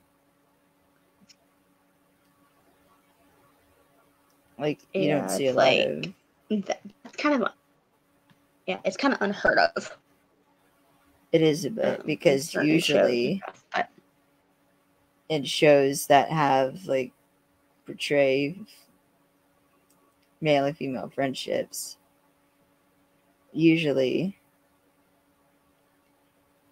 it'll lead to more of Like- like a romantic relationship. usually like on. the plot like the twist or like the one of the points is like the sex part gets in like or was it saying like the sex part of the relation like the sex part like ruins the relationship and so they have to decide like, Yeah, like do we explore this or do having having the like, man, like- complicates things yeah. too much. Yeah, instead of Which- having it just be Now you can do non uh, non romantic uh, friendship. You can have instead of well having them. You can have both non-romantic male and female friendships. Or that can go into like like a brother sister dynamic kind of thing. Yeah. But you could also do like male female friends as friends turned lovers. But i think the way to do if you want to do it properly which i've both of my stories i've written have like male female friendships that turn into relationships. Yeah But the which I actually like I like that. It's like building it up well a little bit more slowly. But it's sometimes it goes too quickly. not having the character's identity fully wrapped up in the other. yeah that's that's true Like have like which is I think what is interesting with like my what I, what I tried doing with my stories is especially with Evelyn or with Ev Mahoney is like I knew I wanted her to be like Alex's love interest.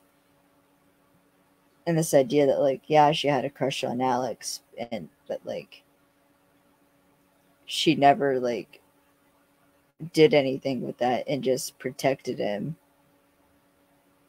because she wanted to make sure that he got home to the people she did know she did know he loved and also like by the time she realized like she could do something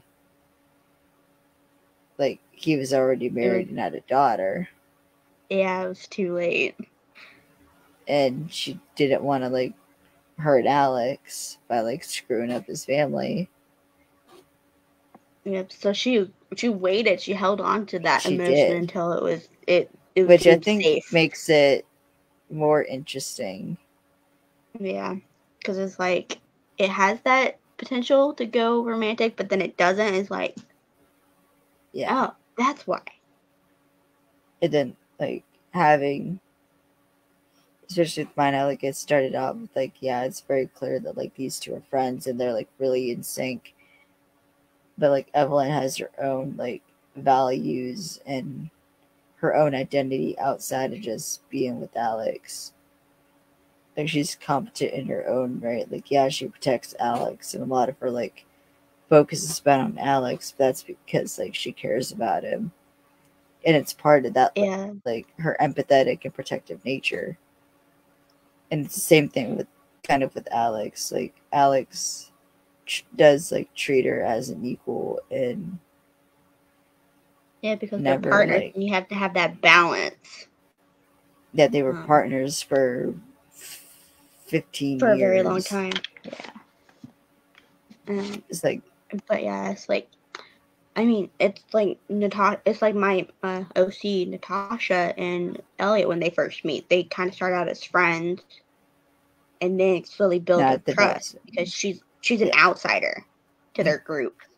Um, first off, and then they it took them, it took them like about, I would say probably about five chapters in Mhm. To build that trust, which in my mind was five years. Mhm. And then it slowly built from there. And then toward the end, they finally figured out they wanted more. Yeah. Because he felt like he could trust her. Yeah. Because they both That's the thing. Like you have to build it up, and you have to have both. Like if you're having a male female relationship, friends to lovers story, you got to make sure you have you develop both characters separately before you put them together, or else it's just gonna look like the one char- like It the fe- usually this is the female character. The female character is only exclusively there for the male love interest, Yeah. That's and I've read That's stories like that good it just doesn't storytelling. click. Yeah, it's like it seems rushed and it's like Yeah. that doesn't match up with what I'm thinking in my head. But okay, it's whatever you want to do. kind of goes into like going into a bit of redemption. Speaking of like having Ellie and Maria, Yeah. as much as like I liked them together, it felt like it was rushed. And oftentimes it did feel rushed, and it was like, like they didn't develop Maria that much as her own character. Yeah, it was it was very like superficial. Like I get time restraints and having a five man band. yep. I get that. So I'm It's hoping like- that's what season two fixes. Yeah, it's like Like gives well to to bring because to I can bring see up them yeah to bring up uh what CK said about Eliot um back in on a interview. He's like, well, Eliot's the Tin Man. He's looking for a heart, but it's unattainable. Even and the now thing is in Redemption. see yeah, the way I look at it is Elliot does have a heart, but it's been broken and but it's been like broken in different ways so many times Yeah, that like he he needs to like re like he needs to rebuild it almost. yeah I think is He what it is, is he's been torn down. the- yeah he's he's been, been, like, torn down hurt so many many times in different ways. And one of which was when he lost Nate, which was a father figure to him, think, s- or like a father brother, or like a mentor that, yeah, like like a brother, a mentor slash brother brother slash father of, figure Yeah, that he could look up to, a teammate that he could look up to and trust, dies and disappears. yeah. It's So heartbroken. I'm hoping that's just more season two. yeah. He needs to have. He needs to work on him. He needs to work on himself Yeah, before he can love somebody. but I think but they- it won't the happen. route they could I just know do with like the Maria, with like ha- the aftermath of the Eliot Maria relationship, is having Eliot like realize that like yeah, like I can't. I guess I can like open myself up more, and I can like be redeemed, and I can like be good Well, I because mean, even in like redemption he still like doesn't look at at, at himself as good Yeah, So- he's like, he's like what Christian said is like, yeah, he would, ne- he'll, he'll, he will never be clean of what he did, and what Eliot said, he's like, I will never be clean of what I did. I took lives. I'll never Yeah. be clean of that. But but at, what Maria was essentially doing for need- Eliot was being Was like, taking the yeah "You are being good." a yeah it's like there's still And the there's a good man inside of that brokenness yeah Like you're still a good man, Eliot. And yeah he's like he just he's learning good to let go of that baggage yeah. So I think that would be an interesting route to do with that. The two, I could say second season. I think it might be interesting, just like second season of Almost Paradise. Going back to Almost Paradise, I think it might. Speaking of love interest, I think it. I think it would be interesting to see, uh, other Al- Alex's ex-wife.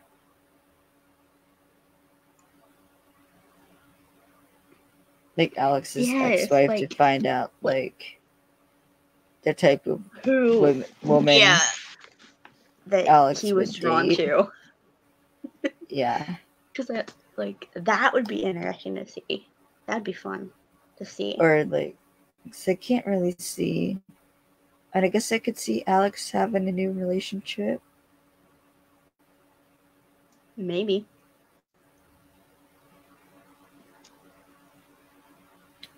But I also kind of don't. i mean he's kind But I don't know if that's just he's like- Because I have my story. i mean So like like like having Eva's kinda- love interest. Yeah, it's kind of like well, the way that I think of it with Alex Walker and also Eliot, they're both lone wolves. They don't need a pack to They be are. happy. Yeah. To bring back the lone wolf song. Yeah. yeah. Though Eliot though I think with Eliot is he actually did need a pack. He eventually figures out, like, hey, it's not so bad to be kind of Yeah. by myself, but also have somebody I can rely on. I think is kind of figuring like, that is, out like- a little bit. Like maybe like I don't necessarily like have to be a part of like a team or like I don't have to be a But part of I- a pack per se. But I can have people I can go to like I could still help if trust I need it. people. Yep. And like I have I do have people I can trust. So similar uh arcs but different paths.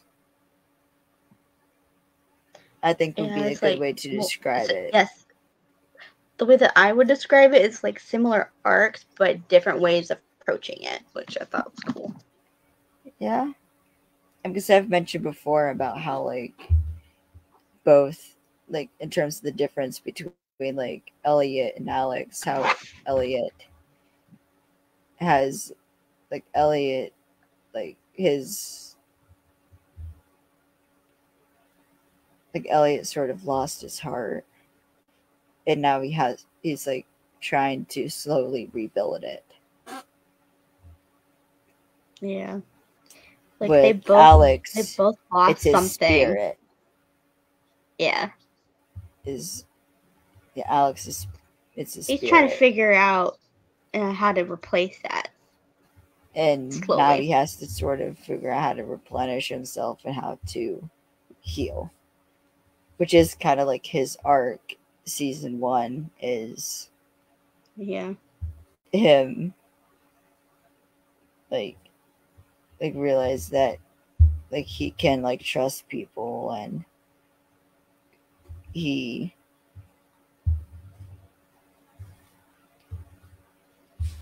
like can like he could heal and just learning how to do that and kind of learning how he himself works or relearning himself how he himself works. Because like alex saying how like it's real life that stresses me out. And how he's focused on a case. And it's not always that like he necessarily needs the adrenaline. It's about control, partially. Yeah, it's like well, when he's on the case, he can control what he can does and control he factors. So when he's undercover, he can Yep. control the story he's telling. Real Yeah, life, but he has in no real life, he control can't. over. Yep. Like he has no control Kinda- over. Kind of like, kind of like what's happening in my life. I feel like Alex Yeah. right now is like. That's why I make my characters feel like crap half the time. Yeah, well, I also interpret Alex's journey as letting go and moving on. Yep. Is Alex's sort of journey? Is he's, because you kind of see he's still like, he's fixated on what was. Instead of what is and what can be. Yeah, like he's fixated on like his checks and, um, The small things like instead of the big picture. cases, doing the job, fixated on like protecting himself by like becoming almost hyper aware, which that is a part of PTSD is hyper awareness. That's a symptom not a lot of people talk about with PTSD, but it is a symptom. Is hyper awareness. which is what happens with Alex. Yep. And we saw that evident in the first episode.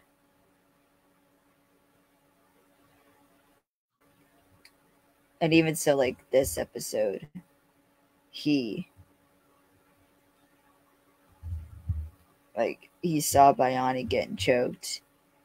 His like first instinct analyze the situation, get Bayani help.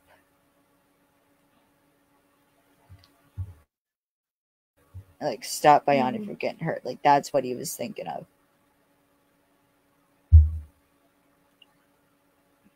So yeah, that's Uh, that's also sort of what I'm trying to go through too.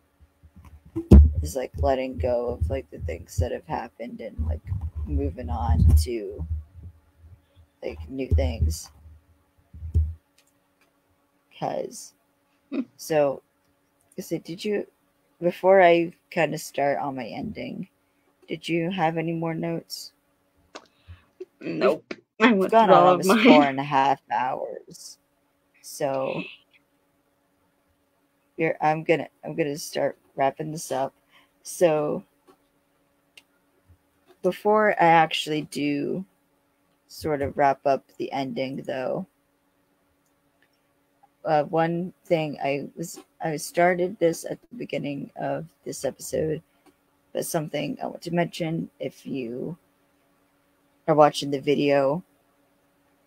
Basically, I record or I when I do these, I'm in my bedroom, and as you uh, as you can see, my room is basically empty. and I don't know if you can see behind me, but there are a shit ton of boxes. uh, let me see if I can. Yeah, there's a whole bunch. Shit ton of boxes, and there's more behind my bed, and there's a lot more in my living room. But uh, I so I am moving into my first apartment here next Saturday. So that's why my room's empty, is because I have all my stuff packed and I'm going to be moving to my new apartment Saturday, next Saturday. So that means that there will be no stream next week as I'm going to spend because usually it takes me the whole week to get my notes done and like do the behind the scenes stuff. Yeah. So, in order for me to focus on getting everything ready to move and that I am there will not be an episode next week. But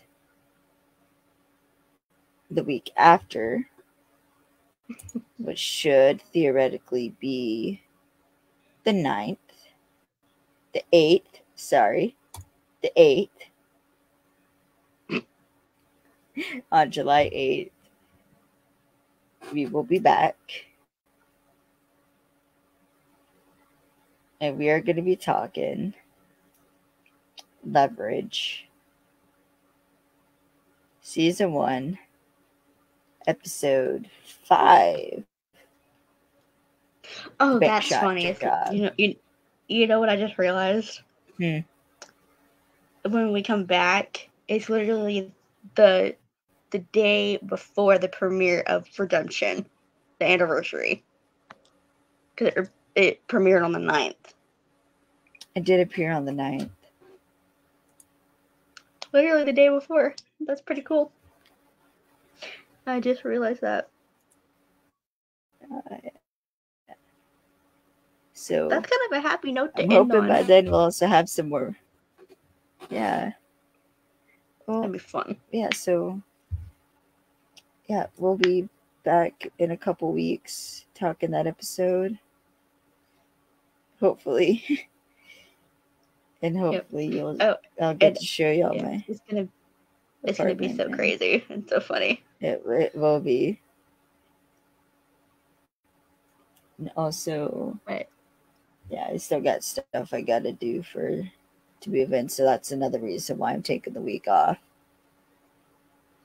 Is because I got so like I got some last minute stuff I got to make sure I have.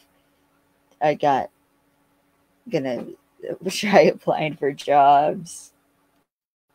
Um, because All the things. technically, yes, yeah, it's all the things. So, and basically Friday, essentially Friday night is when, uh, we're gonna like load up almost everything in the U-Haul. So that's why. And Saturday I'm gonna be like unpacking. So yeah. It it's definitely gonna be interesting because it's gonna be my first apartment. And I've never lived by myself before. So You'll be fine. I know it's just weird. All right, so that is going to end this episode today. I would like to thank our parent company, Nafco.org, our electrical consultants, westpasystems.com. There's my website, KayleeSantellActing.com. And you can follow me on Twitter at MissMovieFan underscore 67. And from there, you can also get on my TikTok page too. I'll need to add that for next time. Yep. You could follow Alex on Insta at Alex Cooper 7241 and on Twitter at Alex the underscore alley cat. Where you'll you can most also likely follow me our on- shenanigans. Yeah, shenanigans, and also uh, on, you can look me up on TikTok under the same name as my Twitter, which I post a lot of random crap on there. Yeah, I do too. Well, actually, lately I've been Oh, I know you posting do. stuff about this stream, but I will probably be doing something. I do have a video planned that I want to do for like when I move,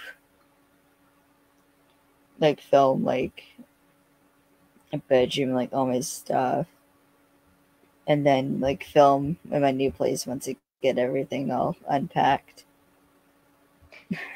I can't wait to see some of your OC stuff come back. That's gonna be fun. And your new I play- know. and legacy stuff. Yes, um, yeah, because I have, I've kind of been taking a break from writing because I finished the last chapter of my almost paradise fic, Finding Paradise, Finding Paradise, which you could find on AO3 under Miss Movie, because I finished the episode, or I finished the chapter based on the episode, Something Walker This Way Comes. And there's no episodes of uh, Almost Paradise out yet. So I'm kind of Keyword, have to wait yet. on that. yet. Nope. Keywords yet. There will be. if There will be eventually. because I'm trying to remember the timeline. Because so right now, uh, they're shooting season two of Leverage Redemption, which theoretically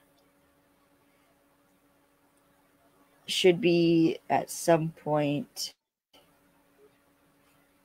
be done filming by August. October maybe or November is when they'll because August is when, yeah, because August is when Almost Paradise starts shooting.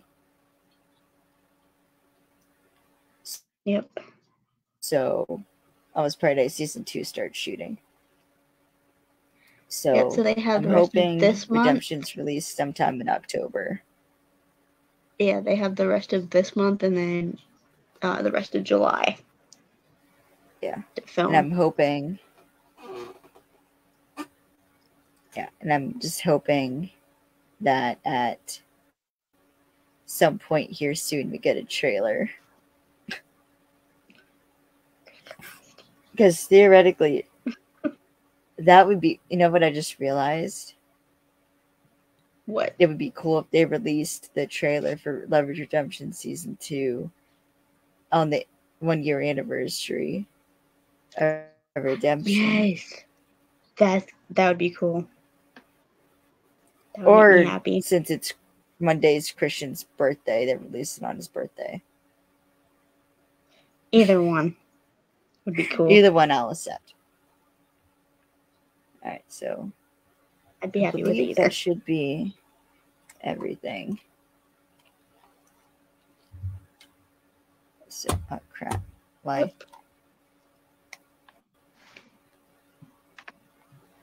I think um. Come on. There we go. So I'm trying to end the broadcast, but my mouse is dead.